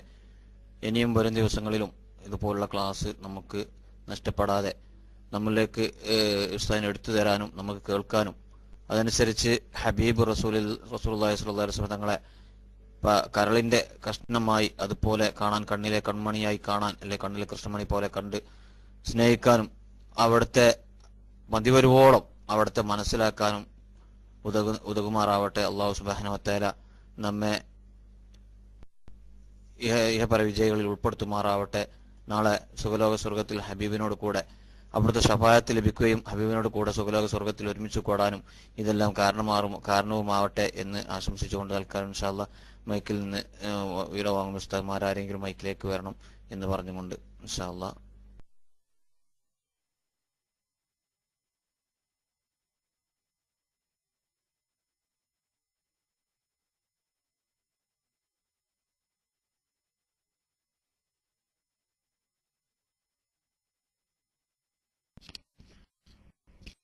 അസ്സാം വലൈക്കും വറഹമത്തല്ലാഹി വബർക്കാത്തു ശബ്ദം ക്ലിയർ ആണോ? ഉസ്താദുമാര് മൈക്കിലേക്ക് വരാൻ പറഞ്ഞിട്ട് വന്നതല്ല. ഉസ്താദ്മാരും റേസ് ഹാൻഡ് ചെയ്യുന്നത് കാണാത്തത് കൊണ്ട് റേസ് മൈക്ക് എടുത്തതാണ്. പിന്നെ ഒന്നരായ അബുഷാഖർ ഉസ്താദിന്റെ പ്രൗഢമായ ക്ലാസ് ഇപ്പോൾ അവസാനിച്ചു. റബ്ബ് താല ഈ മഹത്തായ ദർസ് ദീർഘകാലം ഈ മഹത്തായ ക്ലാസ് റൂമിലൂടെ നടത്താനും അതുവഴി ഒരുപാട് വിശ്വാസികൾക്ക് വളരെ കാര്യഗൗരവമുള്ള വിഷയങ്ങളിൽ കൂടുതൽ പഠനം നടത്താനും അത് ജീവിതത്തിൽ പകർത്താനും റബ്ബ് താല തൗഫീക്ക് നൽകുമാറാവട്ടെ. ഉസ്താദിന്റെ സുന്നത്തെ മാറ്റിന്റെ ഹിദമത്തിലായി റബ്ബ് താല ആഫിയത്തുള്ള ദീർഘായുസ് നൽകി അനുഗ്രഹിക്കുമാറാവട്ടെ. ആമീൻ. എന്ന് ആശംസയായി ദുവാ ചെയ്യുകയാണ്. ഇപ്പോൾ ഡ്യൂട്ടി കഴിഞ്ഞ് എത്തിയേ ഉള്ളൂ. വെള്ളിയാഴ്ച ശനിയാഴ്ച മാത്രമാണ് ഉസ്താദിന്റെ ക്ലാസ് ശരിക്കും കേൾക്കാൻ സാധിക്കാറുള്ളത്. ഒന്നരായ കിഷേരി ഉസ്താദ് ഇവിടെ ഇപ്പൊ ടെസ്റ്റ് അടിച്ചതുപോലെ ഏതായിരുന്നാലും അഖിലുസുന്നത്തി വൽ ജമാഅത്തിന്റെ യഥാർത്ഥ വിശ്വാസികളെ സംബന്ധിച്ചിടത്തോളം വളരെയേറെ സന്തോഷദായകമായ അവസ്ഥാവിശേഷത്തിലൂടെയാണ് നാം ഒക്കെ കടന്നു പോകുന്നത് പരിശുദ്ധ ഹബീബ് സല്ലാഹു അലഹി വസല്ലമ തങ്ങളുടെ ഷറഫാക്കപ്പെട്ട ആസാറുകൾ അതിന്റെ അർഹതയുള്ള കരങ്ങളിലേക്ക് തന്നെ റബ്ബ് താര തിരിച്ചേൽപ്പിച്ചു. അതിലുപരി നാട്ടിൽ ഇരിക്കപ്പുറതിയില്ലാതെ ഉത്തരവാദിത്തപ്പെട്ട അവശേഷിക്കുന്ന ഷെഹറെ മുബാറക്ക് വിരോധിയായ അമ്പലക്കടവ് കടൽ കടന്ന് അറേബ്യയിലെത്തി. ഞങ്ങളെ അല്ലൈനിലുള്ള പാവപ്പെട്ട സുന്നത്തിയമാത്തിന്റെ പ്രവർത്തകർ ഇന്നലെ വന്ന് കാൽ കുത്തിയത് തൊട്ട് അദ്ദേഹത്തെ പിന്തുടരുന്നുണ്ട്. ഒന്ന് ടെലിഫോൺ ചെയ്യാൻ പോലും ഇപ്പോൾ സാധു മനസ്സ് കാണിക്കുന്നില്ല. ഈ ശബ്ദം കേൾക്കുന്ന നിഷ്കളങ്കരായ അപ്പുറത്തുള്ള സംഘടനയിൽപ്പെട്ട സാധുക്കളോട് സ്നേഹബുദ്ധ്യ ഓർമ്മപ്പെടുത്തുകയാണ്. അതുപോലെ ഒരുപക്ഷെ ഏതെങ്കിലും കള്ള ഐഡിയിൽ നിന്ന് അല്ലെങ്കിൽ സുന്നി സെന്ററിൽ നിന്ന് പ്രിയപ്പെട്ട അമ്പലക്കടവ് വിശുദ്ധ ഹബീബ് സല്ലാഹു അലഹി വസല്ലമ തങ്ങളെ അവഹേളിക്കുകയും ആക്ഷേപിക്കുകയും ചെയ്യുന്ന നിങ്ങൾക്ക് അർഹിക്കുന്ന ആദരവും അതിനനുസരിച്ചുള്ള ബഹുമാനവും തന്നെ നൽകിക്കൊണ്ട് പറയട്ടെ. അല്പമെങ്കിലും ഒരു മുസ്ലിമിന്റെ മര്യാദയെങ്കിലും കാണിക്കണം എന്ന് ഓർമ്മപ്പെടുത്തിക്കൊണ്ട് സ്നേഹബുദ്ധിയെ ഓർമ്മപ്പെടുത്തുന്നു. ഉത്തരവാദിത്തപ്പെട്ട നിങ്ങൾക്ക് കൂടി സമ്മതനായ യു എയിലുള്ള അൽ ഐനിലുള്ള നിങ്ങൾക്ക് കൂടി സമ്മതനായ ഒരുപക്ഷെ അല്ലൈനുള്ള സുന്നി സെന്ററിന്റെ ഉത്തരവാദിത്തപ്പെട്ട നേതാക്കന്മാരടക്കം സമ്മതിക്കുന്നവരും കൂടിയായ ഞങ്ങളുടെ പ്രവർത്തകരെയോ നേതാക്കരെയോ ആരെയാണ് നിങ്ങൾക്ക് ചർച്ചയ്ക്ക് വേണ്ടതെങ്കിൽ കൂടെ കൂട്ടാനും. അതോടൊപ്പം ഞങ്ങളുടെ സ്വന്തം ചെലവിൽ ഒന്ന് കൂടെ ഒന്ന് മൂളി തന്ന് ഇരുന്നാൽ മാത്രം മതി അമ്പലക്കിടവ്. വന്യരായ ഷെയ്ഖ് ഹസറുജയുടെ വീട്ടിൽ പോയി നിങ്ങൾക്ക് എന്തൊക്കെ കാണണോ എത്ര കെട്ട് മുടിയുണ്ട് എത്ര മുടിയുണ്ട് എത്ര നീളണ്ട് എല്ലാം നേരിട്ട് കാണിച്ചു തരാനും അത് ബോധ്യപ്പെടുത്തി തരാനും ഞങ്ങൾ ആൺകുട്ടികൾ തയ്യാറാണ് എന്ന് സ്നേഹബുദ്ധി ഓർമ്മപ്പെടുത്തുകയാണ്. ഈ ശബ്ദം കേൾക്കുന്ന ഏതെങ്കിലും എസ്കക്കാർ ഇനിയും ഉണ്ടെങ്കിൽ ദയവ് ചെയ്ത് അമ്പലക്കടവിനോടൊന്ന് ടെലിഫോൺ അറ്റൻഡ് ചെയ്യാനെങ്കിലും പറഞ്ഞാൽ ഞങ്ങൾക്കത് വലിയ ഒരു ഉപകാരമായിരുന്നു. വളരെ നിഷ്കളങ്കമായി വളരെ ആത്മാർത്ഥമായിട്ട് തന്നെയാണ് ഈ ചർച്ച ഇവിടെ ഇടുന്നത്.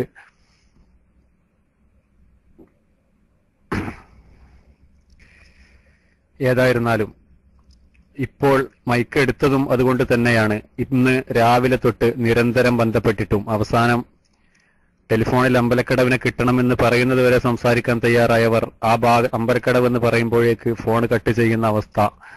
വല്ലാത്ത സഹതാപം തോന്നുകയാണ് നിങ്ങളെ ഈ അവസ്ഥ കാണുമ്പോൾ. സ്നേഹബുദ്ധിയെ ഓർമ്മപ്പെടുത്തുന്നു. സുന്നത്ത് ജമാഅത്തിനോട് പരിശുദ്ധമായ ഇസ്ലാമിനോട് അഹിലു സുന്നത്തി വൽ ജമാഅത്തിനോട് അല്പമെങ്കിലും കൂറ് നിങ്ങൾക്ക് ബാക്കിയുണ്ടെങ്കിൽ ദയവ് ചെയ്ത് അന്ന് അബുദാബി കുറ്റ്യാടിയിൽ നിന്ന് വന്യരായ പേരോട് ഉസ്താദിനെ വെല്ലുവിളിച്ചതുപോലെയല്ല യു എയിൽ പ്രശ്നങ്ങളൊന്നും നടക്കുന്നില്ല. അവിടേക്ക് ഫ്ലൈറ്റിന് പോകാൻ ഒന്നല്ലെങ്കിൽ മറ്റേതുണ്ട് എന്നൊക്കെ പറഞ്ഞ് ഡയലോഗ് കാച്ചി അതേ അമ്പലക്കടവാണ് യു എയിലുള്ളതെങ്കിൽ അത് ആ അമ്പലക്കടവിന്റെ പ്രേതമാണ് അള്ളാഹുലം ഞങ്ങൾ സ്നേഹബുദ്ധിയെ ഓർമ്മപ്പെടുത്തുന്നു. അല്പമെങ്കിലും ആത്മാർത്ഥതയുണ്ടെങ്കിൽ സുന്നത്ത് ജമാഅത്തിനോടും ഈ മഹത്തായ ആദർശ പ്രസ്ഥാനത്തോടും അല്പമെങ്കിലും കടപ്പാട് ബാക്കിയുണ്ടെങ്കിൽ പ്രിയപ്പെട്ട അമ്പലക്കടവ് ഒന്ന് മനസ്സ് മൂളിത്തന്നാൽ ഞങ്ങൾ തയ്യാറാണ്. ഏത് സമയത്തും എപ്പോൾ വേണമെങ്കിലും നിങ്ങളെ ഒഴിവിനനുസരിച്ച് യു എയിൽ നിന്ന് ആണ് സംസാരിക്കുന്നത്. നിങ്ങൾക്ക് എപ്പോൾ എവിടെ വരാൻ പറഞ്ഞാലും നിങ്ങളെ കൂടെ വരാനും നേരിട്ട് വന്ന് ഞങ്ങളുടെ ചെലവിൽ കാണിച്ചു തരാനും നിങ്ങളുടെ പരിപൂർണ സംരക്ഷണത്തോടു കൂടി തന്നെ അതിനാ വെല്ലുവിളി ഞങ്ങൾ ഏറ്റെടുക്കാനും തയ്യാറാണ്. അതുകൊണ്ട് ഇപ്പോഴെങ്കിലും ഈ ശബ്ദം കേൾക്കുന്ന ഉത്തരവാദിത്തപ്പെട്ട എസ് കെ എസ് എഫിന്റെ പ്രവർത്തകരുണ്ടെങ്കിൽ നട്ടലുള്ള ആൺകുട്ടികളുണ്ടെങ്കിൽ ഞങ്ങൾ ആണത്തത്തോടെ തന്നെ പറയുന്ന ഉത്തരവാദിത്തപ്പെട്ട ആളുകളെ തന്നെ കൂട്ടി. സാക്ഷാൽ ഹസ്രജിയുടെ വീട്ടിൽ വന്നിട്ട് നമുക്ക് അതൊന്ന് ബോധ്യപ്പെടുത്തി തരാം നിങ്ങളെ സംശയങ്ങൾ തീർക്കാം. അതിന് മനസ്സ് കാണിക്കാൻ നിങ്ങൾക്ക് ധൈര്യമില്ലെങ്കിൽ ദയവ് ചെയ്ത് ഹബീബായ റസൂർല്ലാഹി സ്വല്ലല്ലാഹു അലഹി വസല്ലമ തങ്ങളുടെ ഷറഫാക്കപ്പെട്ട ആസാറിനെ അവഹേളിക്കുന്ന നിങ്ങളേതായാലും അസൂയ തലയിൽ കയറി മൂത്തുപോയി എന്തെങ്കിലും പറയുന്നുണ്ടെങ്കിൽ നിഷ്കളങ്കരായ പാവപ്പെട്ട ഒരു വിഭാഗത്തെ നിഷ്കളങ്കരായ ഒരുപാട് വിശ്വാസി സമൂഹത്തെ എന്തിന്റെ പേരിലാണ് നിങ്ങൾ ഇങ്ങനെ സമുദായത്തിൽ നിന്ന് ഇത്ര പ്രശ്നങ്ങളും ഫസാദും ഫിത്തനയും ഉണ്ടാക്കി ഹബീബായ റസൂർല്ലാഹി സ്വല്ലല്ലാഹു അലഹി വസല്ലമ തങ്ങളെ ആസാറിനെ ഇങ്ങനെ അവഹേളിക്കാൻ ഉരുമ്പിട്ടിറങ്ങിയത് എന്ന് വളരെ വിനീതമായി ഞങ്ങൾ ചോദിക്കുകയാണ്. അതിന്റെ കൂടെ ഒന്നുകൂടെ ഓർമ്മപ്പെടുത്തുന്നു കഴിഞ്ഞ ദിവസം കഴിഞ്ഞ ശനിയാഴ്ച റബിയൽ ലവൽ പന്ത്രണ്ടിന്റെ അന്ന് യു എയിൽ പന്ത്രണ്ടായിരുന്നതിന്റെ അന്ന് രാവിലെ ദുബൈയിലെ ഗോൾഡ് സൂക്കിനടുത്ത് പരിശുദ്ധമായ ഷാറ മുബാറക്ക് പ്രദർശനം നടക്കുന്നു എന്ന് അറിഞ്ഞപ്പോ പന്ത്രണ്ട് വർഷമായി തുടർന്നു വരുന്ന ഉത്തരേന്ത്യക്കാരും പാകിസ്ഥാനുകളും ഒക്കെ ഒരുപാട് ഒരുമിച്ച് കൂടുന്ന ആ മഹത്തായ സംഗമത്തിലേക്ക് ഞങ്ങൾ ഓൺലൈനിലെ പ്രവർത്തകരും അന്യരായ മൂസിം തങ്ങളടക്കമുള്ള നമ്മുടെ നേതൃ നേതാക്കളടക്കം റിസാല ഷെഡി സർക്കിളിന്റെ ഉത്തരവാദപ്പെട്ട നേതാക്കളടക്കം ഞങ്ങൾ അവിടെ ചെന്നപ്പോ എന്റെ നാട്ടുകാരൻ കൂടിയായ ദുബായിലെ സജീവ കെ എം സി സിയുടെയും മുസ്ലിം ലീഗിന്റെയും എസ് കെ എസ് എഫിന്റെയും പ്രവർത്തകനായ ഒരു ഇസ്മായിൽ എന്ന സുഹൃത്ത്. കൂടുതൽ നിങ്ങൾക്ക് അതിന് പ്രൂഫ് വേണമെങ്കിൽ ശബ്ദം കേൾക്കുന്ന എന്റെ നാട്ടുകാരോ അതല്ലെങ്കിൽ എസ്കെന്റെ ആളുകളുണ്ടെങ്കിൽ അതിന്റെ സനത് ഇവിടെ ബോധ്യപ്പെടുത്താനും സാക്ഷ്യപ്പെടുത്താനും തയ്യാറായിക്കൊണ്ട് തന്നെയാണ് സംസാരിക്കുന്നത്. ആ സാധുവായ പ്രവർത്തകൻ ഇഖ്ലാസോടുകൂടി ഹബീബ് സല്ലല്ലാഹു അലൈഹി വസല്ലമ തങ്ങളുടെ ഷേറെ മുബാറക്കിന്റെ മുമ്പിൽ നിന്ന് കണ്ണുനീരോടെ ദുആ ചെയ്യുന്ന രംഗത്തിന് സാക്ഷിയായവനാണ് ഞാൻ. അതുകൊണ്ട് തന്നെ പറയുന്നു ഇനിയും പാവപ്പെട്ട വിശ്വാസികളെ എന്തിന്റെ പേരിലാണ് നിങ്ങളിങ്ങനെ സംശയമുണ്ടാക്കി വെറുതെ ഫിത്തനയും പ്രസാദമുണ്ടാക്കി നടക്കുന്നത് എന്ന് വല്ലാത്ത സങ്കടത്തോടു കൂടിയാണ് ഞങ്ങൾ ചോദിക്കുന്നത്. സുന്നത്ത് ജമാഅത്തിനോടും പരിശുദ്ധമായ മഹാനായ അഹമ്മദ് കോല കോയ ഷാലിയാത്തി റഹ്മഹുല്ല അവർ സനദ് ഇല്ലെങ്കിൽ പോലും ഹബീബായ റസൂലുള്ളാഹി സ്വല്ലല്ലാഹു അലൈഹി വസല്ലമ തങ്ങളെ ആസാറാണെന്ന് പറയപ്പെട്ട ഒരു വസ്തുവിനെ ആക്ഷേപിക്കാനും അതിന്റെ സനത് അന്വേഷിക്കാനും മുസ്ലിമിന് അതിന്റെ ആവശ്യമില്ല എന്ന് സമസ്തയുടെ സ്ഥാപക നേതാക്കളിൽ പ്രധാനിയായ മഹാനായ അഹമ്മദ് കോയ ഷാലിയാത്തി തങ്ങളും അതിലപ്പുറം മഹാനായ ഇബ്നു ഹജറുൽ ഹൈത്തമി തങ്ങളും വളരെ വ്യക്തമായി സുന്നത്ത് ജമാഅത്തിന്റെ പ്രവർത്തകരെ പഠിപ്പിച്ചിട്ട് എന്തിന്റെ പേരിലാണ് സമസ്തയുടെ പേരും പറഞ്ഞു നടക്കുന്ന ഇത്തരം ആളുകൾ എന്തിന്റെ പേരിലാണ് ഈ ഫിത്തനയും പ്രസാദുമായി നടക്കുന്നത് എന്ന് നിഷ്കളങ്കരായ ജനങ്ങളോട് ബോധ്യപ്പെടുത്തി കൊടുക്കേണ്ട കടമ നിങ്ങൾക്കുണ്ട്. അതുകൊണ്ട് തന്നെ ഈ ശബ്ദം കേൾക്കുന്ന ഉത്തരവാദിത്തപ്പെട്ട ആരെങ്കിലും ഇനിയും അവശേഷിക്കുന്നുണ്ടെങ്കിൽ ഈ ശബ്ദം കേൾക്കുന്ന പല ഐഡിയിലും വന്നിരിക്കുന്ന പുറത്ത് പെട്ടിക്കൂട്ടിലുള്ള ആളുകളുണ്ട് എന്ന ബോധ്യത്തോടു കൂടി തന്നെയാണ് പറയുന്നത്. അവിടെ നിങ്ങൾ ആരെയെങ്കിലും വിളിച്ച് വെറുതെ ഉണ്ടാക്കി തട്ടിക്കൂട്ടി ഉണ്ടാക്കിയ ക്ലിപ്പ് വിട്ടുകാണ്ട് ഐ ഡി കൂട്ടാൻ ശ്രമിക്കുകയല്ല വേണ്ടത്. ഇപ്പോൾ അൽ ഐനിലെ ടെലിഫോൺ എടുക്കാൻ പോലും പേടിച്ചു നിൽക്കുന്ന അമ്പലക്കടവിനോട് ഞാൻ ഇപ്പോഴും റിങ് ചെയ്യുന്നുണ്ട് ഇപ്പോഴും അടിച്ചുകൊണ്ട് ട്രൈ ചെയ്തുകൊണ്ടിരിക്കുന്നുണ്ട്. അല്പമെങ്കിലും ആണത്തമുണ്ടെങ്കിൽ ഒന്ന് ടെലിഫോൺ അറ്റൻഡ് ചെയ്യാനെങ്കിലും. ടെലിഫോൺ അറ്റൻഡ് ചെയ്യണമെന്നില്ല. നിങ്ങൾ തന്നെ ബന്ധപ്പെട്ടിട്ട് ഒന്ന് എപ്പോൾ എങ്ങോട്ടാണ് പോരാൻ നിങ്ങൾ റെഡി എന്ന് ഏത് സമയം പറഞ്ഞാലും ആ സമയത്ത് നിങ്ങളുടെ കൂടെ വരാനും. മഹാനായ ഷെയ്ഖ് ഹസ്രജിയുടെ വീട്ടിൽ പോയി അതിന്റെ ആസാറു നബിയുടെ സല്ലല്ലാഹു അലൈഹി വസല്ലം എല്ലാ തെളിവുകളും നിങ്ങളെ നേരിട്ട് ബോധ്യപ്പെടുത്താൻ ഞങ്ങൾ സുന്നത്തേമാത്തിന്റെ പാവപ്പെട്ട പ്രവർത്തകർ തയ്യാറാണ്. ഇപ്പോഴും റിങ് ചെയ്യുന്നത് അമ്പലക്കടവിന്റെ ഫോണാണ്. നിങ്ങൾക്ക് ശബ്ദം കേൾക്കുന്നുണ്ടാകും. ടെലിഫോൺ എടുക്കില്ല. ഞങ്ങൾ നേരത്തെ തൊട്ടേ ട്രൈ ചെയ്തുകൊണ്ടിരിക്കുന്നുണ്ട്. ഒന്ന് ടെലിഫോൺ അറ്റൻഡ് ചെയ്ത് കഴിഞ്ഞാൽ അലഹമില്ല ഞങ്ങൾക്ക് വലിയൊരു ഉപകാരമായിരുന്നു. അതുകൊണ്ട് തന്നെയാണ് ട്രൈ ചെയ്യുന്നത്.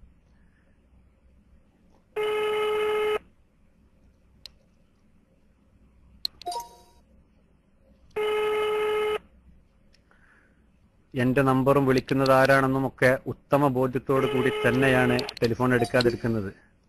ഒരു റോങ് നമ്പറും അല്ല പല തവണ എന്റെ ടെലിഫോൺ അറ്റൻഡ് ചെയ്തതാണ്. അമ്പലക്കിടവിന് കൊടുക്കാൻ പറയുമ്പോൾ അവർ കട്ട് ചെയ്യുകയാണ്. സാക്ഷാൽ ഇപ്പോൾ അല്ലെങ്കിൽ ഒളിഞ്ഞിരിക്കുന്ന അമ്പലക്കടവിനെ തന്നെയാണ് വിളിക്കുന്നത്. ആ ഡയലോഗ് കുറെ സമയമായി കേൾക്കണേ. ഇത്തുസാലാത്തേര് മറുപടി പറഞ്ഞ് കുടുങ്ങി എന്നല്ലാതെ അമ്പലക്കടവിട്ട ഫോർക്കണേ ഒന്ന് ഇനിയെങ്കിലും ശബ്ദം കേൾക്കുന്ന ആളുകൾ ഈ ശബ്ദം കേൾക്കുന്ന ഐ ഡിയിൽ ക്ലാസ് റൂമിലുള്ളവർക്ക് ആർക്കെങ്കിലും എന്തെങ്കിലും പറയാണ്ടെങ്കിലും മൈക്കിൽ വരാൻ ഇൻഷാല്ല ഞങ്ങൾ ട്രൈ ചെയ്തുകൊണ്ടേയിരിക്കുന്നുണ്ട്.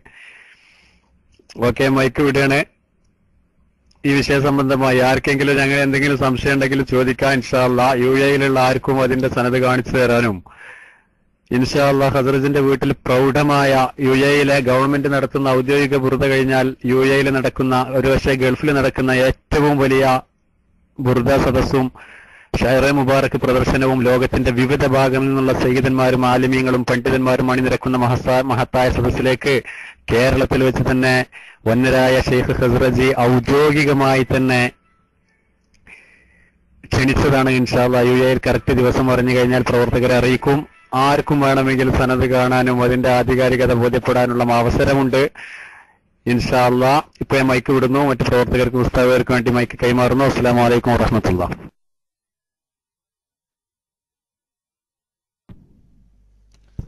അലൈക്കും അസ്സലാം വറഹമത്തുള്ളാഹി വബറകാത്തു അബു അബു ആസിഫ് അദ്ദേഹം എടുക്കൂല. അദ്ദേഹം നാട്ടിൽ നിൽക്കക്കളില്ലായിട്ട് കയറിയതാണ് പറഞ്ഞു കയ്യിൽ നിന്നുള്ള ഷെയർ മുബാർക്ക് മറ്റൊരു തിരിച്ചു വാങ്ങിയപ്പോ ഇനിയിപ്പോ അയാൾക്ക് അവിടെ നാട്ടിലെ എസ് എഫിന്റെ കുട്ടികൾ തോണ്ടി ചോദിക്കുകയാണേ. അപ്പൊ അവിടുന്ന് ഇവിടെ വന്നാൽ കുറച്ച് സമാധാനം ഉണ്ടാവും നേരത്തെ ഇവിടെ വന്നു. ഇവിടെ വന്ന് നോക്കുമ്പോൾ അബുവാസിഫിനെ പോലുള്ളവര് പിന്തുടർന്നിട്ട് ഓടി ഓടി ആയി അദ്ദേഹം കുഴങ്ങി ഇപ്പൊ എവിടോ പോയി ഒളിച്ചേക്കാണ്. ടെലിഫോൺ എടുക്കുന്നില്ല. ഏഹ് ഏതായിരുന്നാലും ഉള്ള ഇങ്ങനത്തെ ഒരു അധോഗതിയിലേക്കാണല്ലോ ഇവരെ ഈ മുഖടൽ ഉണ്ടായി തീർന്നത് വല്ലാത്തൊരു അവസ്ഥയായി പോയി ഇനി ഇനി എന്താണ് ഇവർ ഭൂമിന്റെ അടിക്ക് താഴെ അവർക്ക് നല്ലത്. എന്തിനു ജീവിക്കുന്നവര്? അള്ളാഹ് റസൂലിന്റെ ഷെയർ കൊണ്ടുവന്നു കാണ്ട് അത് വ്യാജ അത് കുറെ കൊണ്ടു നടന്നാണ്ട് അതിനെ മേട വിധം ബഹുമാനിക്കാതെ ഇപ്പോ തിരിച്ചു കൊടുത്തിട്ട് ഇനിയിപ്പോ അവർക്ക് ജനങ്ങളെ മുന്നിലേക്ക് എണീച്ചു നിൽക്കാൻ കഴിയാത്ത അവസ്ഥയപ്പുള്ളത്. എന്നിട്ട് ഇപ്പൊ വേഗം യു എക്ക് കയറിയേക്കാം. കുട്ടികൾ ചെറിയ മക്കൾ എന്നിട്ട് തോണ്ടി ചോദിക്കുകയാണ് നിങ്ങൾ ഇതുവരെ പറഞ്ഞു എന്തേലും കാക്ക? അതിന് ആ മറുപടി ഇങ്ങോട്ട് പറഞ്ഞു തരീന്ന് പറഞ്ഞിട്ട്. അപ്പൊ യാതൊരു എന്റെ പയ്യൻ പറ നമുക്ക് ഈ റൂമിൽ ഇരുന്നു കൊണ്ട് പറയാൻ പറ്റില്ല അതുകൊണ്ടാണ് എല്ലാം പറയാൻ വരാഞ്ഞിട്ടല്ല. ഏതായിരുന്നാലും അള്ളാഹു സുബാനത്താണ് നമ്മളെ ഇവരൊക്കെ ഷെറിൽ നിന്ന് രക്ഷപ്പെടുത്തട്ടെ നമുക്ക് പറയാനുള്ളത്. ഈ ഈ കോലത്തിൽ ഇവർ അധോഗതിയിൽ മുഖം കെടുമ്പോ നമ്മുടെ പിന്നെ നമ്മുടെ മഹാന്മാരായ ഉസ്താദുമാരെ കുരുത്തക്കേട് സമ്പാദിച്ചുകൊണ്ട് ഇവർ മുഖം കണ്ട് കാണുമ്പോൾ വല്ലാത്ത സഹതാപമുണ്ട് ഇവരെ കൊണ്ട്. ദീന് കൊണ്ടാണല്ലോ ഇവർ കളിക്കുന്നത്. വഹാബി ആണെച്ചെങ്കിൽ പോട്ടെ. വഹാബിനെ നമ്മൾ ആദ്യം എഴുതി തള്ളിയതാണ്. അതേ സമയത്ത് ഇവർ ഈ ഈ സുന്നിസം പറഞ്ഞുകൊണ്ട് സുന്നി മുന്നിൽ വെച്ചിങ്ങാണ്ട് ഈ കളി കളിക്കുമ്പോൾ ഇതൊക്കെ അള്ളാഹും അള്ളാഹും അവിടുന്ന് ജനങ്ങൾ പൊതുജനങ്ങൾ കാണുന്നുണ്ട്. ഏഹ് ഇത് ഈ മാലോകരോട് ഇവർക്ക് എന്താ പറയാനുള്ളത്? അതാണ് നമുക്ക് പറയാനുള്ളത്. മാലോകരോട് എന്ത് പറയും? ഈ ഞങ്ങൾ സാധാരണ നമ്മുടെ നാട്ടിലൊക്കെ പൂച്ച കാഷ്ടിക്കാറുണ്ട്. അത് അത് അത് കഴിഞ്ഞാൽ ഉടനെ മണ്ണ് മാറി വാന്തി മണ്ണ് കൊണ്ട് മൂടാറുണ്ട്. ഇത് പാറമ്മൽ പൂച്ച കാഷ്ടിച്ച പോലെ ആയി. മാ- ഇടാൻ ഇടാകുമ്പോൾ മണ്ണില്ല. അങ്ങനത്തെ ഒരു അവസ്ഥയുള്ളത്. ജനങ്ങൾ കണ്ട് നാറുകയാണ് ഏതായിരുന്നാലും ഇൻഷാല്ല ഞാൻ മൈക്കൂട്ട് ഉസ്താദ്മാരൊക്കെ മൈക്കിൽ വന്നതുകൊണ്ട് ഞാൻ മൈക്കൂട്ട് നമ്മളെ ചർച്ച കാര്യമായി കാര്യമായി പുരോഗമിക്കട്ടെ. അസ്സാം വലൈക്കും വറഹമ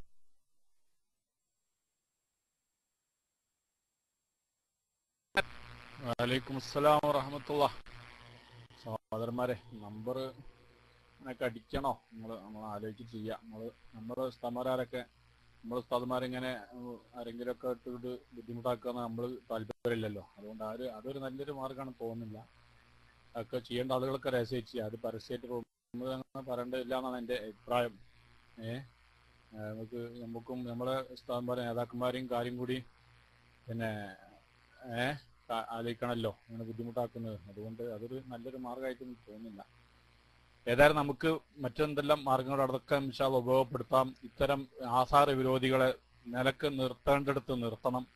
അതിന് സാധ്യമായ ശറ അനുവദിക്കുന്ന എല്ലാ രീതിയിലുമുള്ള മാർഗങ്ങൾ നാം അവലംബിക്കണം. അത് ഉപയോഗപ്പെടുത്തുകയും ചെയ്യും അള്ളാഹുത്തല നമ്മൾ കൂടെ ഉണ്ട്. യാതൊരു സംശയവുമില്ല. മനസ്സിലല്ല അത് പറയാൻ വേണ്ടിയാണ് ആരും പ്രത്യേകം ഒന്നും ഉദ്ദേശിച്ച് പറഞ്ഞതല്ല. നമുക്ക് അതൊരു റാഹത്തായി തോന്നുന്നില്ല. ഇൻഷാ ഞാൻ വൈക്കൂട്ട് ഇസ്ലാം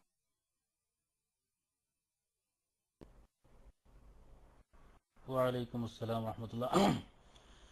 ചെറു പ്രസ്താവ് പറഞ്ഞ പോലെ തന്നെ അത് നമ്മളിങ്ങനെ വെറുതെ നമ്മൾ പരിഹാസ്യരാവണ്ട. കാരണം അവർക്ക് സത്യം ബോധ്യപ്പെടാത്തത് കൊണ്ടോ അതല്ല അതേക്കുറിച്ചുള്ള യാഥാർത്ഥ്യം മനസ്സിലാവാത്തത് കൊണ്ടോ അല്ല.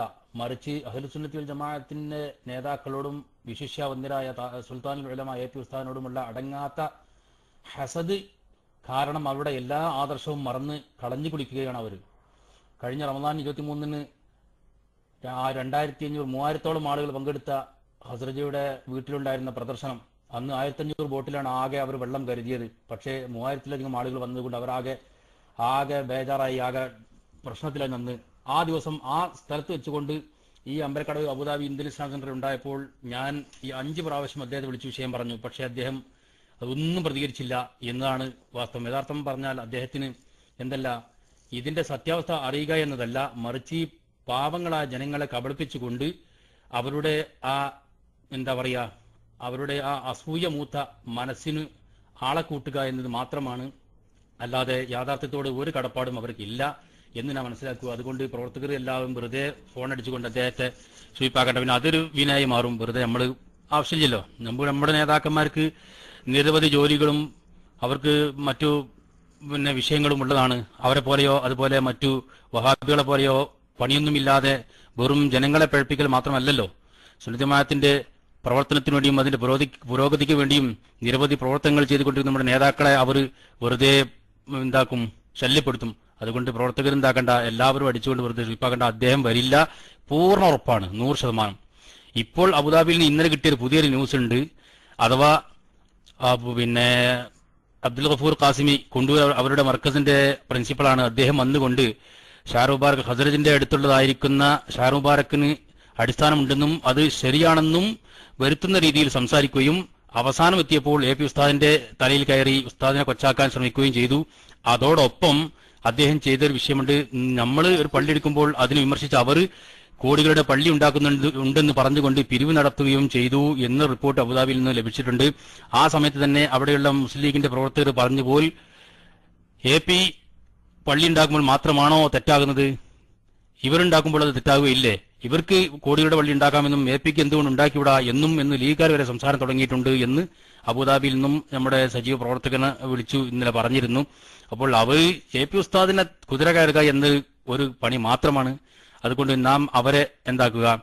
വിട്ടേക്കുക. നമുക്ക് അഹ്ലുസുൽ ജമാഅത്തിന്റെ പ്രവർത്തകരുടെ ആ ആദർശ ബോധവും ആശയവും ഊട്ടിയുറപ്പിക്കാൻ വേണ്ടിയുള്ള പ്രവർത്തനവുമായി മുന്നേറുക.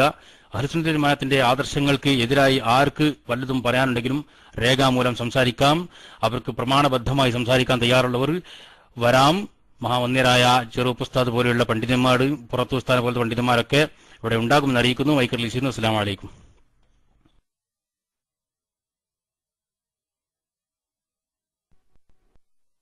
അസ്സലാമു അലൈക്കും വറഹ്മത്തുള്ളാഹി വബറകാത്തു സുദീർഘമായി ഒന്ന് പ്രസ- പ്രസംഗിക്കൊന്നുമില്ല അത് ഏതായിരുന്നാലും അലഹമില്ല സുമ അലഹമില്ല സുന്നത്തെ മായത്തിന്റെ ചുണക്കുട്ടികളുടെ മുന്നിൽ ഇനി നടക്കില്ല എന്ന് ബോധ്യപ്പെടുത്താൻ തന്നെ ഈ ക്ലാസ് റൂമിൽ അവർ ഈ ക്ലാസ് റൂമിൽ ഞങ്ങൾ നിങ്ങൾ ബഹുമാനപ്പെട്ട അബുവാസി ഉസ്താദ് അറിയിച്ചു തന്നല്ലോ. ഇവിടെ ആ സാധനം ഉണ്ട് എന്നുള്ളത്. അതുകൊണ്ട് വിളിച്ചു ബുദ്ധിമുട്ടാക്കാൻ നമ്മൾ ഏതായാലും ആഗ്രഹിക്കുന്നില്ല. അതിനൊക്കെ നമ്മൾ ഉസ്താദ്മാർ എന്താണോ നമുക്ക് നിർദ്ദേശം നൽകുന്നത്.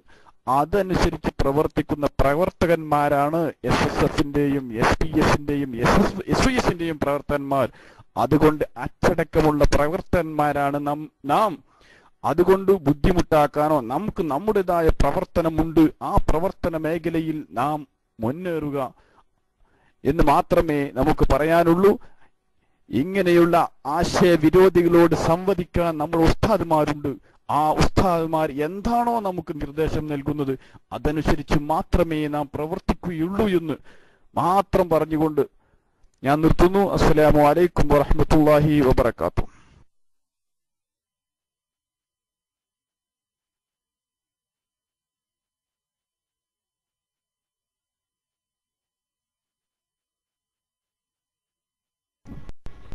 ഹലോ അസ്സാം വലൈക്കും വറഹമത്തല്ലാഹി വബറകാത്തു എന്തായാലും മൈക്ക് എടുക്കാത്തത്.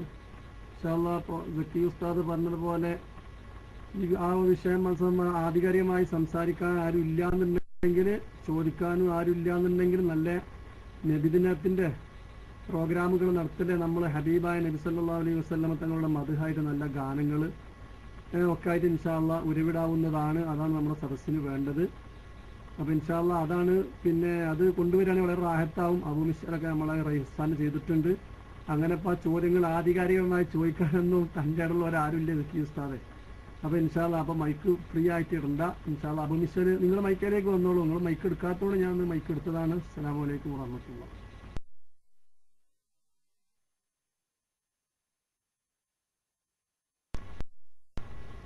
അദ്ദേഹം അവിടെ ഇല്ല തോന്നുന്നു. അപ്പോ പിന്നെ അപ്പൊ പ്രധാനപ്പെട്ട് പറയാനുള്ളത് നമ്മളങ്ങനെ ഫോൺ ചെയ്യേണ്ട ഒരു ആവശ്യമൊന്നും ആർക്കും ഇല്ല. വളരെ റാഹത്തോടു കൂടി നമ്മുടെ നേതൃത്വം വളരെ ഇഖ്ലാസോടു കൂടി നീങ്ങുന്ന ഒരു പണ്ഡിത നേതൃത്വമാണ് ഇൻഷാ അള്ളാ അതൊക്കെ ആത്മീയപരമായിട്ട് ഒരുപാട് ഔലിയാക്കന്മാരുടെ നിരീക്ഷണത്തിൽ അവിടുത്തെ ആ ഒരു പിടുത്തത്തിൽ ഇപ്പോഴും പോയിക്കൊണ്ടിരിക്കുന്നു. അതുകൊണ്ട് തന്നെ ഇൻഷാ അള്ളാ ഈ സമയം കൂടി നമ്മൾ വഹാബികൾക്കും മൗദൂദർക്കും പരമാവധി മൗലൈമാർക്കും വിളിക്കാൻ നോക്കുക. എന്നിട്ട് ക്ലിപ്പ് ഉണ്ടാക്കിയിട്ട് സുന്നത്തമായത്തിന് എതിരെ അവരെ നമ്മൾ ആഞ്ഞടിക്കുക. ഇവർ ഇൻഷാല്ല ഈ രൂപത്തിലല്ലാത്ത രൂപത്തിൽ ഇൻഷാല്ല സ്വന്തമായിട്ടൊക്കെ ഫോൺ ചെയ്തിട്ട് ഇൻഷാല്ല നല്ല കാതലായ വശങ്ങളൊക്കെ കിട്ടിക്കഴിഞ്ഞാൽ അത് ക്ലിപ്പാക്കിയിട്ട് അത് വലിയ ഹൈറാണ് ഏഹ് അല്ലാതെ ഇതിൽ യാതൊരു കാര്യമുണ്ട് തോന്നുന്നില്ല. പരമാവധി നമ്മുടെ ചെറുപ്പ് ഉസ്താദ് ജക്കി ഉസ്താദ് പറഞ്ഞ അതേ ആശയം തന്നെയാണ് സാധുവായി എനിക്കും പറയാനുള്ളത്.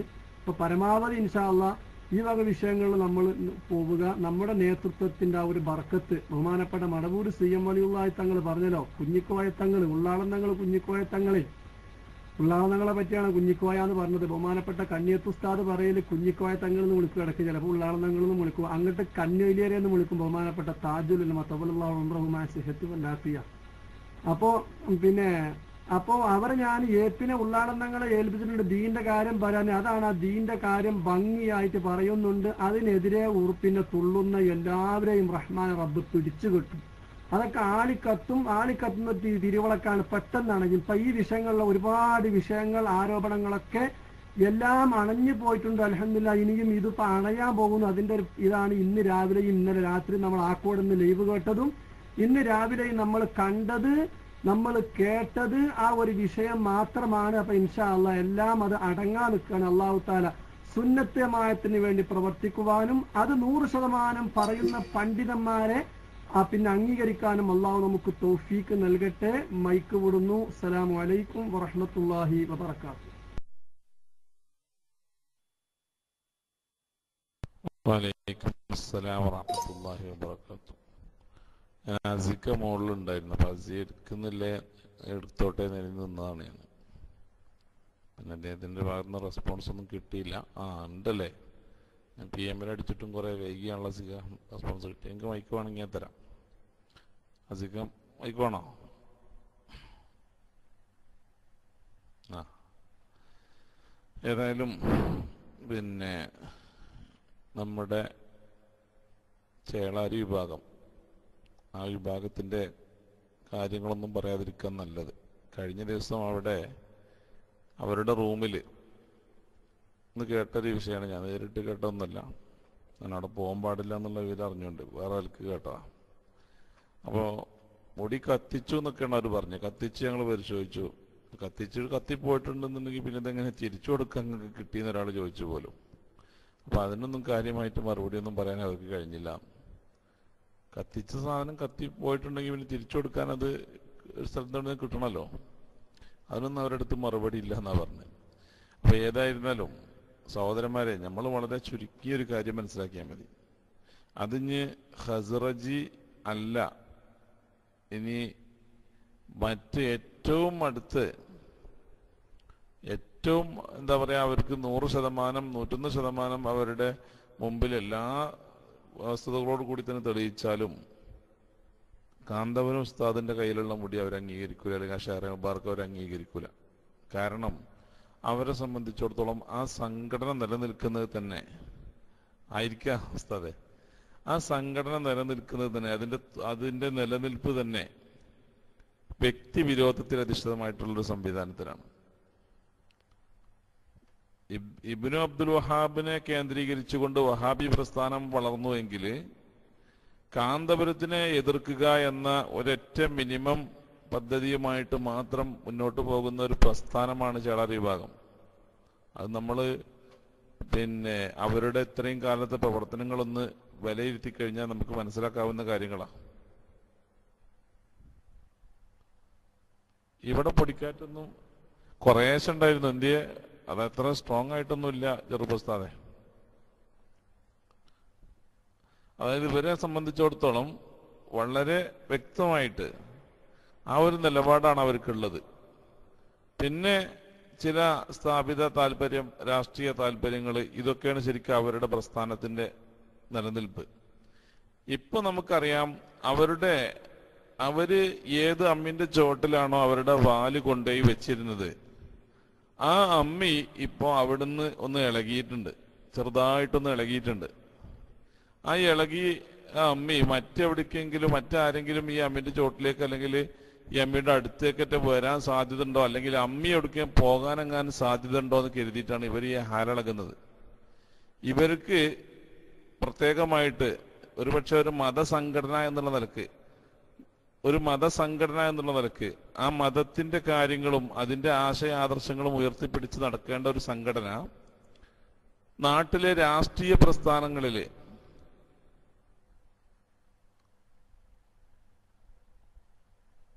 നാട്ടിലെ രാഷ്ട്രീയ പ്രസ്ഥാനങ്ങളുടെ നയപരിപാടികൾ രൂപീകരിക്കുകയും അവരെന്ത് ചെയ്യണം അവരെന്ത് ചെയ്യേണ്ടെന്നും മറ്റും തീരുമാനിക്കുകയും ചെയ്യുകയും അതല്ലെങ്കിൽ രാഷ്ട്രീയ സംഘടനകളുടെ പോഷക സംഘടനകളായി അധംപതിക്കുകയും ചെയ്തതുകൊണ്ടാണ് ശരിക്കും ഇവർക്ക് ഈ ദുര്യോഗം ഉള്ളത്. ഏതായിരുന്നാലും ഇവരെ സംബന്ധിച്ചിടത്തോളം ആശയത്തിനല്ല പ്രാധാന്യം മറിച്ച് കാന്തപുരം വ്യക്തി കാന്തപുരത്തിനോടുള്ള വ്യക്തി വിരോധത്തിലാണ് ഇവരുടെ പ്രവർത്തനം. ഇവരെ സംബന്ധിച്ചിടത്തോളം ഇവർ മുന്നോട്ട് കൊണ്ടുപോകുന്നത് എന്നാണ് നമ്മൾ ഇവരുടെ പ്രവർത്തനങ്ങളൊക്കെ വിലയിരുത്തിയാൽ മനസ്സിലാക്കുന്നത്. തൊള്ളായിരത്തി എൺപതുകളുടെ അവസാനത്തിൽ കാന്തപുരം എ പി ബുക്കർ മുസ്ലിയാരുടെയും ഉള്ളാൾ തങ്ങളുടെയും അതുപോലെ തന്നെ നമ്മുടെ അണ്ടോണോസ്താദിന്റെയും കുണ്ടൂർ ഉസ്താദിന്റെയും ഒക്കെ നേതൃത്വത്തിൽ പ്രബലമായ ഒരു പണ്ഡിതന്മാര് സമസ്തയിലുണ്ടായ ചില വിഷയങ്ങളുമായി ബന്ധപ്പെട്ട് വേറിട്ട് പോരുകയും യഥാർത്ഥ അഹലുസുന്നത്തെ വൽ ജമാഅത്തിന് നേതൃത്വം നൽകുകയും അതിന്റെ കടിഞ്ഞാൺ ഏറ്റെടുത്തുകൊണ്ട് മുന്നോട്ട് പോവുകയും ചെയ്ത ഒരു സാഹചര്യമുണ്ട്. അന്ന് ഈ പണ്ഡിതന്മാരുടെ കൈമുതലായി ഉണ്ടായിരുന്നത് ശരിക്ക് അർപ്പണബോധത്തോടുകൂടി സുന്നത്ത് ജമാഅത്തിന്റെ ആശയങ്ങളോടുള്ള അർപ്പണബോധത്തോടു കൂടിയുള്ള പ്രവർത്തകന്മാരും നാട്ടിലെ കുറച്ച് മുഅല്ലിം മുത്തല്ലിമിങ്ങളും അതുപോലെ തന്നെ കർ- കർമ്മോത്സിതരായ പ്രവർത്തകന്മാരും അതുപോലെ തന്നെ വിശ്വാസവും മാത്രമായിരുന്നു. മറിച്ച് അവരുടെ കൈകൾ ശൂന്യമായിരുന്നു. അവരെ സംബന്ധിച്ചിടത്തോളം സ്ഥാപനങ്ങളില്ലായിരുന്നു. വഖഫ് സ്വത്തുകളില്ലായിരുന്നു. രാഷ്ട്രീയ പിൻബലം അതല്ലെങ്കിൽ ഇവിടുത്തെ അധികാരി അധികാരി വർഗത്തിന്റെ പിൻബലങ്ങൾ ഒന്നും തന്നെ ഇല്ലായിരുന്നു. എന്നിട്ടും അവിടെ നിന്ന് ഈ കുറഞ്ഞ കാലഘട്ടത്തിനിടക്ക് കേരളത്തിലെയും ഇന്ത്യയിലെയും മുസ്ലിം സമുദായത്തിന് നേതൃത്വം നൽകാൻ കഴിയുന്ന രീതിയിലുള്ള അജയ്യമായ ഒരു ശക്തിയായിക്കൊണ്ട് കാന്തപുരം എ പി അബൂക്കർ മുസ്ലിയാരും അദ്ദേഹം നേതൃത്വം നൽകുന്ന പ്രസ്ഥാനവും വളരുകയും കേരളത്തിന്റെ മതവിദ്യാഭ്യാസ രംഗത്ത് ഇസ്ലാം ഇസ്ലാം മത വിദ്യാഭ്യാസ രംഗത്തും സുന്നത്ത് ജമാഅത്തിന്റെ കർമ്മമണ്ഡലങ്ങളിലും വളരെ വ്യക്തമായി കാണാവുന്ന രീതിയിലുള്ള അടയാളങ്ങൾ രേഖപ്പെടുത്തിക്കൊണ്ട് ഇന്ന് ഈ പ്രസ്ഥാനം മുന്നോട്ട് പോവുകയും കേരളത്തിലും കർണാടകയിലും തമിഴ്നാട്ടിലും അതുപോലെ തന്നെ ഇന്ത്യയുടെ വിവിധ സംസ്ഥാനങ്ങളിലും അതുപോലെ അള്ളാഹുവിന് ഇബാദത്ത് ചെയ്യുന്നതിന് വേണ്ടിയുള്ള ആരാധനാലയങ്ങൾ നിർമ്മിക്കുകയും ചെയ്തുകൊണ്ട് നൂറുകണക്കിന് ആയിരക്കണക്കിന് സ്ഥാപനങ്ങൾ ഇന്ന് ഈ സംഘടനാ സംവിധാനത്തിന്റെ കീഴിൽ ഉണ്ടായിട്ടുണ്ട് എങ്കിൽ അന്നത്തെ ആ എൺപതുകളുടെ അവസാനത്തിലുള്ള ആ ഒരു ശൂന്യതയിൽ നിന്ന് ഒരുപാട് ഒരുപാട് മൈലുകൾ ഈ പ്രസ്ഥാനം മുന്നോട്ട് പോയിട്ടുണ്ട്. പക്ഷേ എൺപതുകളിൽ ആ പിളർപ്പുകളുടെ ആ ഘട്ടത്തിൽ എവിടെയാണോ നിന്നിരുന്നത് അതേ സ്ഥാനത്ത് നിന്ന് ഒരടി പോലും മുന്നോട്ട് ചലിക്കാൻ ഇന്ന് നിർഭാഗ്യവശാൽ നമ്മുടെ ചേളാരി വിഭാഗത്തിന് കഴിഞ്ഞിട്ടില്ല എന്നുള്ളത് നമ്മൾ വസ്തുതകൾ രണ്ടും തമ്മിൽ വിലയിരുത്തപ്പെടേണ്ടതാണ് താരതമ്യം ചെയ്യേണ്ടതാണ്. അവിടെ നമ്മൾ മനസ്സിലാക്കേണ്ടത് കേരളത്തിലെ അതല്ലെങ്കിൽ ഉത്തര കേരളം ദക്ഷിണ കേരളം മാറ്റി നിർത്താം നമുക്ക്. ഉത്തര കേരളത്തിലെ സിംഹഭാഗം വക്കഫ് സ്വത്തുകളും ഇന്നും അന്നും കൈകാര്യം ചെയ്യുകയും സമൂഹത്തിലെ പ്രാദേശിക കൂട്ടായ്മകളും അതുപോലെ തന്നെ നമ്മുടെ നാട്ടിലെ ഉമറാക്കളും മറ്റുള്ളവരും നേതൃത്വം നൽകുകയും നാടിന്റെ വിദ്യാഭ്യാസ ആവശ്യത്തിന് വേണ്ടി മുൻകാലങ്ങളിൽ എല്ലാവരും കൂടെ നിർമ്മിച്ചു പോന്ന മദ്രസകൾ പള്ളികൾ അടക്കമുള്ള സ്ഥാപനങ്ങളൊക്കെ കൈവശം വെക്കുകയും അതിൽ നിന്ന് വരുമാനങ്ങളൊക്കെ തന്നെ സ്വീകരിക്കുകയും ചെയ്തിട്ട് പോലും അവർക്ക് എന്തേ ഒന്നും നമ്മുടെ നാടിന് വേണ്ടി അല്ലെങ്കിൽ നമ്മുടെ സമുദായത്തിന് വേണ്ടി ചെയ്തു കൊടുക്കാൻ കഴിയാതെ പോയി എന്ന് ചോദിച്ചാൽ അവരുടെ സാമ്പ അവരുടെ വരുമാനവും അവരുടെ ധനവും അവരുടെ ആരോഗ്യവും അവരുടെ സംഘടന ഊർജവും ഒക്കെ അവർ ചെലവാക്കപ്പെട്ടത് സുന്നത്ത് ജമായത്ത് വളർത്താനായിരുന്നില്ല മറിച്ച് കാന്തപുരത്തെ എതിർക്കുക എന്നുള്ള വളരെ മിനിമം ഒരാവശ്യത്തിന് വേണ്ടി മാത്രമായിരുന്നു എന്നുള്ളതാണ് വസ്തുത. അതിൽ നമുക്കൊക്കെ വ്യക്തമായിട്ട് അറിയാവുന്ന കാര്യമാണ് ഇതിനകത്ത് തെളിവിന്റെ ഇതിലേക്കൊന്നും പോകണ്ട അവരുടെ ഒരു അജണ്ട തന്നെ അത് സുന്നത്ത് ജമാഅത്തിനെ വളർത്തുക എന്നുള്ളതോ അതല്ലെങ്കിൽ വിധി പ്രസ്ഥാന വിധി പ്രസ്ഥാനങ്ങളുടെ ആശയങ്ങളോട് ഏറ്റുമുട്ടുക എന്നുള്ളതോ അല്ല. മറിച്ച് കാന്തപുരം എന്താണോ കാന്തപുരം എന്താണോ ചെയ്യുന്നത് അല്ലെങ്കിൽ കാന്തപുരം എന്ന് പറയുന്ന കാന്തപുരം എ പി അബൂക്കർ മുസ്ലിയാർ എന്നൊരു വ്യക്തിയെയും അദ്ദേഹം നേതൃത്വം നൽകുന്ന പ്രസ്ഥാനത്തെയും ഏത് രീതിയിലൊക്കെ തകർക്കാം എന്നുള്ളതൊക്കെ ആലോചിക്കുകയും അതിനുവേണ്ടി മാത്രം പരിപാടികൾ സംഘടിപ്പിക്കുകയായിരുന്നു. പക്ഷേ നിർഭാഗ്യവശാൽ അത് നേരെ വിപരീത ഫലമാണ് ചെയ്തത്. അവർ എവിടെയൊക്കെയോ ഈ പ്രസ്ഥാനത്തിന് തടയിടാനും ഈ പ്രസ്ഥാന പ്രവർത്തനങ്ങൾക്ക് പ്രശ്നങ്ങളും കുത്തിത്തിരിപ്പുകളും ഉണ്ടാക്കാൻ ശ്രമിച്ചോ അവിടെയൊക്കെ അതിന്റെ പതിന്മടങ്ങ് ശക്തിയോടുകൂടി ഈ പ്രസ്ഥാനം മുന്നോട്ട് പോകുന്ന കാഴ്ചയാണ് നമ്മളെല്ലാവരും കണ്ടത്. ഏറ്റവും അവസാനം ഷെഹറെ മുബാറക്ക് നമുക്കറിയാം ഷെഹറെ മുബാറക്ക് മസ്ജിദുമായിട്ട് ബന്ധപ്പെട്ടുള്ള വിഷയങ്ങളും വിവാദങ്ങളും ഒക്കെ അവർക്കെതിരെ തിരിഞ്ഞു കുത്തുകയും അത് ഈ പ്രസ്ഥാനത്തിന്റെ സംഘശക്തിയും ഇതിന്റെ അസ്തിത്വവും വിളിച്ചോതുന്ന ഒരു പ്രകടനമായി കൊണ്ട് തന്നെ കാണുന്ന രീതിയിൽ കഴിഞ്ഞ ദിവസങ്ങളൊക്കെ കോഴിക്കോട് നഗരികളെ ആകെ പിടിച്ചെടുത്തതാണ് ഇത്തരത്തിൽ ഇവരെ സംബന്ധിച്ചിടത്തോളം വളരെ മിനിമം പോളിസിയിലാണ്. പിന്നെ അവർ പ്രവർത്തിക്കുന്നത് ചില രാഷ്ട്രീയ താല്പര്യങ്ങളിലാണ്. പറയാതിരിക്കാൻ നിർവാഹമില്ല. കാരണം രാഷ്ട്രീയ രംഗത്ത് പ്രവർത്തിക്കുന്ന ഒരു പരിചയമുള്ള ഒരു വ്യക്തി എന്നുള്ള നിലയ്ക്ക് എനിക്ക് നേരിട്ടറിയാവുന്ന ചില വിഷയങ്ങളിൽ നാട്ടിലെ ചില രാഷ്ട്രീയ പ്രസ്ഥാനങ്ങളുടെ പ്രവർത്തനത്തിന് അടിത്തറ ഇട്ട് കൊടുക്കുക അതല്ലെങ്കിൽ അവർക്ക് വോട്ട് പിടിക്കാൻ വേണ്ടിയിട്ട് മത നേതാക്കന്മാരെ ദുരുപയോഗം ചെയ്യുന്ന ഒരു പ്രസ്ഥാനമാണ് ഇവർ നമ്മുടെ നാട്ടിലൊക്കെ അല്ലെങ്കിൽ ഞങ്ങളുടെ നാട്ടിലൊക്കെ തെരഞ്ഞെടുപ്പുകളൊക്കെ വരുമ്പോൾ പ്രസ്റ്റേജ് സീറ്റുകൾ ഉണ്ടാവും പഞ്ചായത്ത് തെരഞ്ഞെടുപ്പ് പോലുള്ള തെരഞ്ഞെടുപ്പുകളൊക്കെ വരുമ്പോൾ ഗടാഗടയിലുള്ള പ്രസ്റ്റേജ് സീറ്റുകളൊക്കെ വരുന്ന സമയത്ത് അവിടെ ഈ പ്രസ്ഥാനത്തിന്റെ നേതാക്കന്മാര് ഉസ്താദുമാര് എന്ന ബഹുമാനം ഉള്ള ആളുകൾ വന്നുകൊണ്ട് കുടുംബയോഗങ്ങളിലൊക്കെ പ്രസംഗിക്കുകയും അവർ വ്യക്തമാക്കി വ്യക്തമായി തന്നെ നേരിട്ട് രാഷ്ട്രീയ പ്രസ്ഥാനത്തെ ഫോക്കസ് ചെയ്തുകൊണ്ടല്ല അവർക്ക് വോട്ട് ചോദിക്കാതെ മറിച്ച് ഈ പ്രസ്ഥാനത്തിന്റെ നേതൃത്വത്തിലിരിക്കുന്ന ബഹുമാന്യരായ ആളുകളുടെ പേര് എടുത്തു പറഞ്ഞുകൊണ്ട് അവരുടെ മധു പറഞ്ഞുകൊണ്ട് പ്രസംഗിക്കുകയും അവർ പോയതിനു ശേഷം ഈ രാഷ്ട്രീയ പ്രസ്ഥാനത്തിന്റെ ആളുകൾ അവിടെ വന്നുകൊണ്ട് അവരോട് അതല്ലെങ്കിൽ ആ ഈ ആളുകളോട് വോട്ട് ചോദിക്കുകയും ഇങ്ങനെ മതത്തെ രാഷ്ട്രീയ പ്രസ്ഥാനത്തിന് വേണ്ടി നൂറ് ശതമാനം ദുരുപയോഗം ചെയ്യുന്ന ഒരു സംവിധാനം പ്രവർത്തിക്കുന്ന ഇവരെ സംബന്ധിച്ചിടത്തോളം ഇപ്പോഴത്തെ ആശങ്കയുടെ പ്രധാന പ്രസക്തി കാരണം എന്ന് പറയുന്നത് തന്നെ അവർ ഏത് രാഷ്ട്രീയ പാർട്ടിയുമായിട്ടാണ് ഒട്ടി നിന്നിരുന്നത് ആ രാഷ്ട്രീയ പാർട്ടിയുടെ നേതൃത്വം കാര്യങ്ങളെയും വസ്തുതകളെയും തിരിച്ചറിയുകയും കേരളത്തിന്റെ മണ്ണിൽ സങ്കുചിതമായ ചിന്താഗതികളോട് കൂടിയിട്ടുള്ള ഒരു നിലപാടെടുത്തു കഴിഞ്ഞാൽ ഒരുപക്ഷെ കാലം ഞങ്ങൾ അറബിക്കടലിലേക്ക് വലിച്ചെറിയുമെന്ന വസ്തുത മനസ്സിലാക്കിക്കൊണ്ട് കുറെ കൂടെ വിശാലമായ അർത്ഥതലത്തിലേക്ക് നീങ്ങാനും മറ്റു സംഘടനകളെയും വിശ്വാസത്തിലെടുത്തുകൊണ്ട് ഇതുവരെ അവഗണിക്കപ്പെട്ട് കിടന്നിരുന്ന ഒരു വിഭാഗത്തെ പരിഗണിക്കണമെന്നൊരു തീരുമാനം അവരുടെ ഭാഗത്തിൽ നിന്ന് അല്ലെങ്കിൽ ആ രാഷ്ട്രീയ പ്രസ്ഥാനത്തിന്റെ ഉള്ളിൽ നിന്ന് വന്ന ഒരു സാഹചര്യത്തിലാണ് കാന്തപുരം എ പി അബൂബക്കർ മുസ്ലിയാരെയും ഈ സംഘടനയെയും വീണ്ടും തിരിഞ്ഞാക്രമിക്കാൻ വേണ്ടിയിട്ട് ഇവിടുത്തെ ചേളാരി വിഭാഗം അതിന്റെ കുട്ടികളും അതല്ലെങ്കിൽ അതിന്റെ കുട്ടിത്തമ്പുരാക്കന്മാരും ഇറങ്ങി പുറപ്പെട്ടിട്ടുള്ളത് എന്നുള്ളതാണ്. ഏതായിരുന്നാലും അപ്പോ ഇത്തരത്തിൽ ഒരു വ്യക്തമായ അജണ്ട മുന്നിൽ കണ്ടുകൊണ്ട് കാന്തപുരം അല്ലെങ്കിൽ ഒരു വ്യക്തിയെ വിരോ വ്യക്തി വിരോധത്തിൽ മാത്രം അധിഷ്ഠ അധിഷ്ഠിതമായിട്ടുള്ള ഒരു അജണ്ട മുന്നിൽ കണ്ടുകൊണ്ട് പ്രവർത്തിക്കുന്ന ഇവരെ സംബന്ധിച്ചിടത്തോളം ആശയത്തിന്റെ പിൻബലങ്ങളില്ലാതെ ആദർശത്തിന്റെ പിൻബലങ്ങളില്ലാതെ പ്രവർത്തിക്കുന്ന ഇവരെ സംബന്ധിച്ചിടത്തോളം നമ്മൾ ഏത് രീതിയിലുള്ള തെളിവുകൾ അവരുടെ മുമ്പിൽ വെച്ചു കൊടുത്തിട്ടും സഹോദരന്മാരെ അത് കാര്യമില്ല എന്നാണ് എനിക്ക് പറയാനുള്ളത്. ഇവരെ സംബന്ധിച്ചിടത്തോളം അവർ ആ ഒരു നിലപാടിൽ ഉറച്ചു നിൽക്കുകയും അതിന്റെ ചില താല്പര്യമുള്ള ആളുകൾക്ക് വേണ്ടിയിട്ട് എനിക്ക് ഓർമ്മയുണ്ട് ഇവരെയൊക്കെ ചില പ്രകടനങ്ങളിലൊക്കെ ഇവരുടെ നേതാക്കന്മാർക്ക് സിന്ദാബാദ് വിളിക്കുന്നത് കേൾക്കാറുണ്ട്. കാരണം സുന്നത്യമായത്തിന് അങ്ങനത്തെ ഒരു പതിവില്ലാത്തതാണ്. നേതാക്കന്മാർക്ക് സിന്ദാബാദ് വിളിക്കുക അതെന്താ കുഴപ്പമെന്ന് വെച്ചാൽ അത് അവർ വിളിച്ച് ശീലിച്ച ആ രീതിയാണ്.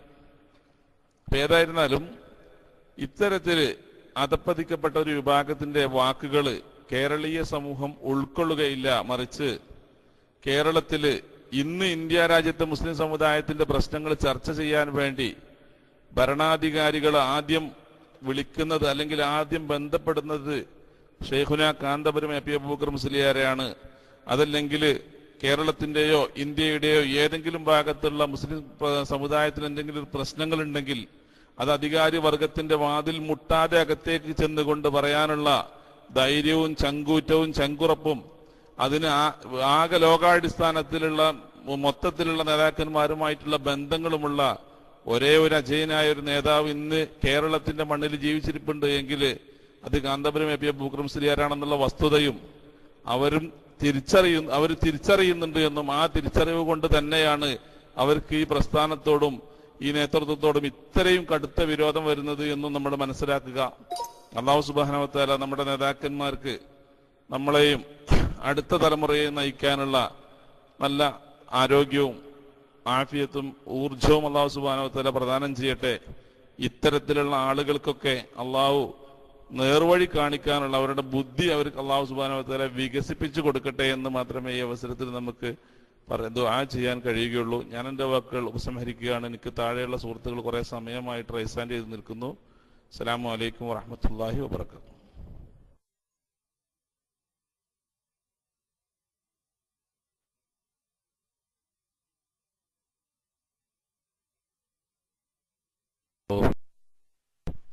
നമ്മൾ two thousand twelve under score ന്യൂന് mic വേണ്ടെന്ന് തോന്നുന്നുണ്ട്. ഞാൻ മുസ്തഫ സാദി ഉസ്താദ് മൈക്കിലേക്ക് വരി. സാദി ഉസ്താദേ ഹലോ ഉസ്താദ് മൈക്കിലേക്ക് വരി. ഉസ്താദ്മാരൊക്കെ സംസാരിക്കട്ടെ ഏതായാലും. അലഹമില്ല നമുക്ക് വളരെ റാഹത്തില്ല ഒരു ദിവസമാണെന്ന് വളരെ റാഹത്തിൽ ഉസ്താദാണ് ഉസ്താദിന്റെ മോനോട് ഞാൻ സംസാരിച്ചു. ഹക്കീം മസീറിനോട് സംസാരിച്ചപ്പോ മസീർ ഉസ്താദൊക്കെ പറഞ്ഞു വളരെ റാഹത്തായി വിഷയങ്ങളൊക്കെ. ഏതായാലും എല്ലാ ശക്തികളും നമുക്കെതിരെ എല്ലാ ആയുധവുമായിട്ട് ഇറങ്ങിയവരെല്ലാം അവരുടെയൊക്കെ മുഖം കെടുത്തുന്ന രൂപത്തിലാണ് ഈ ഓരോരോ ന്യൂസുകളും നമ്മളെ നമ്മ നമ്മുടെ നമുക്ക് മുന്നിൽ വന്നുകൊണ്ടിരിക്കുന്നത്. ഏതായാലും ഇനി ഈ കറക്ക് കമ്പനിയെ പറ്റി ഇപ്പൊ നേരത്തെ അഭിഷാൽ പറഞ്ഞ പോലെ തന്നെ ഒരു കാലങ്ങൾക്ക് കുറെ കാലങ്ങൾക്ക് മുമ്പ് എന്റെയൊക്കെ ചെറുപ്പത്തിലാണ് സത്യത്തിൽ ഈ ഈ ഭാഗ്യം ഉണ്ടായതും രണ്ട് തരംതിരിവ് നടന്നതും. ആ സമയത്തൊക്കെ ആ സമയത്തൊക്കെ നമ്മൾ പിടിച്ചു നിൽക്കാൻ വേണ്ടി വളരെയധികം കഷ്ടപ്പെട്ടിരുന്നു. രണ്ട് കെട്ടിടങ്ങളിലെ മദ്രസകൾ തമ്മിൽ ഒരു മദ്രസയിൽ ഈ ഒരു വിഭാഗം രണ്ട് മറ്റേ മദ്രസയിൽ മറ്റേ വിഭാഗം. അങ്ങനെ മദ്രസ മീറ്റ് നടക്കുന്ന സമയത്തൊക്കെ ഞാൻ അന്ന് കുട്ടിയാണ്. പക്ഷെ അന്ന് എനിക്ക് പോലും അടി കിട്ടിയിട്ടുണ്ട്. ഞാൻ മദ്രസ പഠിക്കുന്ന കാലത്ത് അന്ന് എനിക്ക് പോലും അടി കിട്ടിയിട്ടുണ്ട്. കാരണം എ പി സുന്നി എന്ന് പറഞ്ഞ അടിയാണ്. അങ്ങനെ ഒരു കാലഘട്ടം നമുക്കുണ്ടായിരുന്നു. അന്ന് അങ്ങനെ ഒരു കാലഘട്ടം നമുക്കുണ്ടായിരുന്നു. കാരണം എല്ലാ ഗുണ്ടകൾ മദ്രസയിൽ കയറി കമ്മിറ്റി യോഗത്തിൽ അടി അഴിഞ്ഞാടുകയും അഴിഞ്ഞാടുകയും. അവർക്ക് തോന്ത് തോന്നിയത് ഏത് കള്ളുടിയന്മാരൊക്കെ വന്നിട്ട് മദ്രസയുടെ യോഗത്തിൽ അഴിഞ്ഞാടുകയും അന്ന് ഒപ്പിടിക്കലാണ്. ഉസ്താദുമാരെ ഒപ്പിടിക്കലാണ്. ഉസ്താദുമാരെ ആ ഉസ്താദുമാരെ ഒപ്പിടിച്ചുകൊണ്ട് ഒപ്പിടിക്കാഞ്ഞാൽ അവരെന്ത് ചെയ്യും മദ്രസന്ന് പുറത്താക്കുക. അങ്ങനെ വേണ്ടുന്ന പ്രശ്നങ്ങൾ. ഉദാഹരണത്തിന് അന്ന് എന്റെ എന്റെ എന്റെ വല്യപ്പ പിന്നെ ഓർക്കുന്നു എന്റെ വല്യപ്പ പ്രസിഡന്റും വല്യപ്പാന്റെ അനിയം ഖജാൻജിയാണ്. വല്യപ്പാന്റെ അനിയൻ ഖജാൻജി വലിയ മറ്റ് പിന്നെ സുന്നിയുടെ തലപ്പത്തുള്ള നേതാവാണ്. വല്യപ്പ പ്രസിഡന്റും മറ്റ് ഖജാൻജിയാണ്. എന്നിട്ട് ഇവർ തമ്മിൽ തന്നെ പല പല യോഗങ്ങളും. വല്യപ്പ വലിയൊരു പണ്ഡിതനാണ്. പക്ഷെ എളാപ്പ എന്ന് പറയുന്ന ഒരു രാഷ്ട്രീയ നേതാവും കൂടിയാണ്. അത്ര തമ്മിലുള്ള വ്യത്യാസം. എന്നിട്ട് ഈ ആ രൂപത്തിൽ രണ്ടുപേരും യോഗത്തിലുണ്ടാകുന്ന പ്രശ്നങ്ങൾ വലിപ്പാനൊക്കെ താറടിക്കുന്ന രൂപത്തിൽ പണ്ഡിതന്മാരെ താറടിക്കുന്ന രൂപത്തിൽ ഇത്തരത്തിലുള്ള ഗുണ്ടകൾ ഗുണ്ട അഴിഞ്ഞാട്ടമായിരുന്നു അന്നുണ്ടായിരുന്നത് ഇരുപത്തിയാറ് അംഗങ്ങളുള്ള ഒരു മദ്രസയിൽ പത്ത് ആളുകൾ മാത്രമേ എ പി വിഭാഗത്തിന് സപ്പോർട്ട് ചെയ്യാനുള്ളൂ. എന്നിട്ട് ഈ പത്ത് ആളുകൾ പത്ത് മുപ്പത് ആൾ വന്നിട്ട് വന്നിട്ട് അടി നന്നാക്കി അടി കിട്ടിപ്പോ ഓരോ യോഗത്തിൽ ചെന്നാലും അടി കിട്ടും. അങ്ങനെ കുറച്ച്